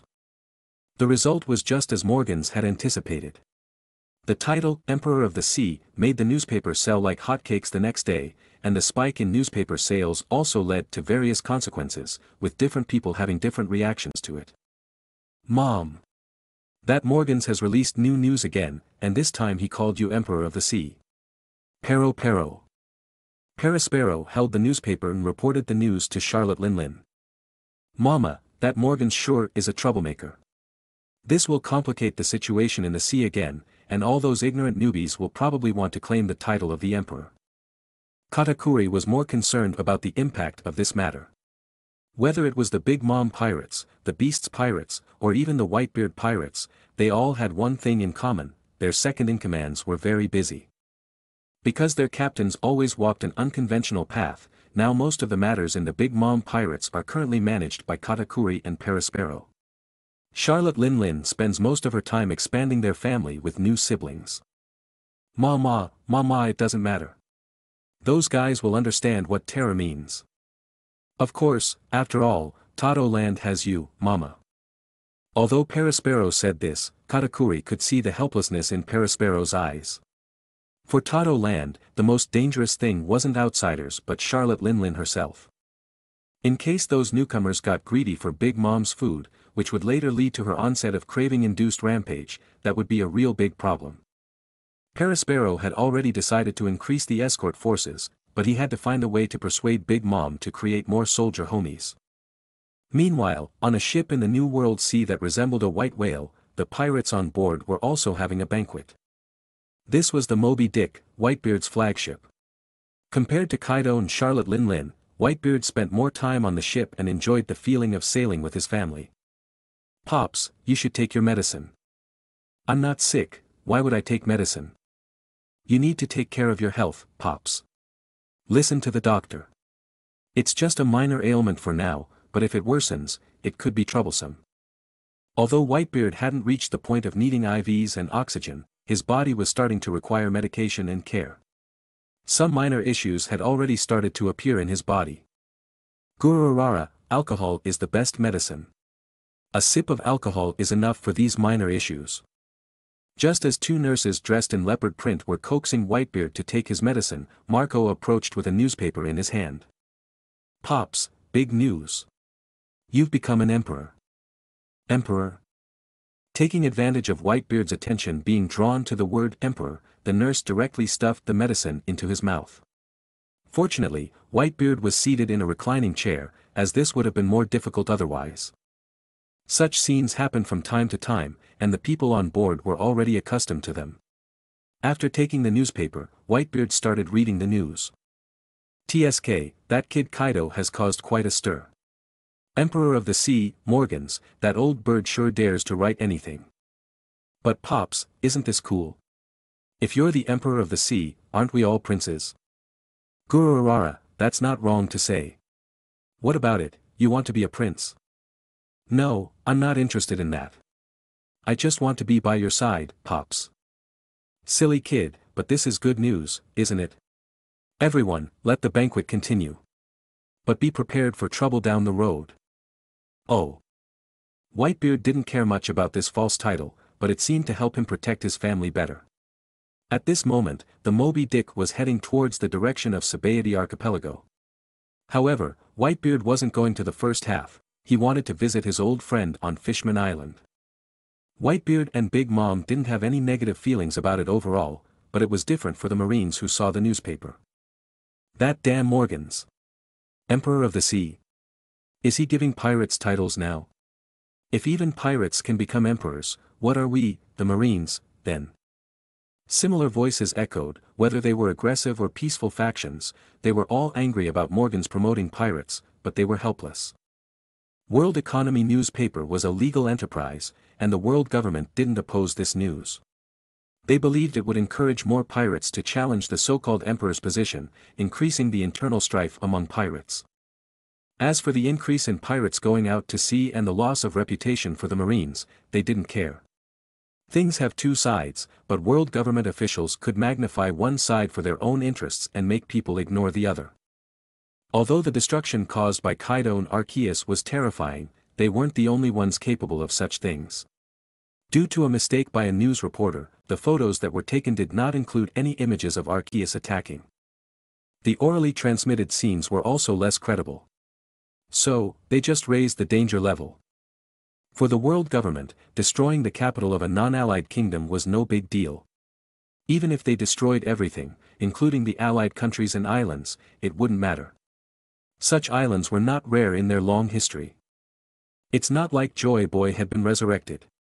The only result of this event, besides the title of Emperor of the Sea, was a change in bounties. Kaido's photo remained unchanged. It was impossible to release Kaido's dragon form when they knew his true appearance. As for Arceus, both the title and the photo were replaced. The reporter's photos replaced the original ones, and the hidden one became Divine Punisher. Kaido of the Beasts, Bounty, 3 billion berry. Arceus the Divine Punisher, Bounty, 2 billion berry. And this change in bounties led to a special situation where the Beasts pirates became the only pirate crew in the world with two members having bounties exceeding 2 billion berries. While Whitebeard still holds the highest bounty among those who are alive and not captured, the Beast's pirates, as the youngest pirate crew among the emperors, have demonstrated strength and status that were no less than any other pirate crew. Inside the Beast's pirates, there were no objections to this title. The Beast's pirates captain immediately started a new party halfway, and the Arceus cult also underwent certain changes. The photo on the bounty poster was indeed well taken. After enlarging and cropping it, that photo was decorated in many places, such as on Shayna's ship and in Onigashima's offices. Meanwhile, on Onigashima, Yamato looked at the newspaper that had been brought back and seemed to have discovered something shocking. Dad and father actually sneaked out behind my back. The beast's pirates destroyed the capital of the Shikoro kingdom. The island was covered in soil. How do you read this word? After discovering that Arceus and Kaido had secretly gone out to play behind her back, Yamato thought for a moment and then decided to read the newspaper as well. But, she quickly realized that there were quite a few unfamiliar words. Maria, could you read it for me? These words are so complicated, she said. Between studying and enduring Kaido's training, she preferred the latter. Kaido's training brought both physical exhaustion and pain, but dealing with letters was just physically and mentally exhausting. Although no one expects her to become a scholar, she still has to learn the basics of math and language. Cultural lessons were always a painful part for her. Maria took the newspaper and began to read it. Morgans, the writer of the newspaper article, has strong literary skills, and his brief descriptions made it easy for readers to imagine the horrifying events. For Maria and Jack, such matters didn't matter at all. In their eyes, it was only natural for a country that offended the beast's pirates to be destroyed. However, Robin, who was listening to the content of the newspaper, gradually turned pale. This seemed no different from a buster call. Robin, what's wrong? Nothing, I just think. Destroying a country. Yamato suddenly remembered that Robin's homeland had also been destroyed like this, but she, Maria and Jack had completely different views on the matter. Don't worry, newspapers always like to exaggerate things. Remember when Ohara was destroyed? They had also made all sorts of excuses back then, too. Trust me, the truth is definitely not like this.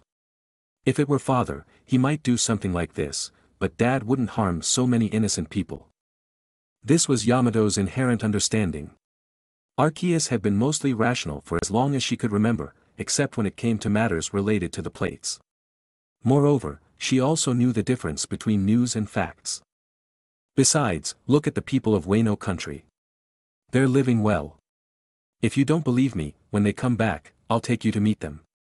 News and facts are definitely different, and from beginning to end, they only mention the capital being destroyed, everything else is vague. As long as she considered someone a friend, she would pay close attention to their well-being, and she didn't believe there was anything wrong with what she said. Thinking about the current prosperity in Wano country and the world government's routine deception in the newspapers, Robin thought that Yamato had a point. At this moment, she also had a new idea, while researching history, go out and see what the real world is like. Alright, don't think too much. Let's make the most of our time playing. Otherwise, when father and the others come back, we won't have a chance. Yamato's reminder made Maria and others realize that their current playtime was precious, and they couldn't continue to waste it. Based on Yamato's understanding of Kaido, she was sure he would conduct a surprise test when he returned. But she only guessed half of it. Two months later, when Kaido returned, he did indeed conduct a surprise test, but the difficulty, or rather the danger level of the test, was different from what she had imagined. Because Kaido came back alone. F.A. father, dad didn't come back. Him. He's out looking for his things. I just came back first. Now, let me examine your progress in training. You better not have neglected it over these past few months. Saying that, he opened his mouth wide and began to breathe fire. He wanted to assess how well Yamato could apply her abilities.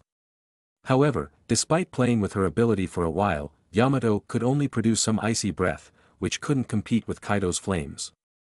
In the end, Kaido's flames forced her to run around in panic. Father! Are you trying to kill me? How could that be? I prepared special berries for treating burns for you all. Now, quickly figure out a way to counterattack. You've wasted time in these past few months. On their way back, the Beast's pirates fleet split up, with only one ship, the King of Beasts ship, returning to Wano country. The other ships scattered to different areas, centered around Kurigana Island, to search for plates. Since there was a plate on Kurigana Island, it was possible that other islands also had them. So several ships set off in different directions, while the ship led by Shayna headed towards the first half of the Grand Line, closer to Reverse Mountain. Morgan's disseminated news was also beginning to have an impact. After the Pirate King, the title Emperor of the Sea appeared in their cognition.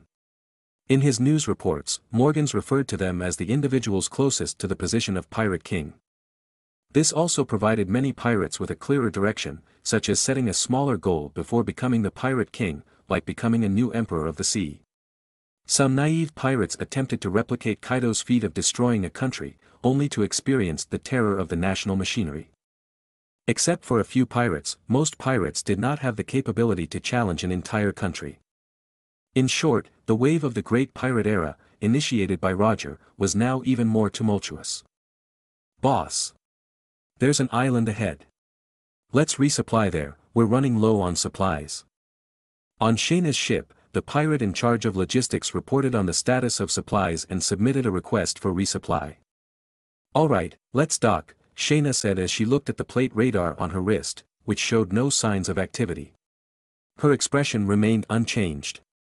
While Mandrill had come across a plate through a stroke of luck, her and King's gains had been minimal. Their most significant contribution had been the information about Sky Islands. Naturally, she wasn't very satisfied with this, which is why this team was sailing the farthest. However, the allure of rewards kept them going, and they had no complaints. Mandrill had almost become a chosen one within the Arceus cult, and so far, he had a share in most of the rewards. This made everyone admire his good fortune. Moreover, Mandrill was a responsible person. Most people admired him, while only a few were envious, but no one resorted to sabotaging their teammate. To avoid being delayed by various distractions while searching for plates, Shayna ordered her crew to hide the ship in a hidden location. Leaving a few people behind to guard the ship, she led the rest onto the island. Anyways, they needed to replenish their supplies, and exploring a bit wouldn't hurt. However, on the official harbor of the island, she saw a brightly lit ship with a pirate flag anchored here. These paradise pirates sure have some nerve, anchoring their ship so conspicuously in the harbor. Otherwise, why would there be so many fools here? Let's go, quickly replenish our supplies, the boss is watching from behind. Several pirates dressed in civilian clothes walked towards the market, but soon, they heard a row of footsteps behind them, and the figures of marines appeared. Make way, make way. Clear the path for Lieutenant Commander Draw don't disrupt the Marines' mission. This island has more than one harbor, and this Marine team had landed on another harbor. They are now heading towards another harbor where a pirate ship is docked. At the same time, a warship also approached the harbor. Those pirates are in for trouble. It looks like this Marine team is heading straight for them. This formation clearly indicates a well-prepared encirclement. It seems they've had their eyes on them for a while now. They deserve it. Who told them to be so brazen? Daring to dock a pirate ship displaying the pirate flag openly at the island's harbor, even if it's under the control of a non-allied kingdom, could attract the attention of the Marines.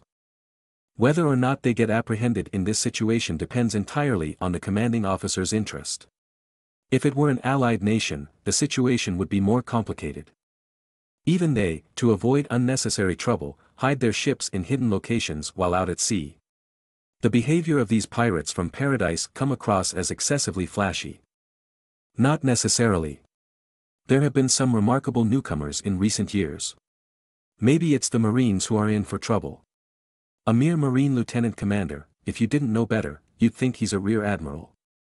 Lieutenant commanders like this one are considered basic level officers in this sea.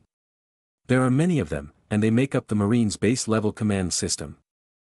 Marines of this rank are simply beneath their notice. Although they might not be a match for them individually, they are not the leader of this team. To take them down, they'd need at least a vice admiral from the headquarters leading the way, and it would have to be one of those vice admirals at the level of monsters. Never mind, it's not our concern. Let's restock our supplies quickly. If they want to fight, let them. They continued talking as they made their way toward the town's defensive line. Along the way, they also took out a Den Den Mushi. The weather isn't great. Just saw a seagull pass by, but it was a small one. Den Den mushies aren't rare commodities. Snails used to make Den Den Mushi are widely available in the sea, and some skilled individuals can even make Den Den Mushi by hand. Moreover, there is a whole industry of accessories and decorations for Den Den Mushi. The required parts are quite cheap, and you can find them on most non-remote islands. As for taming them, it's not a problem at all. This species' greatest interest is finding a human to feed and house them, so that they can lead a life of leisure. It's not strange for civilians to use Den Den Mushi, but it's odd to emphasize Marines. After all, ordinary people wouldn't pay much attention to where the Marines are going. They use this method to transmit messages when encountering situations outside, as a precaution against prying ears. Seagulls here refer to the Marines, implying that they weren't seen as a significant threat. With that, they continued down the path to restock their supplies. Meanwhile, the Marines who were trying to capture the pirates didn't have much success. Although they had blocked the pirate ship, there were only a few pirates left on board. Lieutenant Commander Draw, we learned from the captured pirates that the others from the ship went to the village on the east side of the island. This island doesn't have just one village. There are villages and towns scattered throughout the habitable plains. The village on the east side of this island is also a relatively fertile residential area. Lieutenant Commander Draw, it seems they've just left not long ago. What should we do? Do I even need to say it? We're Marines, ally of justice. Of course, we have to bring those pirates to justice. Everyone, move out and eliminate those pirates. Saying this, he pulled out his pistol and shot several of the captured pirates. He had no intention of sparing these ordinary pirates. This group of Marines is one who had passed by the Beast's Pirates procurement team before. Beast's Pirates people went to the town in the center of the island, where trading was more convenient. Although the prices there might be slightly higher than in the surrounding villages, the variety of goods was more comprehensive. What they needed to restock wasn't just food and fresh water, they also required tobacco, alcohol, medicines, and some materials for making gunpowder. When these pirates returned to their gathering point with supplies, Shayna was still nowhere to be seen. Where's Boss? Why isn't she here? Boss always explores the entire island whenever we reach a new one. Did you forget that? She's probably planning to stay here overnight.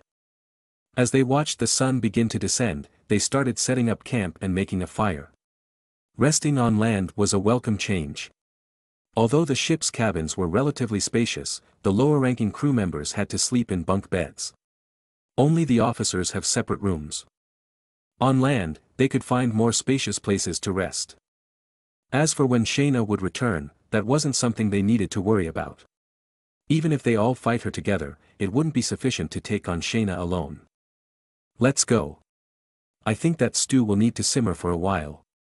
We can explore the nearby forests, who knows, we might stumble upon Lord Arceus' plates by chance. That Mandrill is so lucky he can find it even when he's delivering goods. I refuse to believe my luck is that bad. Based on Shayna's habits, she would start exploring from faraway areas, leaving the closer areas to her subordinates. After she returned, she'd search any leftover areas. However, it turned out that Mandrill's luck was difficult to replicate. They didn't find any plates, but they did manage to bring back a wild boar. Why did you bring it back? Its meat tastes bad. Why not give your cooking skills a try? Who knows, it might turn out well. But on another note, is there any sort of fireworks or evening party happening around here? I haven't heard of any such thing. This island isn't known for its tourism, so there aren't those kinds of events here. Haven't you seen enough of Onigashima's fireworks? It's not that, but there's a fire on the east side of the mountain, it seems quite lively. As the exploration team said this, the campsite suddenly fell silent. Did the boss go to the east side too? Doesn't boss, often use fire? The pirates exchanged glances and then unanimously got up and ran in that direction. While they might not be able to help much, they could at least clear the area. In the village to the east of the island, Shayna felt like she had inexplicably gotten herself involved in some trouble. She had simply entered the village for a stroll. Mandrill's experience had highlighted one thing, while others couldn't harness the power of the plate, they could use it in different ways. For instance, they could use it as a table, a grinding stone, or even build a house with it. Thinking along these lines, exploration became significantly more challenging. So, she was just strolling through the village with the radar in her hand. However, she unexpectedly encountered a group of pirates. These pirates had no connection to her, and she was typically quite indifferent towards matters unrelated to her. Back then, meddling in other people's affairs could have easily led to her demise. However, these pirates had just begun their pillaging, and a massive fire quickly enveloped the village. Are these guys crazy? Even without using observation Haki, she was sure that this fire had nothing to do with these pirates because pirates wouldn't burn themselves down while setting a fire. Flames couldn't harm Lunarians, they are naturally favored by fire. Besides controlling their own flames, they also have a high resistance to external fire. To her, this kind of fire was no different from room temperature. However, she smelled a gasoline-like odor in the air, indicating a strong accelerant. What happened next explained everything. Intense gunfire erupted from the outskirts, and everyone on the street became a target. Whether they were civilians or pirates, the people outside were shooting indiscriminately. An old lady and a young man next to her fell down in panic. Although her heart remained entirely unflustered, she unfurled the wings on her back to shield them from the incoming bullets. Often, Shayna's behavior resembled a contradictory mixture of indifference and apathy towards things unrelated to Arceus and herself. Back then, Setsuna was able to attract her attention because of her useful sense of smell, but when things happened right before her eyes, she wouldn't ignore them entirely. For instance, she had saved Setsuna in passing back then. Even though it wasn't her goal, she had unlocked her chains, allowing her to hide in a safe place. She wouldn't specially save someone, but when ordinary people nearby her are in danger of dying, she didn't mind lending a hand. Find a place to hide yourselves. Flames enveloped Shayna's wings, and she reached her maximum strength, these bullets couldn't harm her at all. Th thank you. Hurry up, I don't have time to look after you all the time. With that, she waved her hand forward, clearing a path in the sea of flames. Since the day she regained her freedom, her goal had been to become more rational, but there hadn't been much progress, and most of the time, she remained a creature driven by emotions. It was you people who attacked me first. Being attacked meant that this matter was no longer unrelated to her, giving her a reason to act. The fire had sealed off the entire village and was spreading rapidly under the influence of the accelerant and wind. Initially, the pirates on the streets were the first targets of attack, but as the fire spread, the entire village was affected. Lieutenant Commander Draw, isn't this going too far? Most of the Marines were on guard outside, with only a few trusted subordinates following Draw into the burning village. They were here to finish off the remaining pirates. I asked you, what are the charges against this group of pirates we're pursuing? Robbery, murder, they've plundered many villages and towns. That's right, we've barely managed to corner them. If we let them escape again, won't more people suffer? Sacrificing the people of this village to protect many others from danger, what's wrong with that? Looking at the flames burning around him, Draw felt no inner turmoil. If you want to blame someone, blame those pirates. Ever since the Great Pirate Era began, so many people have been harmed. I'm just working hard to eradicate the pirates. As long as pirates remain in this world, countless innocent people will have to keep living in fear. To eradicate them, necessary sacrifices are unavoidable. Saying this, he raised his right hand towards a person who appeared to be a pirate and pressed a switch. A jet of flame erupted from his hand, and the fiery red flames clung to the person like cancer, directly burning the struggling man to charcoal. The strange object hidden under his coat was revealed. Draw had cylindrical weapons mounted on both arms, resembling rocket launchers or tonfa, but two pipes extended from the back of the cylinders, each connected to containers hanging on his waist. Starting from the rank of ensign, Marine members will receive the Justice Coat issued from above. When they reach captain, they can wear other attire according to their preferences in addition to the Justice Coat. Underneath Draw's coat, there is a peculiar set of devices. The stuff from the research department is really useful. We allies should have more of these. This flamethrower set was an experimental product from the research department, originally intended for use by the biochemical unit to destroy hazardous materials. However, the combat effectiveness of this weapon was decent, so a batch was released for testing, and Draw was one of the testers. From the front end of the cylindrical device, intense flames burst forth. The fuel from the connected fuel containers at the other end of the pipes kept converting into flames, and even some unburnt buildings were ignited. In the blink of an eye, the surroundings were completely engulfed in flames. Along with the burning buildings, some screams also emanated from within. Lieutenant Commander, isn't this too much? Those people might be ordinary villagers. Are you all fools? The people in this village have already been killed by the pirates. We're here to eliminate the pirates. Draw said heartlessly, this matter couldn't be exposed, or his job would be finished. Therefore, both the pirates and those who knew too much had to be eliminated here. Furthermore, the contributions from eliminating wicked pirates are more. This isn't the first time. We're all in this together. Keep your mouths shut, or nobody will have a good ending. Yes.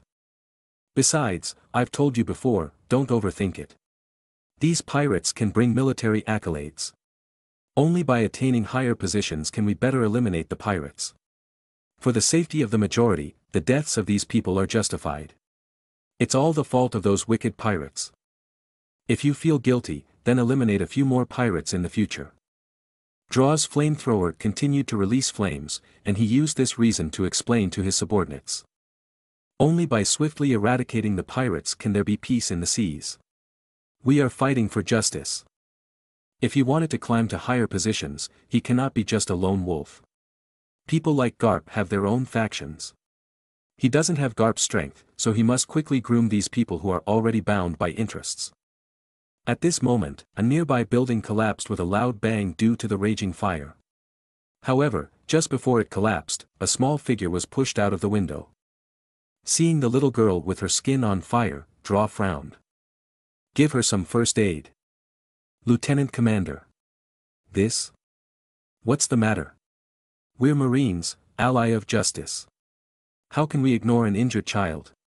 She doesn't look like a pirate at all, and she probably has no idea what's going on. However, as he looked at the collapsing building and the seemingly struggling arm, he still aimed the flamethrower in that direction. Flames erupted from the nozzle, engulfing the ruins entirely. During this time, he naturally encountered real pirates, but Draw was not all talk. In addition to the flamethrower he carried, his martial skills proved formidable against these pirates. At that moment, Draw's Den Den Mushi rang. Lieutenant Commander Draw bad news. There's a breach in the firewall, and many people are escaping. What should we do? What? Kill them all, those people are pirates and their accomplices. Shocked by the reports from outside, Draw knew that if any of those people had witnessed him starting the fire, it would spell big trouble for him. So, he immediately issued the order to kill them. However, before he could receive a response, a new situation arose. There's a new development, Lieutenant Commander Draw there are pirates behind us, and their leader is a devil fruit user. He could see a female with two green blades popping out from her elbows, relentlessly harvesting the lives of nearby marines. She was one of Shayna's subordinates. Most of the female members of the Beast's pirates were under Shayna and Olga's command. While gender plays a role in this, many of them, by using their female bodies, defeated others and became officers. In fact, their talents surpassed those of many male pirates. Reinforcements. Annihilate them. No not good, Lieutenant Commander. These people are pirates from Beast's Pirates, requesting sup. Before they could utter the word, support, the Den Den Mushi went silent. While many of these pirates were newcomers, they had experience fighting at close quarters in the New World. Moreover, their leaders were veterans, many of whom were even direct subordinates of Shayna. Being led by a high-ranking officer of an emperor's crew, they easily crushed these marines of the first half of the Grand Line whose highest rank was lieutenant commander. Seeing the flames appear here, the beast's pirates hiding nearby began to move. They mistakenly thought there was a conflict between these marines and Shayna, so they immediately launched an attack. Hey, hey. Are you there? The busy tone from the Den Den Mushi hit him like a blow. As a military officer from the headquarters, he was well aware of the aftermath of Morgan's proclamation of the Emperor of the Sea. Pirates from the New World, weren't the beast's pirates supposed to have gone back already? Initially, they were only pursuing a group of pirates with bounties of over 10 million. But now, it seems that the trouble has multiplied. The enemies inside the village had not been completely eliminated, and even more powerful pirates had arrived outside the village, and a gap seemed to have appeared in the fire wall that was supposed to block them here. As he contemplated how to deal with this situation, a figure walked out from the flames, who was quite tall even for Draw. Standing over two meters tall, he was still shorter than Shayna, but as Draw gazed at the figure within the flames, he didn't hesitate to activate the flamethrower he held. Even if it were an ordinary person, it wouldn't deter him from attacking. After all, the fact that the person could move indicated they were still quite conscious. Moreover, that shadow with wings didn't look like an ordinary person by any means. However, this time, no sound came from the flames.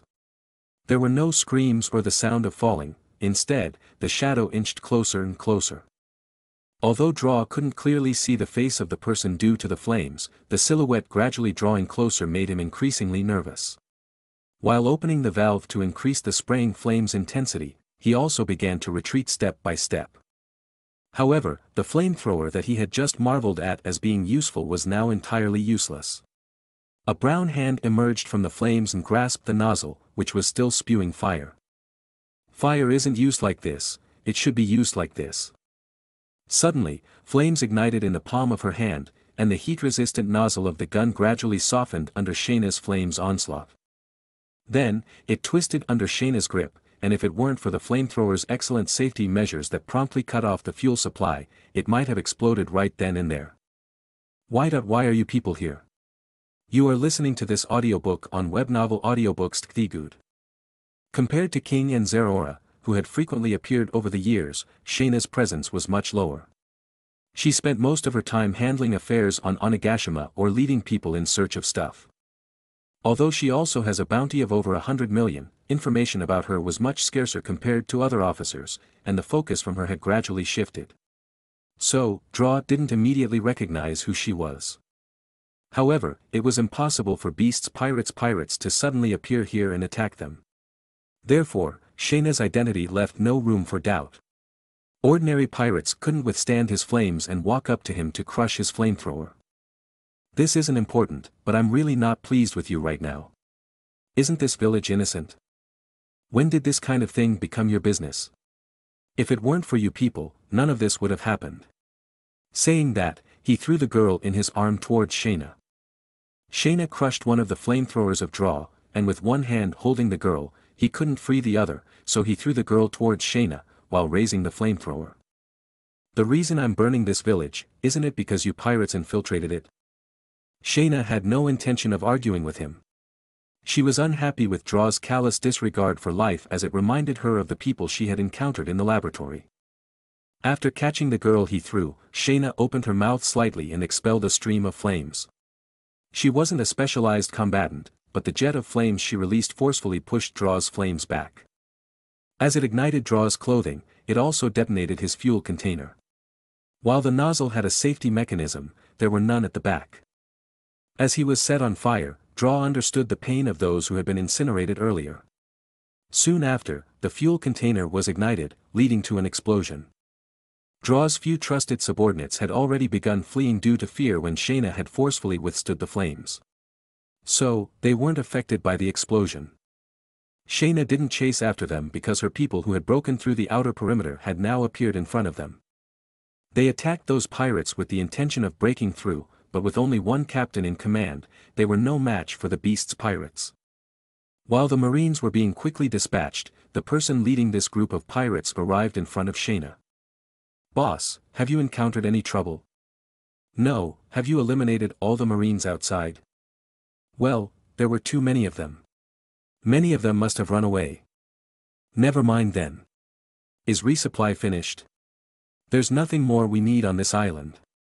Let's extinguish the fire here and retreat. Since they hadn't completely eliminated all the marines, that meant the news had already spread. There were many more marines stationed in the first half of the Grand Line compared to the New World. To minimize trouble, she gave the order to retreat after extinguishing the fire. Thanks to the passage Shayna had opened earlier, many villagers had managed to escape. Seeing someone extinguishing the fires, they returned to the village to help put out the flames. Extinguishing the flames mixed with accelerants took considerable effort. Following their principle of doing good deeds, they also tended to the wounds of some burn victims before leaving the island. However, something strange happened the next day. Why is this little girl on the ship? Beasts pirates have a peculiar tradition. When traveling outside, it was common for them to pick up a few children along the way. Especially Kaido, who frequently does it. Though she had brought back Setsuna last time, it was for a special reason. This time, she had no intention of picking up another child. However, during her morning exercise the next day, she discovered a little girl on the deck. Amelie, explain to me what's happening here. Amelie was one of the gifters on her ship, user of the leaf blade ability and one of her direct subordinates. She is responsible for various minor tasks on the ship. She had short, golden hair and wore a slightly revealing Viking pirate-style outfit, which was the attire adopted by most Beasts Pirates members. Well, boss, didn't you ask us to treat her last night? I asked you to treat her, not to bring her onto the ship. Looking at the bandage on the little girl's right hand, Shayna noticed Amelie had obeyed her orders. There was even a little butterfly knot tied on the bandage. Yet this didn't explain why the girl was on the ship.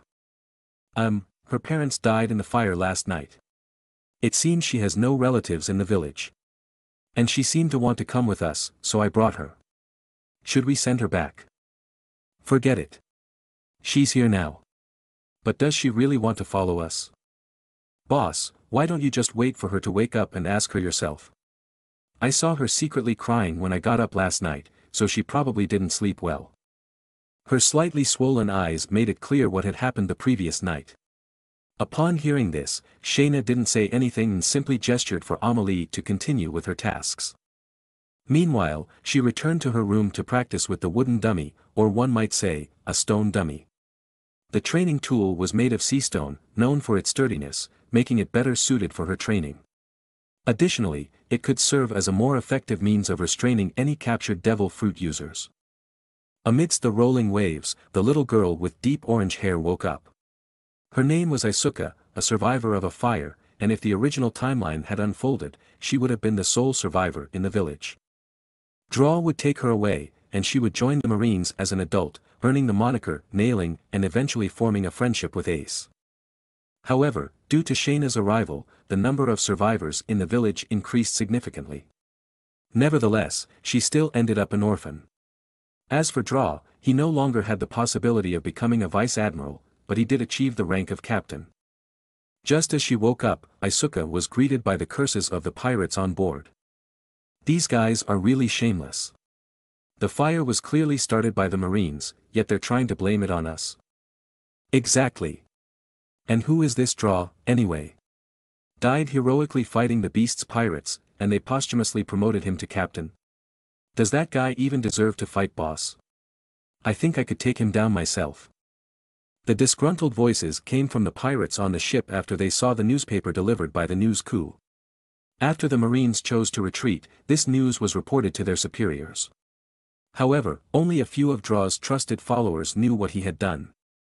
But those people perished in the battle last night, and the remaining Marines genuinely believed that Draw fought back against the pirates. Moreover, they are unaware that their shots hit civilians among the targets. The Marines barely conducted any investigation before publishing the report. Nevertheless, even if they knew the truth, the deceased draw could only be portrayed as a valiant Marine, not a madman who burned civilians. The Marines had acted worse than some pirates, and if word got out, it would be a great disgrace. Boss.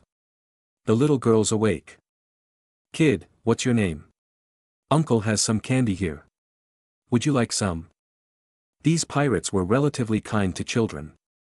Based on their past experiences, one couldn't predict what role this little girl might play in the future. Most of the children picked up in the past became officers or reserve officers. Even the ones Olga bought ended up in roles like personal attendants or research assistants. The only exception might be Robin, who wasn't deeply involved with the Beast's pirates but was friends with their young miss. This little girl may seem quite ordinary, but future remains uncertain.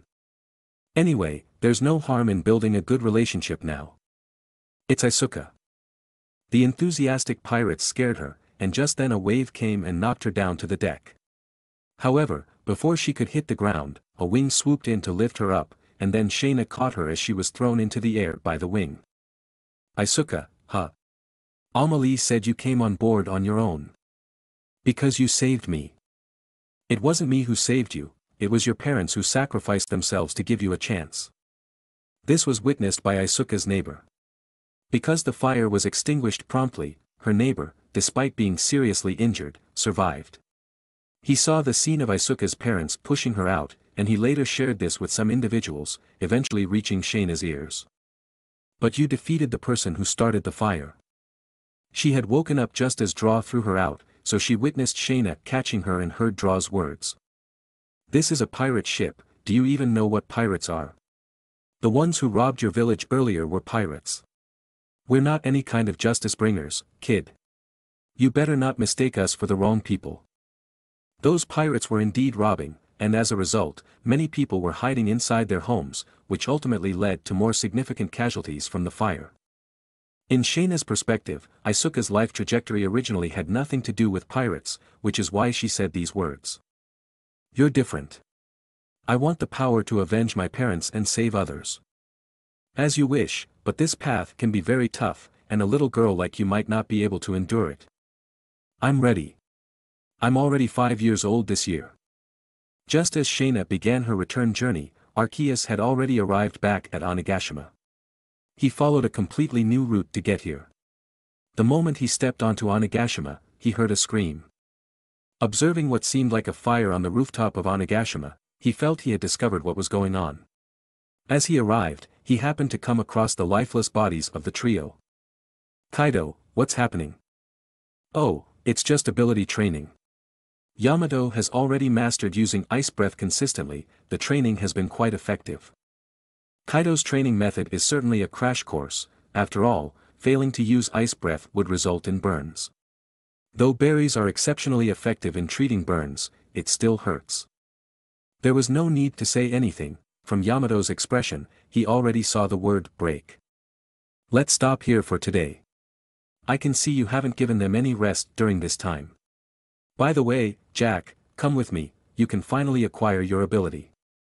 The newly discovered plates type is steel, and given Jack's personal preference, Copperajah became the ability prepared for him, Kaido hadn't given them any rest during this period. According to Kaido's theory, they had already rested enough during his absence, which amounted to depleting their break time in advance. So they spent most of this time in the burning flames. To control the power and range of the flames, Kaido even called upon Emboar and enlisted Kojiro's dog. Little Kai was once again pulled from his comfortable harem life to become a working dog. The breeding rate of Pokemon and regular animals was slow, but Kojiro's dog squad had already begun to take shape.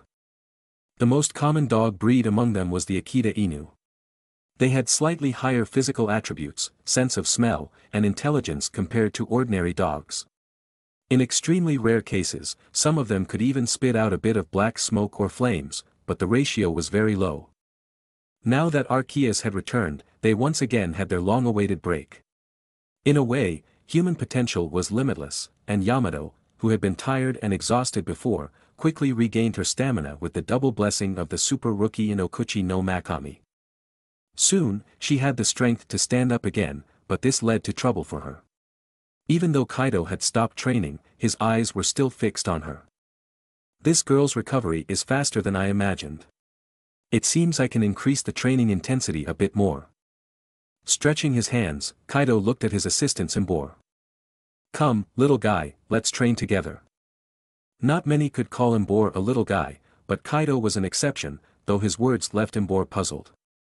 Emboar. It had clearly come to help, but it seemed like it had become the sacrificial lamb. Dad, why did you take so long this time? I made a few detours to some islands, but it looks like you're doing fine. No, I'm not. Father has all sorts of strange ideas every day. If you came back any late, you might have never seen me again. Don't worry, he knows what he is doing. Go take a shower first, why do you look so dirty? That's because of father's training. Saying that, Yamato began to complain about what Kaido had done. In addition to the basic training and previous strengthening training, her curriculum also included controlling her ability, resistance training to flames, and sparring with Setsuna on her own. Since Okuchi no Makami was still primarily a wolf, her human beast form was no different from a werewolf. As a wolf mink, Setsuna was more familiar with how to fight with a werewolf's body. Lucario compensated for her close combat weaknesses and even helped her develop the use of aura arrows. Now, apart from custom-made sea stone arrows, she has given up on using regular arrows. She wasn't as strong as Kaido, but she had a more unique understanding of the strengths and weaknesses of werewolves. Although Setsuna's special training wasn't too difficult, when combined with Kaido's training, it became a terrifying amount of training. Go, you can rest for the rest of the day. Take tomorrow off as well. I'll go and prepare the ability for Jack. You and Maria go clean yourselves up. Hooray! No student would complain about having too many breaks, especially when the teacher's name was Kaido. Yamato and Maria entered the officer's bathroom at the top floor, while Jack was taken directly to the shore of Onigashima. Originally, you'd have to wait a bit for your ability, but Mandrill has sped up the process. Arceus was referring to the iron plate. There weren't many Pokemon of the elephant type, and many of them were just similar in appearance, essentially just pig-headed creatures. Copperajah's stats may not be considered outstanding, but its bronze-made body offers much greater resistance than flesh and blood organisms. Jack's development path has gradually taken shape, and he clearly falls into the defensive combat category.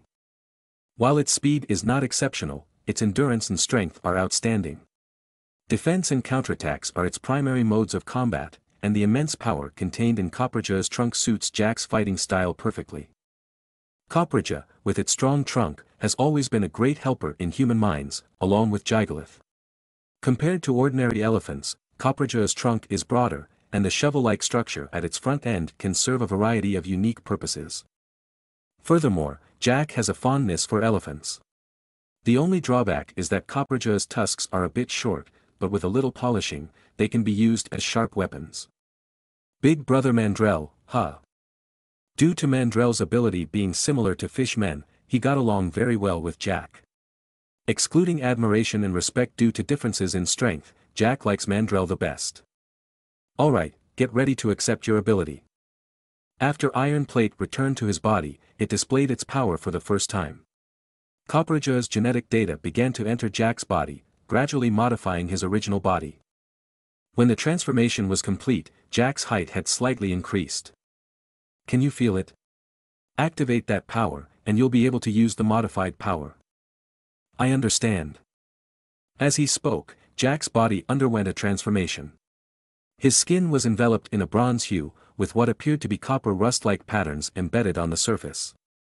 These patterns closely resembled the ones found on Copperajah. Just like a bronze elephant man wrapped in heavy armor, he appeared before Arceus. When his fists collided, they produced a sound similar to metal clashing, and even the ground beneath his feet sank a few centimeters. Jack, try going into the water. This was the reason he had brought Jack to the coast.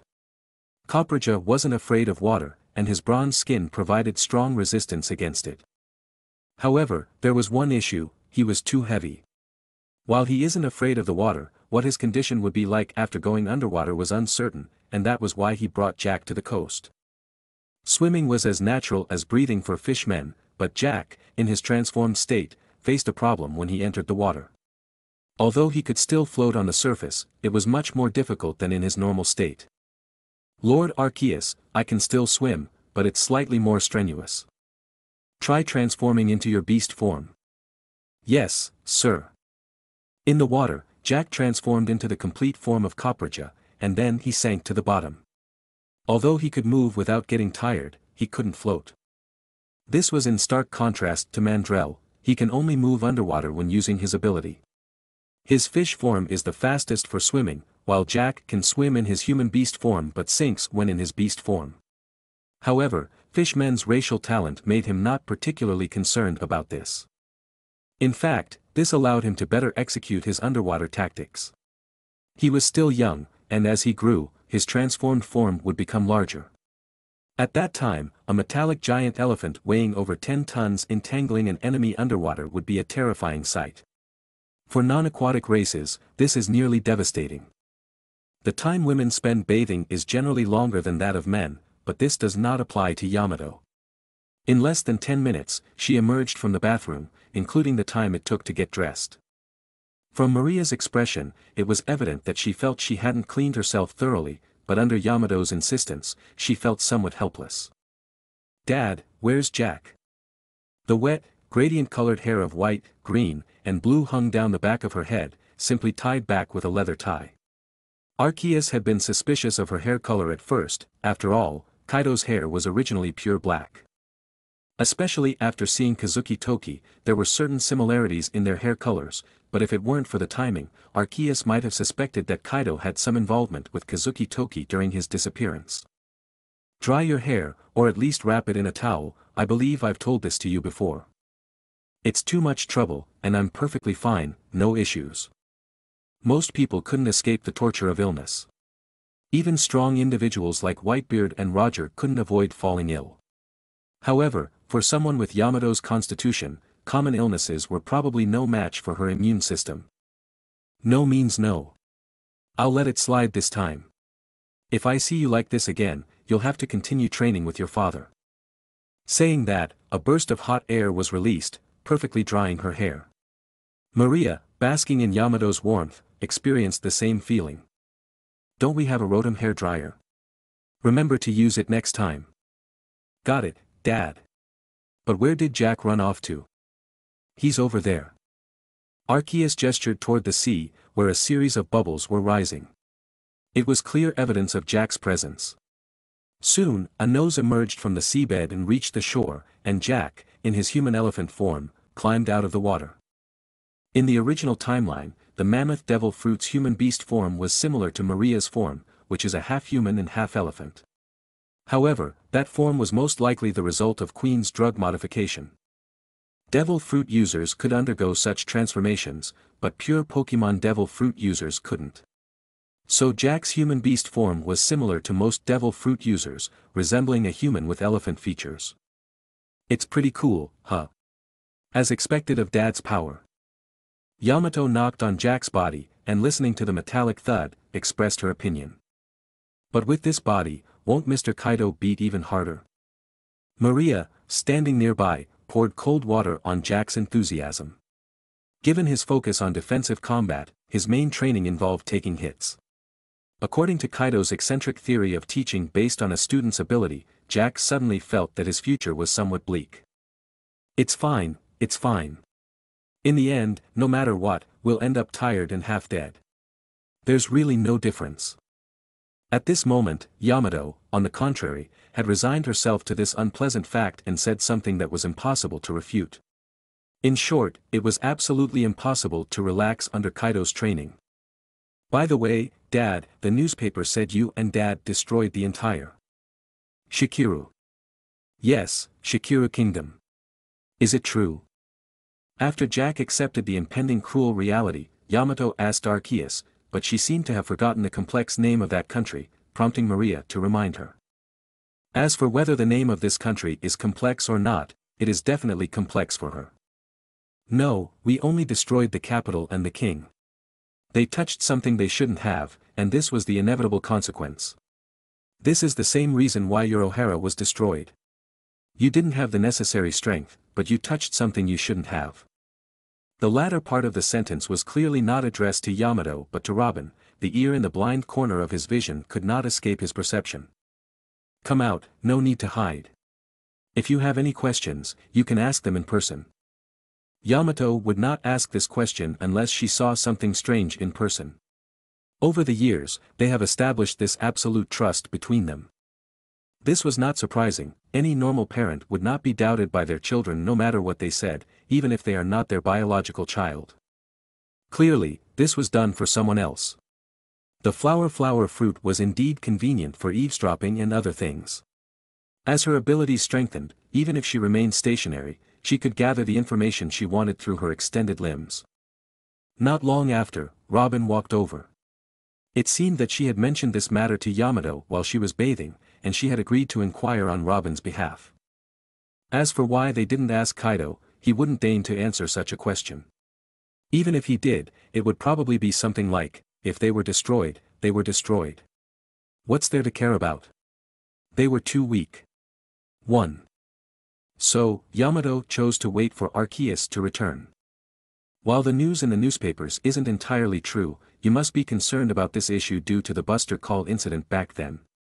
That's right. You've managed this country so well, but when it comes to the outside world, it's like. I didn't have to answer your question originally, but Yamato considers you a friend, so I'll tell you a bit more. Everyone has their taboos, and they touched upon my greatest taboo. As he spoke, he displayed a plate in front of Robin. Archaeologists from Ohara had all seen images of the plate. Given Ohara's identity, they were destined to never get along with the world government, so he wasn't worried about revealing this information to them. Anyone who attempts to keep my plate, no matter who they are, wouldn't be forgiven. Similarly, if you can find information about it for me, you can gain a lot. I never harm the innocent. The civilians of that country had ample time to evacuate, but the Marines fabricated some things. You should know about that too. Initially, you Ohara people were all seen as madmen trying to destroy the world. We certainly were not. This is a twisted world. When others suspect you have a weapon to destroy the world, you'd better actually have one. I heard you became a scholar at the age of eight, so you should understand this logic. Robin's mental growth was slower compared to her endless life of fleeing, but she still understood the most basic principles. You explore history, but who can guarantee that the history left behind 800 years ago is the absolute truth?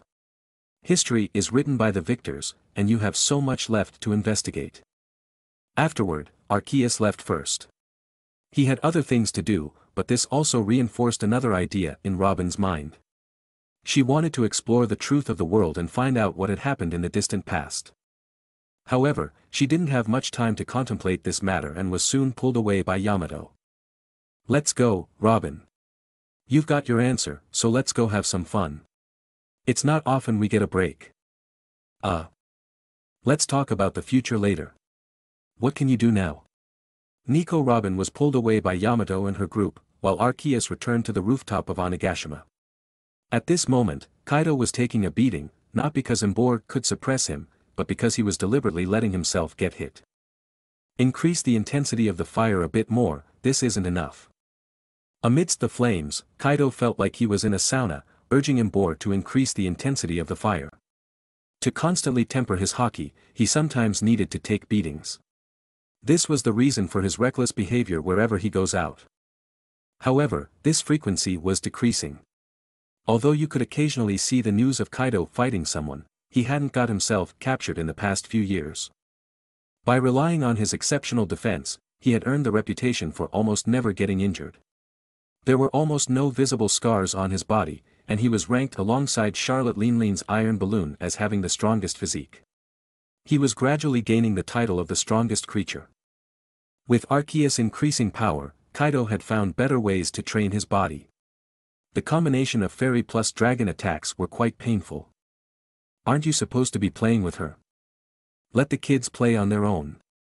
Where are Oden's two swords? In the treasure vault, they're probably covered in dust by now. After Kazuki Oden's death, Enma and Ame no Habakiri naturally became spoils of war for the beast's pirates, but there were no pure swordsmen within the crew. Kaido and Yamato wielded kanabos, while King used a modified shark tooth sword. Although Kojiro wields a sword, given his physique and style, Ame no Habakiri is too short. The same applies to Enma, moreover with his physique, Enma would probably drain him dry. Enma and Ame no Habakiri were, after all, both one of 21 great grade swords. It would be a waste to destroy them outright.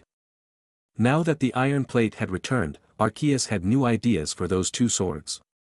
Pokemon were not just limited to animals and plants, as one of the most magical species, metal objects were also included. With the return of the iron plate, Enma and Ame no Habakiri had a chance to shine once again. Rotom, where are the two swords, Enma and Ame no Habakiri? Inside the beast's pirate's underground treasure vault, Arceus asked the Rotom inside. In addition to the Rotom serving as the electronic door guard, there were also special Rotom units acting as warehouse keepers. After a quick check within the electronic system, Rotom determined the location of Enma and Ame no Habakiri. In some of the future islands, things like computers are quite common and can be used on islands with electricity. However, there is no internet here, so electronic computers had some limitations. Nevertheless, they are more than sufficient for maintaining a list of stored goods. Rotom, please wait a moment. Upon receiving the order, Rotom immediately entered a small robot with mechanical arms nearby and brought out Enma and Ame no Habakiri from their respective positions. It wasn't as exaggerated as Kaido had claimed that the swords were covered in dust, Rotom cleaned the place every day, and they are even capable of maintaining swords. Rotom, my lord, I've brought what you requested. Is there anything else you need, Rotom? No, thanks, continue your work. Then, he used his powers to take over Enma and Ame no Habakiri, and the power of iron plate flowed into the two swords, injecting them with new life.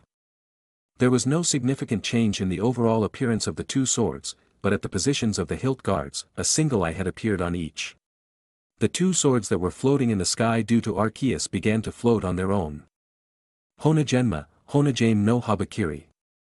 Compared to sea stone form rock-type Pokemon, these two seemed more like unique individuals that were hard to replicate. However, there seemed to be a problem child among these Pokemon. Enma was quite lively right after its birth and didn't seem very obedient. However, when Arceus' imposing presence pressure swept over it, it lost its arrogance completely. That was the irresistible aura emanating from its creator. Unless Arceus went into a berserk state of destroying the world, it had absolute control over its original creations, not weaker than Charlotte Linlin's control over Homies. Once, they belonged to Kazuki Oden, but for swords, the holder isn't absolute.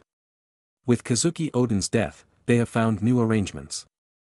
The purpose of creating two Honedge was to free King, who serves as the shogun's attaché, and provide him with two dependable assistants. Honedge can absorb human life, but it is controllable. For them, souls are a supplement, not a necessity. This can be suppressed under command. Poffin and berries that are loved by Steel-type and Ghost-type Pokemon can be used as substitutes. And if worst came to worst, there were still death row criminals and Charlotte Linlin around. Obtaining some extracted souls from her, given their current relationship, wasn't difficult. Such things were a special tax in Totto Land. Honedge's appearance was marked by a unique ceremony in Wano country, boosting Kaido's reputation. The protector of the nation, wise King Kaido, found Kazuki Oden's lost weapons and handed them over to the current shogun, Kazuki Hiyori. However, Kazuki Hiyori didn't have talent for swordsmanship. She couldn't use the Honedge incarnations of Enma and Ame no Habakiri, so they were just placed on a stand in the shogun's room. Ghost-type Pokemon come in two varieties, one unable to stand loneliness and always inclined to mischief, while the other is highly patient. These two Honedge belonged to the latter category, so they remained in the room as a special backup. These two swords evoked deep feelings in many people, especially the three remaining retainers of Oden. They had many thoughts as they looked at their former lord's weapons. However, they hadn't expected that the beast's pirates would entrust the weapons to Kazuki Hiyori. Even Kikunojo's request to teach Kazuki Hiyori martial arts was approved. In King's eyes, they can't possibly stir up any significant trouble.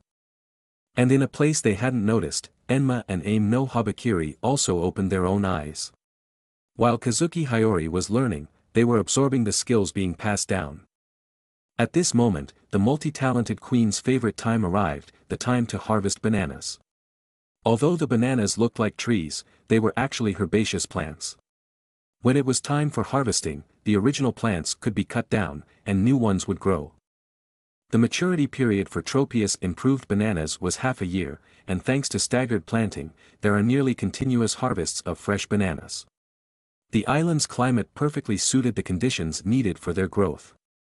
Queen excitedly made his way to his plantation. The plants here weren't of the type that can be planted on large scale but rather new breeds he was nurturing. However, when he arrived, an ominous feeling overcame him as he spotted a line of footprints on the ground. This is his secret plantation, with a small cultivation area. It is mainly used for mass production experiments on crops from the laboratory and a place where he grows some food to satisfy his cravings. Although the plantation scale of Tropius bananas, through his effort, have expanded, they still differ significantly from the original. As a sweet-toothed foodie, Queen has not given up on this research. Although relying on the harvest ability, the original version on his chin already produces three harvests a year. However, it still doesn't satisfy him. On average, he can't even get one a month, which is why he took the time to plant them here.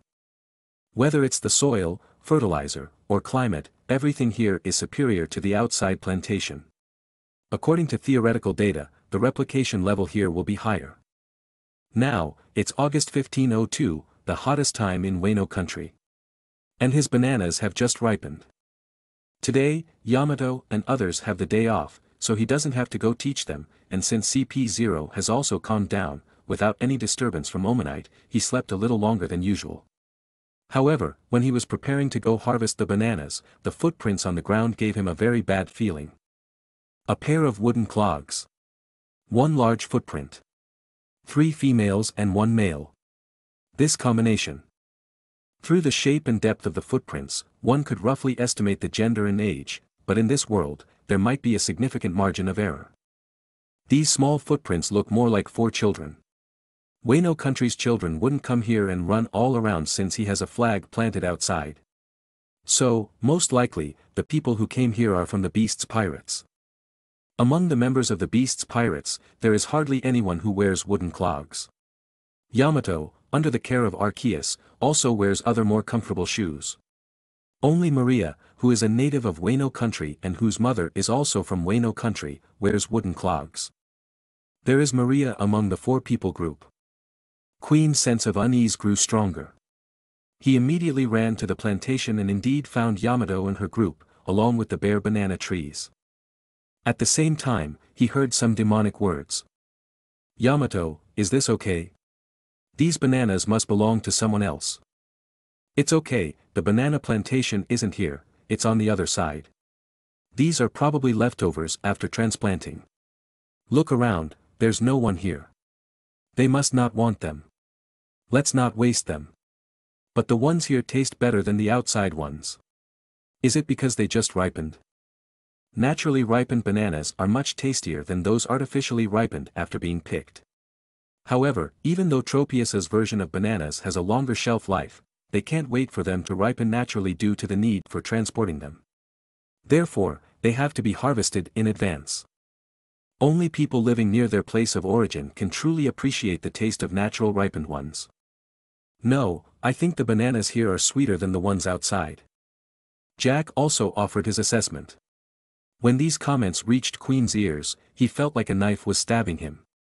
Eh? Uncle Queen, why are you here? This is my plantation.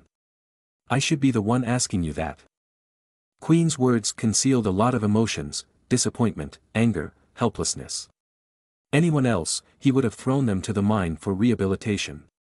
But the issue was that he couldn't do that with the people here. The one leading the group was clearly Yamato. This whole thing, when it came down to it, was just a matter of a few bananas. If he got angry over this, he might end up being the one sent to the mines. He currently felt as though his agricultural thesis had been stolen by someone, and that someone seemed to be the principal's daughter. You guys that ate all of them. This was his experiment farm, so he hadn't planted much to begin with. Also, he was well aware of their appetites. Maria and Robin were still within the range of normal humans. Although Maria's stamina consumption makes her eat a little more, it's still within the normal range. However, Jack and Yamato were different, especially Yamato. Their massive consumption requires more food to meet their body's needs. He's not even sure if the few experimental bananas he has are enough for them to eat. No, there's still one left over there. Uncle Queen, why are you crying? It's nothing, just the sunlight is a bit dazzling. Before Yamato and the others could ask why he found the sunlight dazzling when he was wearing sunglasses, Queen picked them up and took them out of the plantation. What's planted here is very important. Don't come here as you want in the future. Saying that, he closed the gate. However, Yamato seemed to hear some wailing. Did we do something wrong? I don't think so. Otherwise, Uncle Queen would have said it directly. But it seems like he doesn't want us to stay here. Let's find another place. We only have half a day of break left. While they were changing locations, Queen looked at the last remaining banana and didn't know what to say. According to his plan, he could have enjoyed a good meal, but now he could only taste a bit. It would take several months to harvest the next batch. News in newspapers always travels faster than people. Although Arceus had already returned to Onigashima, several other ships were still exploring or on their way back, like Shayna, who had already set out on her journey back. But what arrived first was her wanted poster. A mysterious war photographer captured the image of Shayna emerging from the sea of flames. The dim background combined with her mask made her look like a demon from hell. Draw became the heroic marine who sacrificed himself while fighting against the pirates, and Shayna naturally became the demon. Moreover, after the appearance of the Emperor of the Sea hyped up by Morgans, the pirates under the command of the three major pirate crews saw their bounties rise. Shayna the Flame Blood, Bounty, 580 million berries.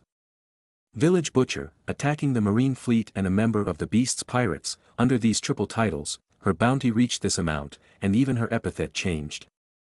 I can't recognize Sister Shayna in this wanted poster, Yamato looked at the newly issued wanted poster for a long time, but she still couldn't recognize that it was Shayna. It still has some resemblance, right? But why is there no news about Brother Mandrill? At this point, Robin had already returned to Sky Island, leaving only the three of them here. While Jack was concerned about Mandrill, he also asked Yamato a question. Yamato, why do you only call Queen Uncle, when they're of the same generation? Well, maybe because Uncle Queen looks older. While Jack was pondering why there was still no news from Mandrill, Mandrill was preparing to return. However, they encountered some interesting things while still in paradise. Pierman, who's that guy? He seems to have some skills.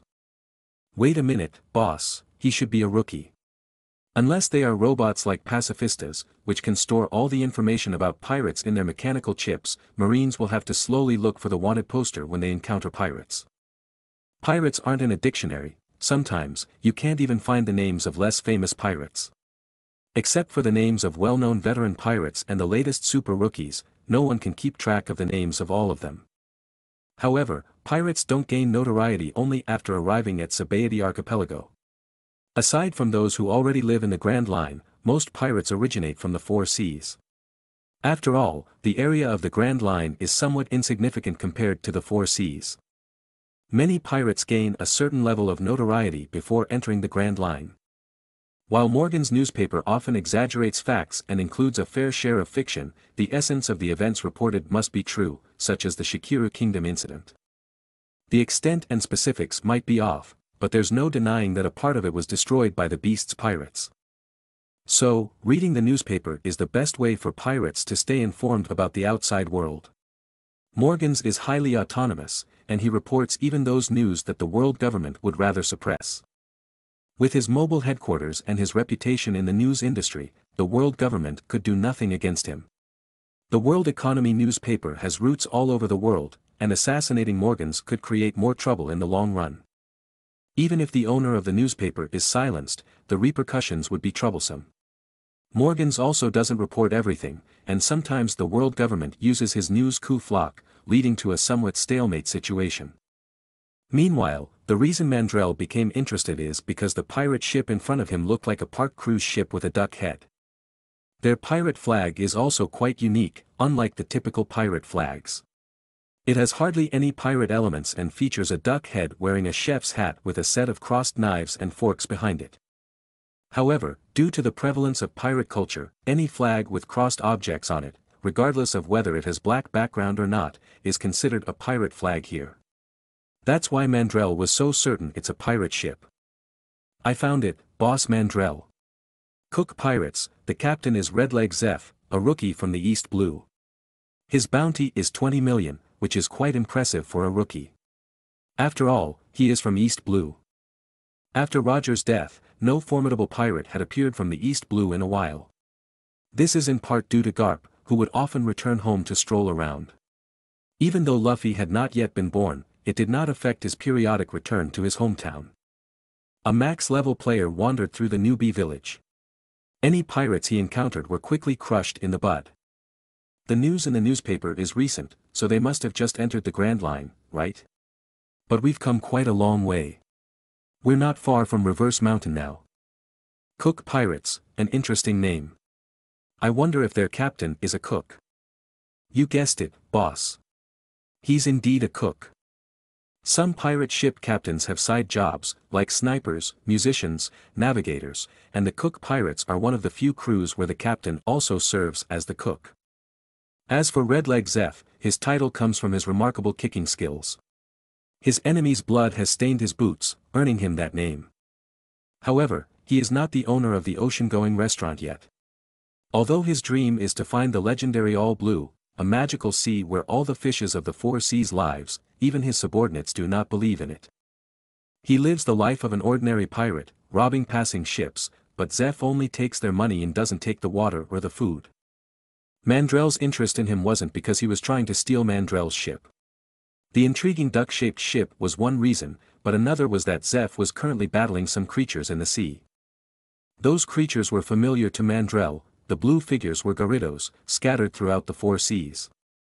Many years had passed, and it was hard to say how many generations of Magikarp had evolved into Gyarados.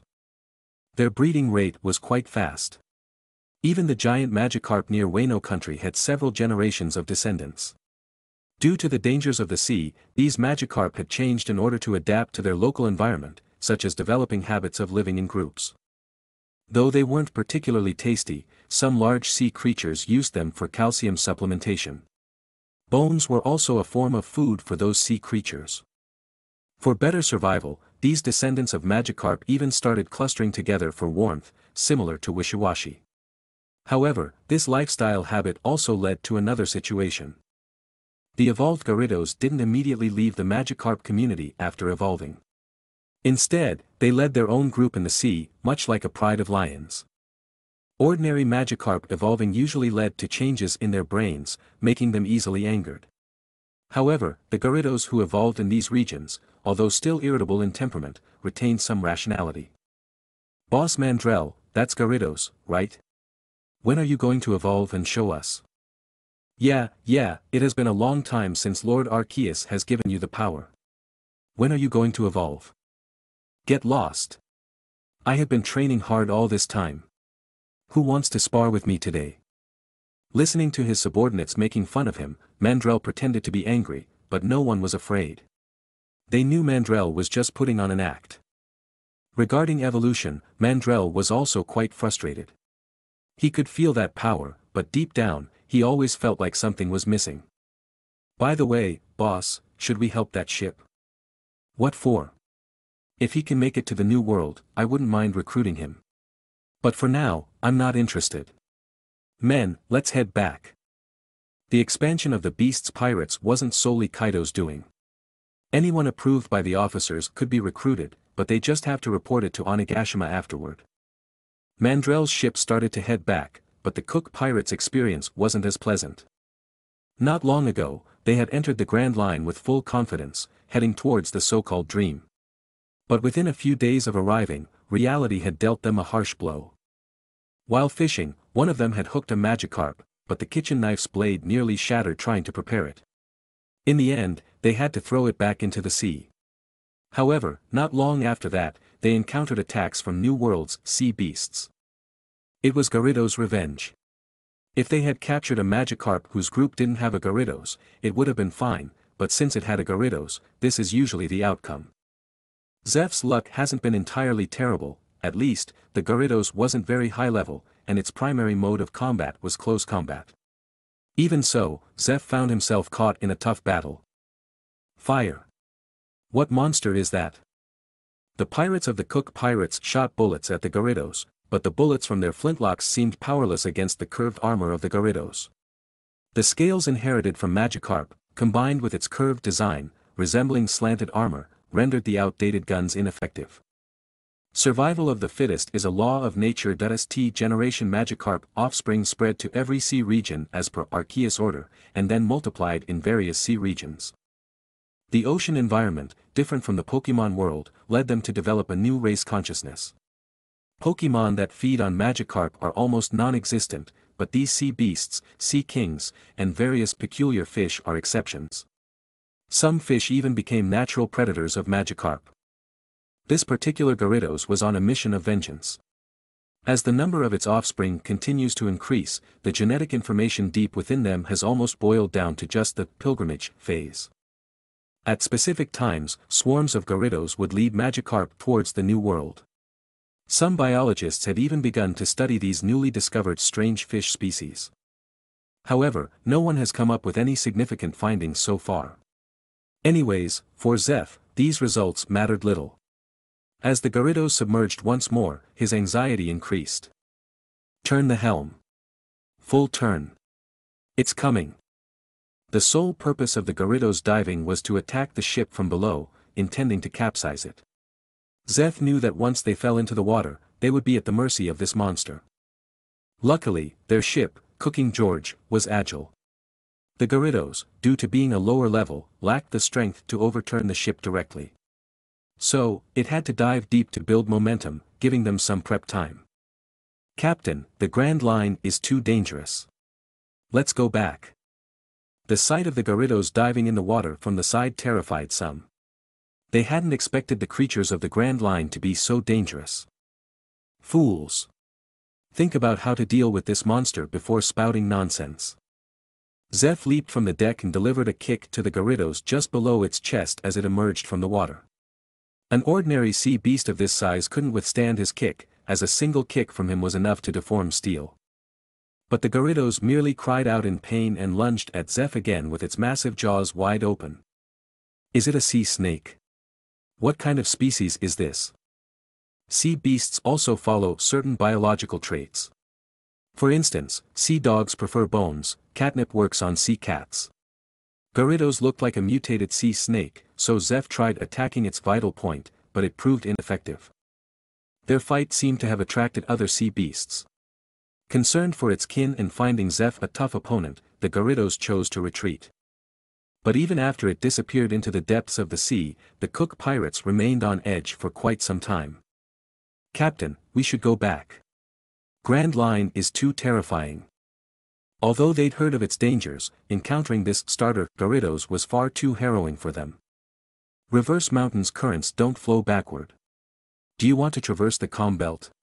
There are even bigger and scarier sea kings there. The powerful water currents of Reverse Mountain left these wind-powered ships with little hope. In theory, with sufficient propulsion, going against the flow should be possible, but their ship, the Cooking George, clearly lacked that capability. This is just the first challenge. Keep sailing. On the bright side, that might have been the biggest threat we faced. Of course, these words were just to comfort them. Zeph had only just arrived here, and one obstacle was not enough to make him back down. However, he also took out his little notebook and began to record his sailing experience. In early October of 1502, Mandrill's ship once again arrived at the Sabaody archipelago. The beast's fruits branch located there had already raised coating craftsmen's. They didn't trust the skills of other craftsmen, so they dispatched some of their own to learn the coating skill. This was a life or death matter and couldn't be taken lightly. Within the beast's pirates, only Arceus and Kaido could fly their ships over the Red Line. Others could at most fly a part of their crew over, while the rest of the ships had to travel underwater. Anyway, there wasn't a devil fruit user aboard Mandrill's ship, so they had fewer reservations about submerging. Take it easy, there is no need to rush. Don't worry, Sir Mandrill. These craftsmen are all experienced. You're aware of our inspection system. No one could tell how effective the coating was until the ship submerged. The Beast's pirates had many bases in the New World, all equipped with coating craftsmen. These craftsmen rotated regularly. Every time a ship got coated, half of them would change work locations. They might not care much about others' lives, but when it comes to their own safety, they wouldn't be careless at all. Every time they worked, they gave their utmost attention. During this time, Mandrill wasn't idle either. He and his crew went on a shopping spree in the Sabaody archipelago, purchasing specialties like the Grand Line Manju and Grand Line Senbei. These items were quite popular in Onigashima. Even if the pirates within the crew didn't fancy them, they made excellent gifts for the locals. Some of these pirates had already settled down in Wano country. Stop dawdling. The coating will be done in a day. If we head back now, we might make it to Miss Yamato's birthday celebration. Boss Mandrill, you're the one who's been dawdling the most. How long have you been standing here? Pierman, carrying five boxes of senbei, passed by Mandrill's location. When he had gone to buy the senbei, Mandrill had been right here. However, upon his return, Mandrill still remained in the same spot, standing in front of a store called the Love Chocolate Shop. Boss Mandrill, you're not smitten with that woman, are you? Chocolate sellers often link their products with love, and the shop Mandrill was standing in front of was plastered with such advertisements. As Mandrill's deputy, Pierman knew his habits well and guessed a few things. She's beautiful, but boss, she's already married. I don't care about that. Mind your own business. Scram. Mandrill lifted his foot to threaten Pierman, who quickly left with the senbei. After some contemplation, Mandrill decided to buy some chocolate to take with him. This small expense was trivial for him. The next day, the coated ships began to submerge.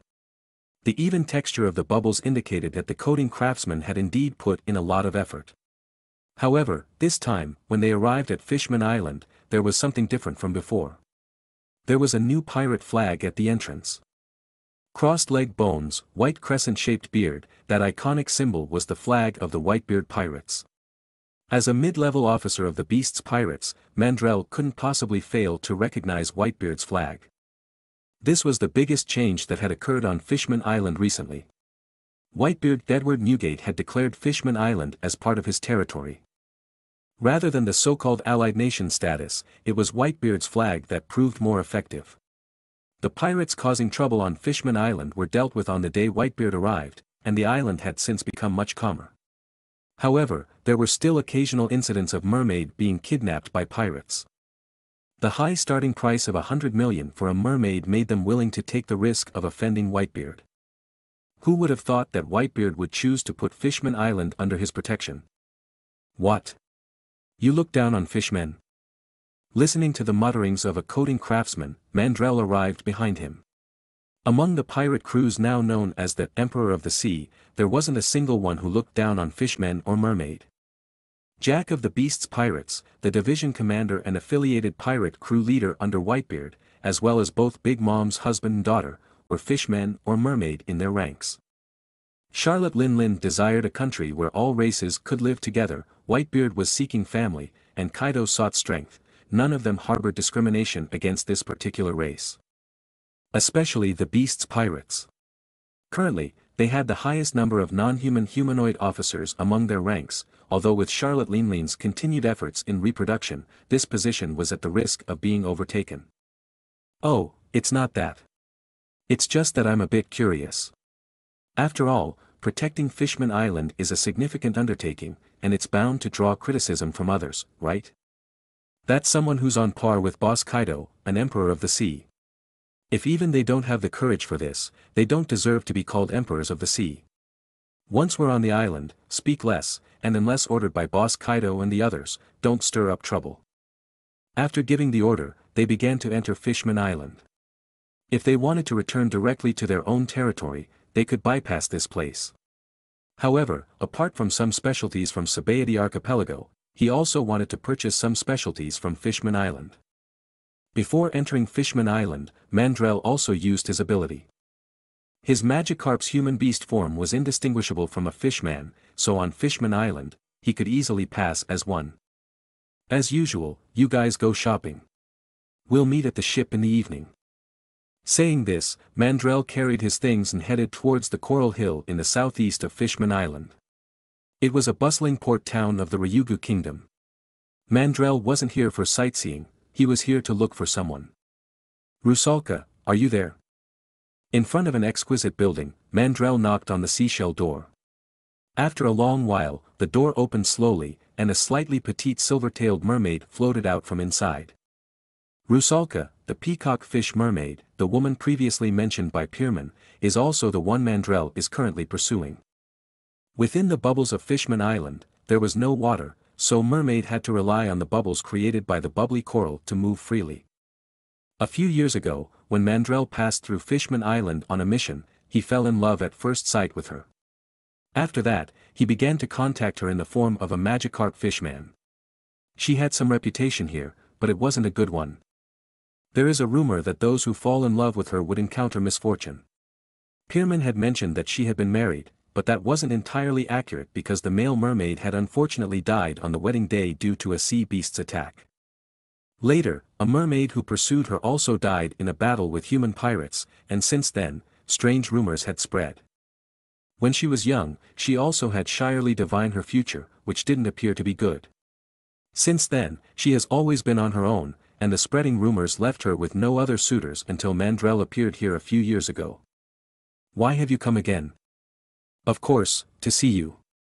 I've brought some Grand Line senbei and chocolate from Sabaody Archipelago, along with some books. They are made with a special moisture-resistant and waterproof material, so they should last a long time. Mandrill took out the carefully prepared gifts from his bag. They're not anything valuable, just accept them. Last time, I noticed you seemed to enjoy reading, although I wasn't sure what you liked to read, so I got a variety of books for you. Paper books were a rarity on Fishman Island. Not only was transportation difficult, but preservation was also a challenge. In these deep waters, regular paper deteriorates quickly. So, he looked for someone to have them custom-made. As for which books to customize, he even conducted some experiments with Jack.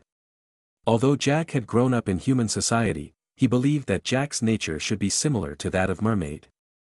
I told you last time that those who get close to me meet with misfortune. Aren't you afraid? I'm not afraid.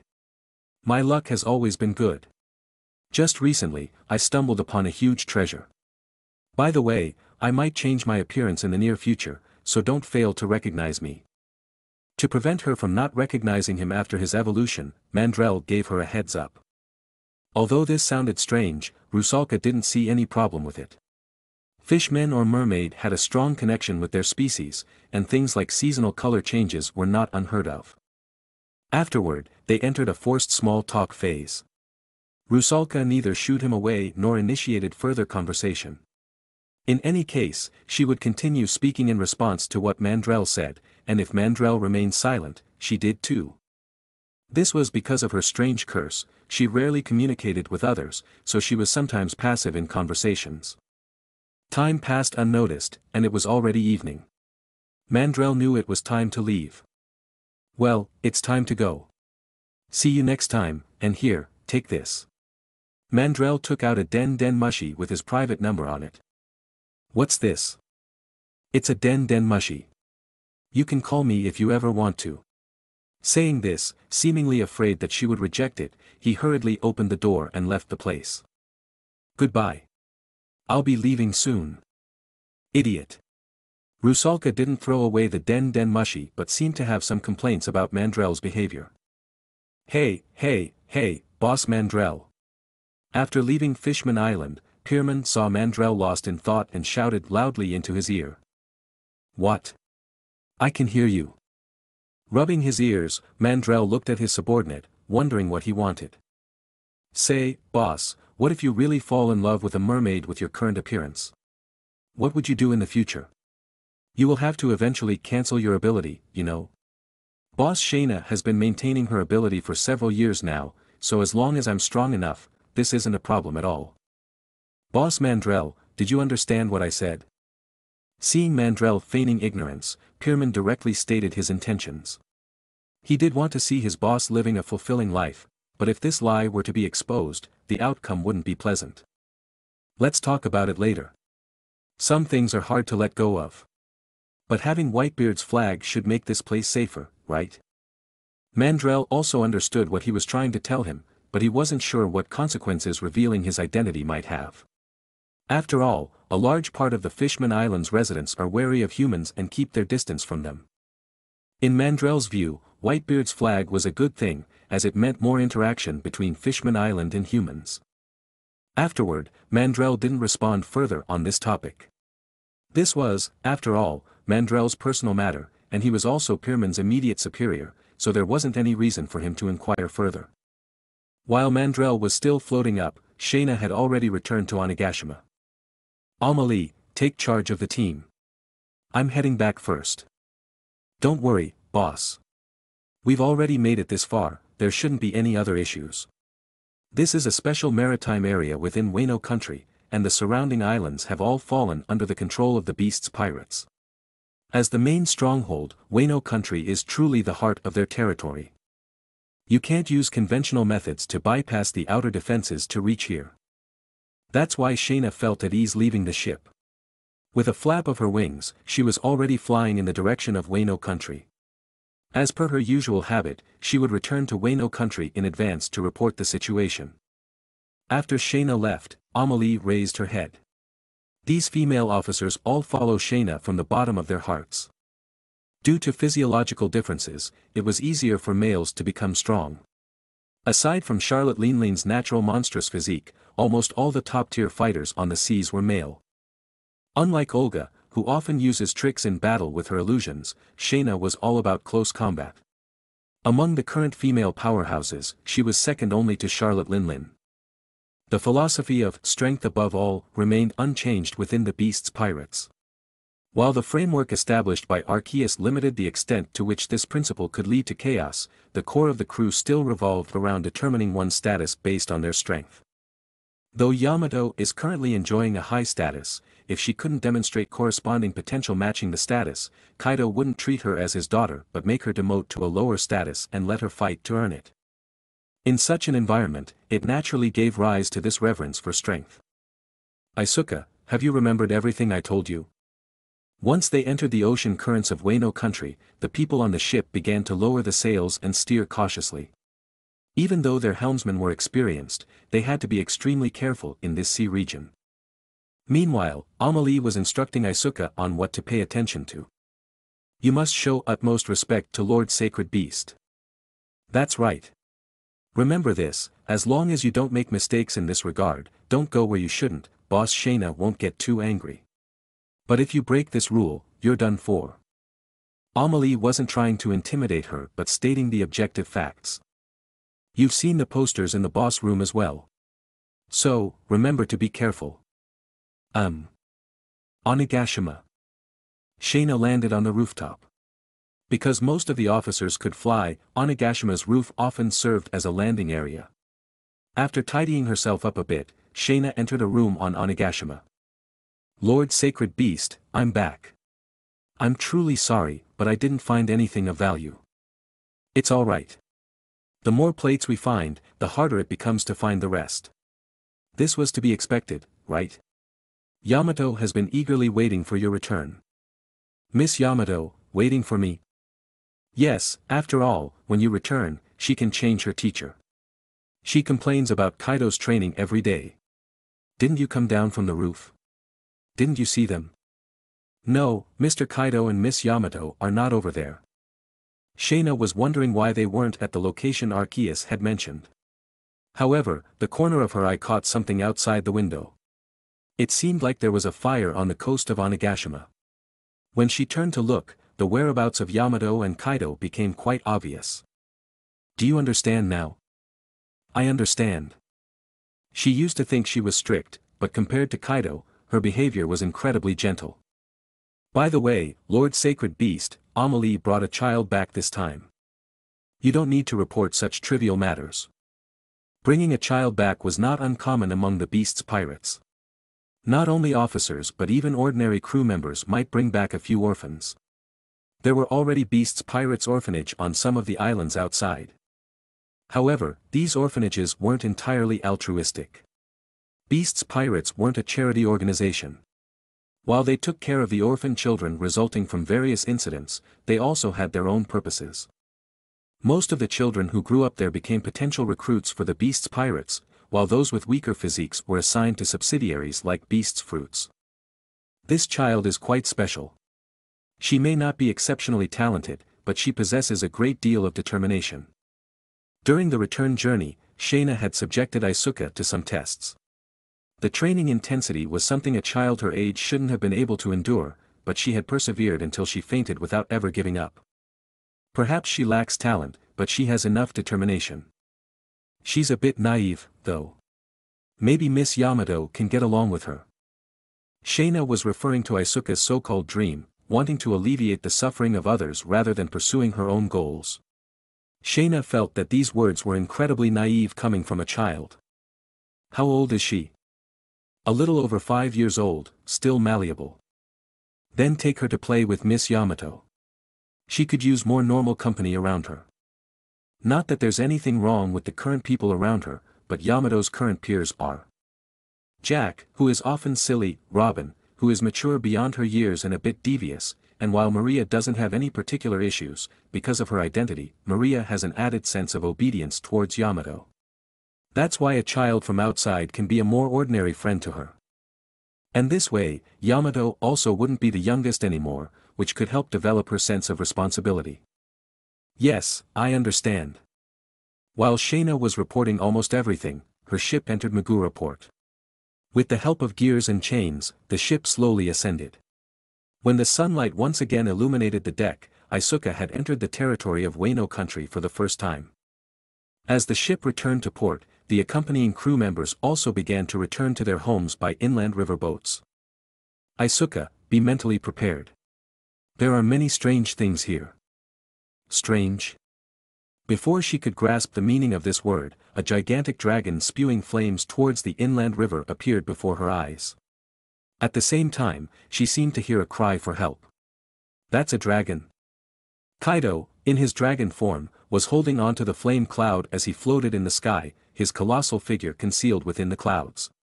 Although the beast's pirates and the citizens of Wano country had grown accustomed to this sight, Isuka was seeing such an enormous creature for the first time. Roughly comparing, she doesn't seem to even be as big as the monster's scales. Well, that's Governor General Kaido, the captain of the beast's pirates. He's also one of your future bosses. There's no turning back once you enter Wano country, you know. Shayna had already emphasized this point multiple times on the way back. She was mentally prepared for it, but it seemed that she hadn't prepared enough at the moment. He's just a devil fruit user. Governor General Kaido is just a bit larger in size and has various abilities. Nothing to be surprised about, Amelie thought that Isuka was shocked by Kaido's beast form, but in fact, that wasn't the case. After all, throughout the journey, Shayna had been posing as a devil fruit user, and Isuka had gained a rough understanding of devil fruit users from the pirates. What truly shocked her were the people swimming in the water, or rather people desperately trying to escape. Due to the massive fire caused by Draw, she already had some aversion to flames, and now, looking at the two splashes in the sea, it inevitably stirred some different emotions in her. What crime did they commit? I'll check. Oh, it's Miss Yamato-sama. Nothing, it's the Governor General's daughter. This is just part of her training, Amelie nonchalantly said, training. Teaching through entertainment, however, everyone knows that Kaido's idea of teaching through entertainment was unique to himself. He wouldn't miss the opportunity for an all-around physical training like swimming. Daughter. That's right, his biological daughter. But Isuka, there's some bad news I should share with you. What is it? Boss Shayna may be critical of you on the surface, but she is probably quite pleased with you deep down. If everything goes as expected, you might train alongside the young Mississippi. Pierman understood Mandrill, even his personal emotions to some extent, and Amelie was familiar with Shayna. Except for her true appearance under the mask, Shayna hadn't kept much from her, including some habits and such. So, she had a reasonable guess about Shayna's plans. Listening to Amelie's words, Isuka felt a bit lost. The flame's glow and the faint screams made her question her life choices. But she wasn't the only one questioning life choices at this moment. Maria, on the shore, was also glad that her ability didn't allow her to enter the water. Otherwise, she would have also been among those trying to escape. However, Kaido's habit was not to discriminate. Since Yamato and Jack were enduring this kind of training, there was undoubtedly a test of equally hell difficulty waiting for her. The unknown terror is often more terrifying. Meanwhile, someone in the water was having much more mixed feelings than her, for example Jack. Mermaid were the fastest swimmers among all life forms, and while fishmen weren't as fast as Mermaid, they still rank among the best in the sea. But at this moment, Jack found himself unable to catch up with Yamato. Kaido had ordered them not to dive, depriving fishmen of their greatest advantage, and Jack's preference for defensive combat didn't make him particularly fast. But fishmen had another advantage, their pupils were somewhat different from humans. When in the water, they can create a thin membrane that shields their pupils from the irritation caused by splashes. So, Jack could see the splashing water ahead of him, and Yamato, using freestyle swimming, was swimming rapidly towards her destination. As a fishman, he was losing to someone from another race in freestyle swimming. But considering that this was Kaido's daughter, everything seemed to make sense.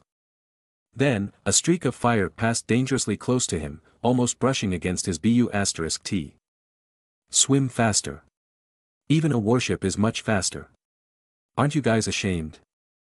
I'm going to complain to dad. This isn't what you said in the beginning. Wurororo, still have the energy to talk, Yamato. That means you still have potential. Swim faster. Their initial training target was just to swim a few laps around Onigashima. However, Kaido thought it was too easy for them, so he added a bit more difficulty. In fact, they could have avoided Kaido's flames by diving, but they didn't do that because if they dived, Kaido would have switched to wind blades and lightning. Compared to those, the power of controlled flames became the gentlest attack. Once Yamato and Jack got on track with their swimming, Maria began her rock climbing challenge. For her, who had the spider spider fruit, rock climbing was not complicated, but it was still physically demanding and could also help her train her use of the devil fruit ability. After a day of training, the three of them lay soaked on the ground. Even though Maria hadn't been in the water, sweat had still soaked her clothes. This was their daily routine, and for Kaido, their level of training was quite gentle, not pushing them to the point of fainting. After their training ended, Kaido transformed back into his human form and approached them. Still not enough, Yamato. Do you still want to go out to sea by yourself like this? What are you talking about, father? I am definitely going out to sea by myself. It would be a regret if I don't explore the vast sea by myself. Kaido didn't get enraged upon hearing Yamato's goal of going out to sea. At this time, she wasn't shouting that she was Kazuki Oden, and the Beast's pirates had a firmer grip on Wano country. Even if Kaido didn't stay here, the Beast's pirates had enough power to maintain control over Wano country, their headquarters exceptionally secure. In this situation, there was no need to confine Yamato to a life of imprisonment. However, Kaido still found it somewhat contemptuous. You're far from ready. You can't go out to sea on your own like this. Enemies on the sea won't show mercy when you've fainted. Don't even dream of it until you're strong enough. Even your dad won't budge on this. Going out to sea under someone else's supervision and going out to sea on her own carried completely different meanings, and this was also one of Yamato's goals that she was working hard for. I'll defeat you sooner or later. Wurororo, give it a try if you can, but to help you reach that goal sooner, you'll train alone tomorrow. Continuing to train with Jack and Maria had become a burden for Yamato. She could endure much more than these two. Ha! This is a choice you've made for yourself. Once you say something, you can't take it back. By the way, there's news from your dad. You have a new companion. A new companion? That's great. There is finally someone new coming. It had been some time since new children arrived on Onigashima. Well, not entirely. But Kaido clearly treated these children differently. These children had grown up on the outer islands or were natives of Wano country, and their training was quite ordinary. Only those he recognized as capable of enduring his training could set foot on Onigashima, experiencing the hellish, unique life with Yamato. Though he trained many, not everyone was worthy of receiving one-to-one -one training from him. Strictly speaking, Isuka wasn't all that qualified either, it was just that Shayna acknowledged her perseverance. Mr. Kaido, is it a boy this time? Jack, who was also lying exhausted on the ground, raised this question. Normally, stopping immediately after intense exercise wasn't good, so Kaido kindly had them swim an extra lap slowly, further depleting their energy, almost causing Jack to sink for real. Jack had a reason for asking this. Currently, his entire circle was composed of girls, and even Alcremie and Chansey were females. As the only male, he had experienced what it meant to be treated differently. He needed a little brother to share this agony with, but Kaido's answer was bound to disappoint him. No, it's a little girl. Is that so? Jack suddenly felt it wouldn't be so bad to go out to sea early, he would be able to pick up a child on his own. The following steps were familiar, cleaning up in the bathroom and then heading to the grand dining hall of Onigashima. While there is a small mess available for high-ranking officers, most of the time, they could be seen in the dining hall. Numerous hired chefs showcased their culinary skills, roasting large pieces of sea beast's meat into golden red chunks served on the dining table. Even Wagyu beef, which is expensive outside, is a common sight here. It's not that Wano country doesn't have its own chefs, but they were assigned to handle appetizers and cold dishes. If they were also responsible for the main course, not only would the chefs get exhausted, but the pirates would also starve to death. Humans had climbed to the top of the food chain by relying on technology over a long period of time. If these pirates had to eat grass every day, they would undoubtedly go mad. However, there were also some vegetarians within the beast's pirates, and they sustained themselves thanks to poffin made from berries. After some improvements, the taste of berry poffin became more suitable for humans while providing a wealth of nutrients.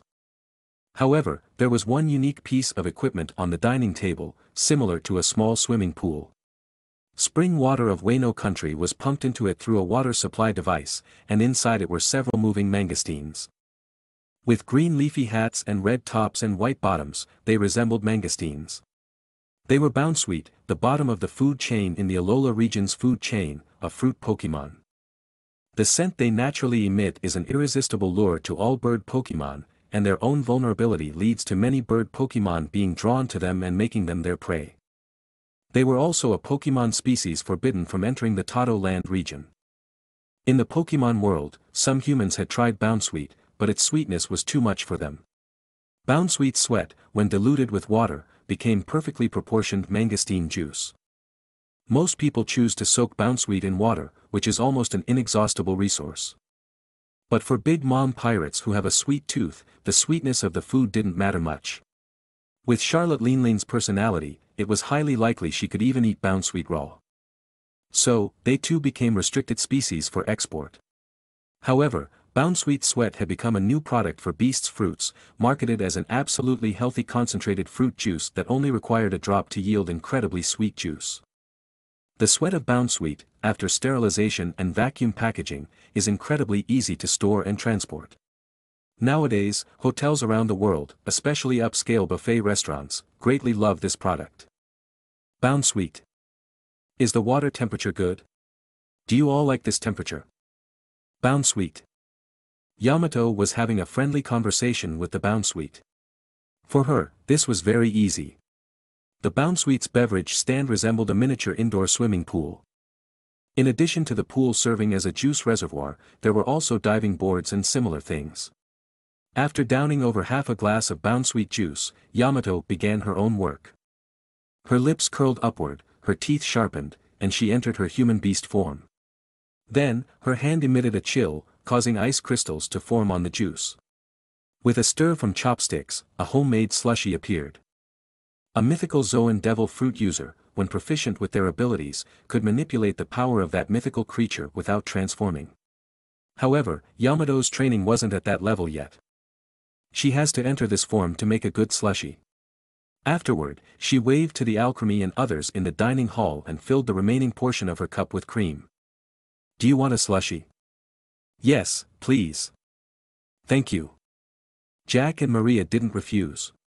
There wasn't a custom of drinking hot beverages in Wano country, and they didn't have it either as drinking hot beverages wasn't suitable here.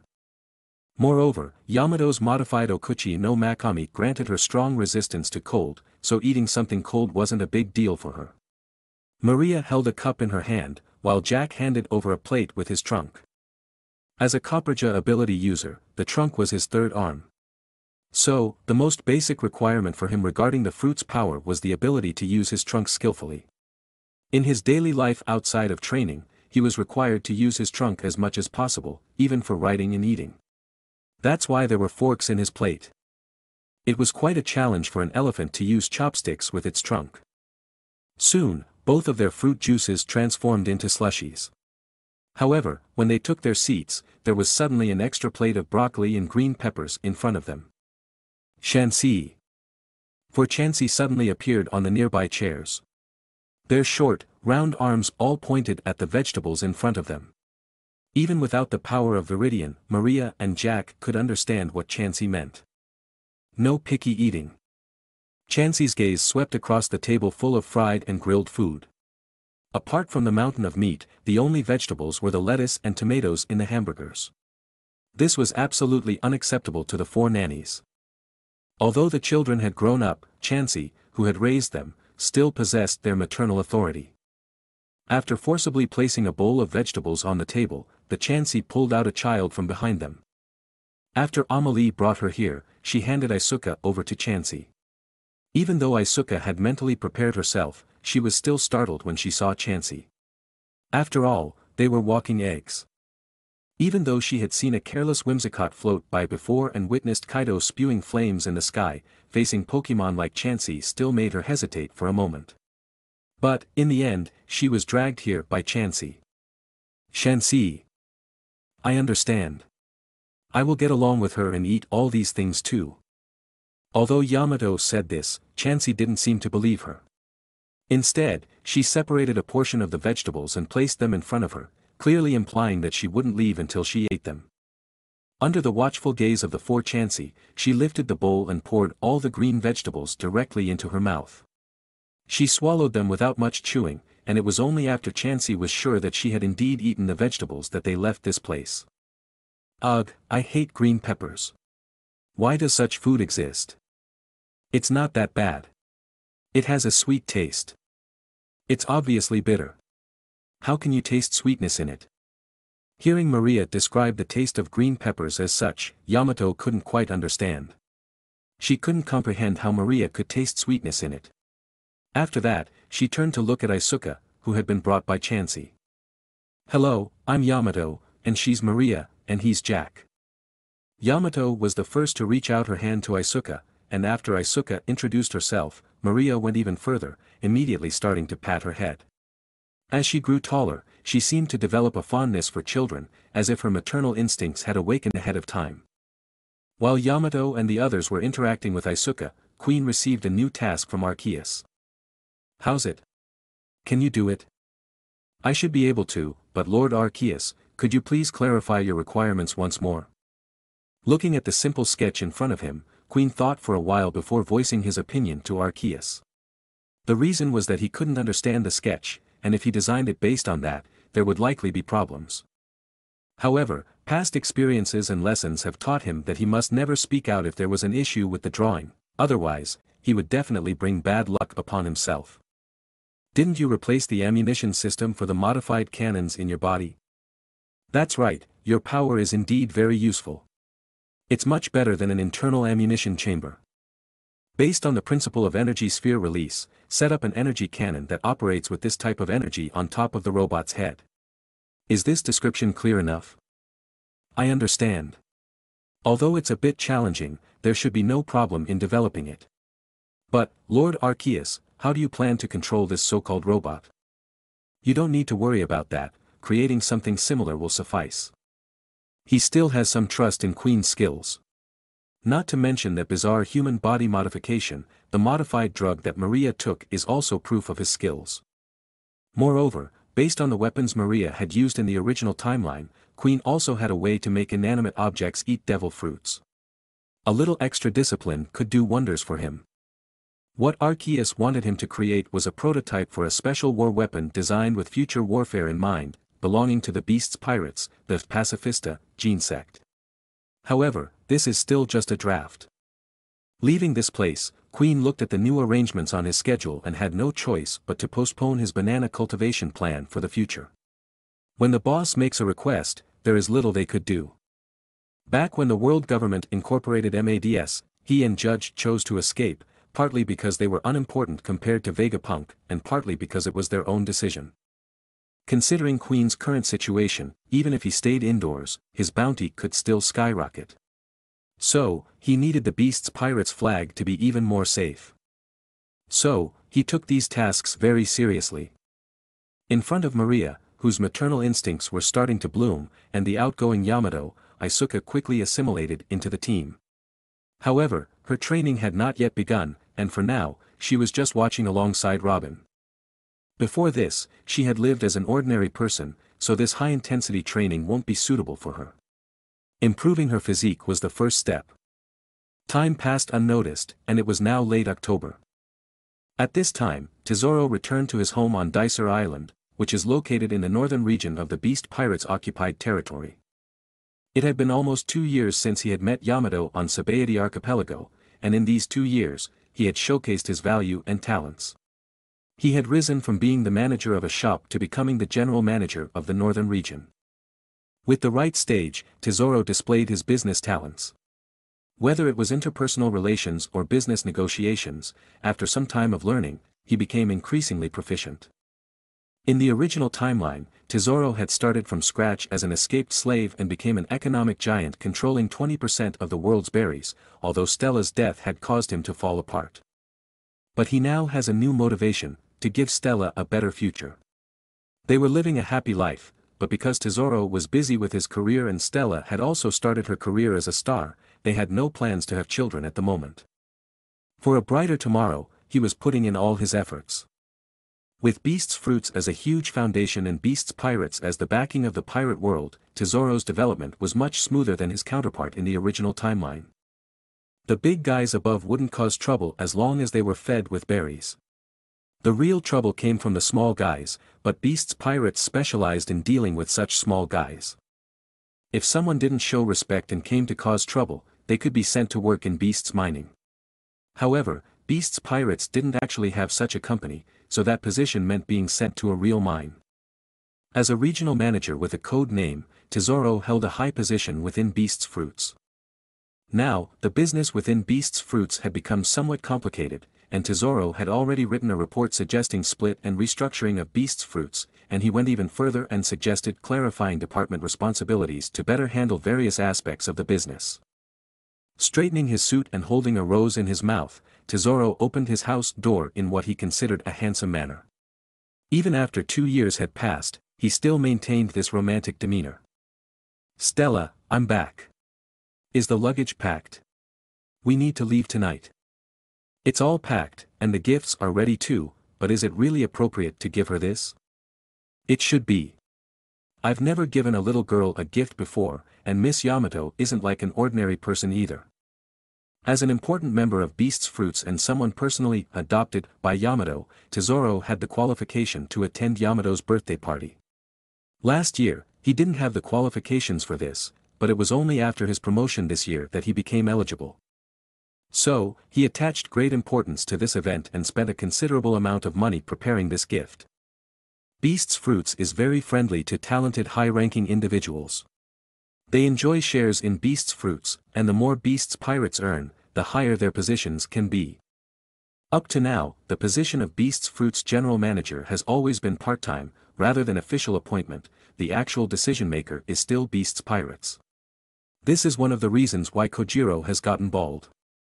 I still don't think a diamond is quite appropriate. No, Stella, this is not just a gift, it's also related to the proposal I'm about to make. Over the past two years, you've also noticed that the jewelry industry in the New World is quite lacking. Most jewelry businesses are regional and constantly competing against each other, with no one gaining an upper hand. But Beast's Fruits has a vast network of trade channels and connections. With a little effort, transportation issues can also be resolved. As for raw materials, treasures, or minerals, as long as they can be found, their supply won't be a problem. Relying on this, we can undoubtedly topple them and become the dominant force in that region, and there's no reason to let go of such a high-profit luxury item. The jewelry industry in the world of pirates has developed quite abnormally. There are many elements involved, such as some islands with gold everywhere. By occupying such islands, one can directly lower the prices of goods. Meanwhile, with the rise of the great pirate era, sea transport has become increasingly perilous. Jewelry isn't a commodity like food that can be sold in bulk, and even a single shipment to a jewelry store is quite small. This leads to a situation where the earnings from one voyage might not even cover the cost of bodyguards. Only on the safer red line are there jewelry chains, most other islands mainly have regional jewelry stores. But none of this is a problem for Beast's pirates. Wandering around everywhere is the current objective of Beast's pirates. Originally, Beast's pirates ships sail through various seas just to find the plates, so transporting jewelry is not an issue either. As for the supply, with Beast's fruits financial support or finding some special islands, these shouldn't be difficult. Tesoro has no idea how well off Beast's pirates are in terms of gold, but it's just his speculation. As a regional manager, he has the authority to allocate some funds. So in this situation, he used this authority to promote his wife to stardom. He also participated in a few performances himself. This way, he can save on endorsement fees, or in other words, endorsement fees become an extra income for his family. Moreover, due to this, his dream of becoming a star has also not shattered. Beast's Fruits has only one requirement for him, to make money. They don't touch things like human trafficking and drugs, but other than that, they're open to different ventures as long as they yield sufficient profits. Since having capital support, Tesoro has seen more of those dirty things, so he doesn't believe in those so-called financial companies. But right now, he doesn't have decision-making power, so he can only submit applications like this in hopes of gaining attention from higher-ups. Having the power to allocate some funds doesn't mean they can act recklessly. In a big world, there are all sorts of people, and even Beast's Fruits has had cases of corruption. However, as a new world pirate warlord's business, the fate of doing corruption is obvious. You can decide for yourself, I don't understand all this. Meow. At this moment, Persian walked out of the room. Seeing it come out, Tesoro affectionately rubbed its cat head. Persian didn't resist too much, accepting Tesoro. Over the two years, it had also accepted these two people, but it hadn't forgotten its duty. As long as Tesoro didn't have any evil intentions, Persian was just an adorable pet. Otherwise, it is also capable of killing, its claws already stained with blood. That incident had occurred during one of Stella's dinner parties. At the time, no one had expected a cat to kill two drunk adult men. However, after that incident, Tesoro grew even closer to Persian, and it made Stella develop a habit of bringing the cat everywhere she went. Picking up the luggage Stella had packed, Tesoro boarded a ship with her which was headed towards Wano country. Meanwhile, Persian appeared to be even more excited than they were. It knew exactly what returning to Wano country meant. After some time, the ship docked on an island near Wano country. Stella looked around when she got off but couldn't see any signs of a party. Is this the place? It doesn't look like it.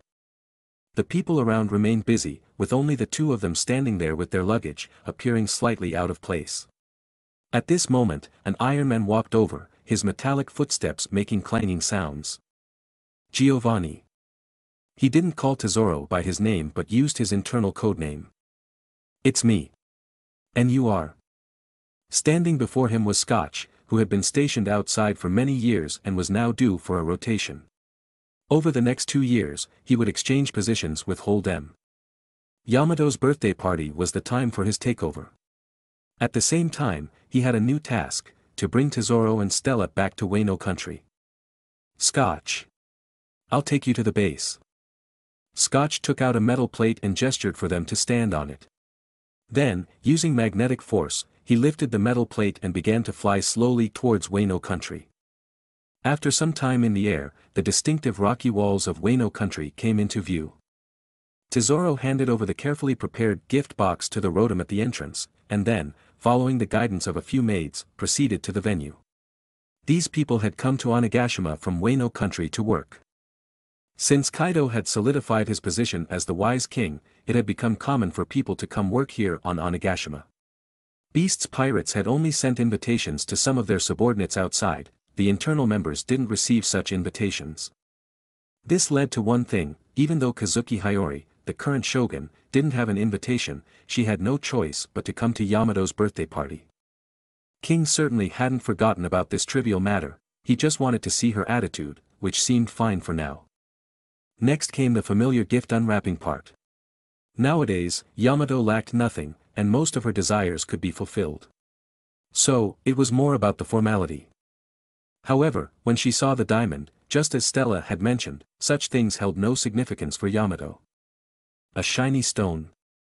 Yamato casually played with it for a while before seemingly losing interest. However, the good news was that she didn't disregard the letter Tesoro had left inside. Tesoro had initially thought Yamato had some decision-making power, but it seems like he had got the wrong idea about some things. Dad, take a look at this. It's quite hard to understand. Arceus took the development proposal and then retrieved a recently delivered development plan from the desk. As he looked at the diamond in Yamato's hand, he had some new ideas.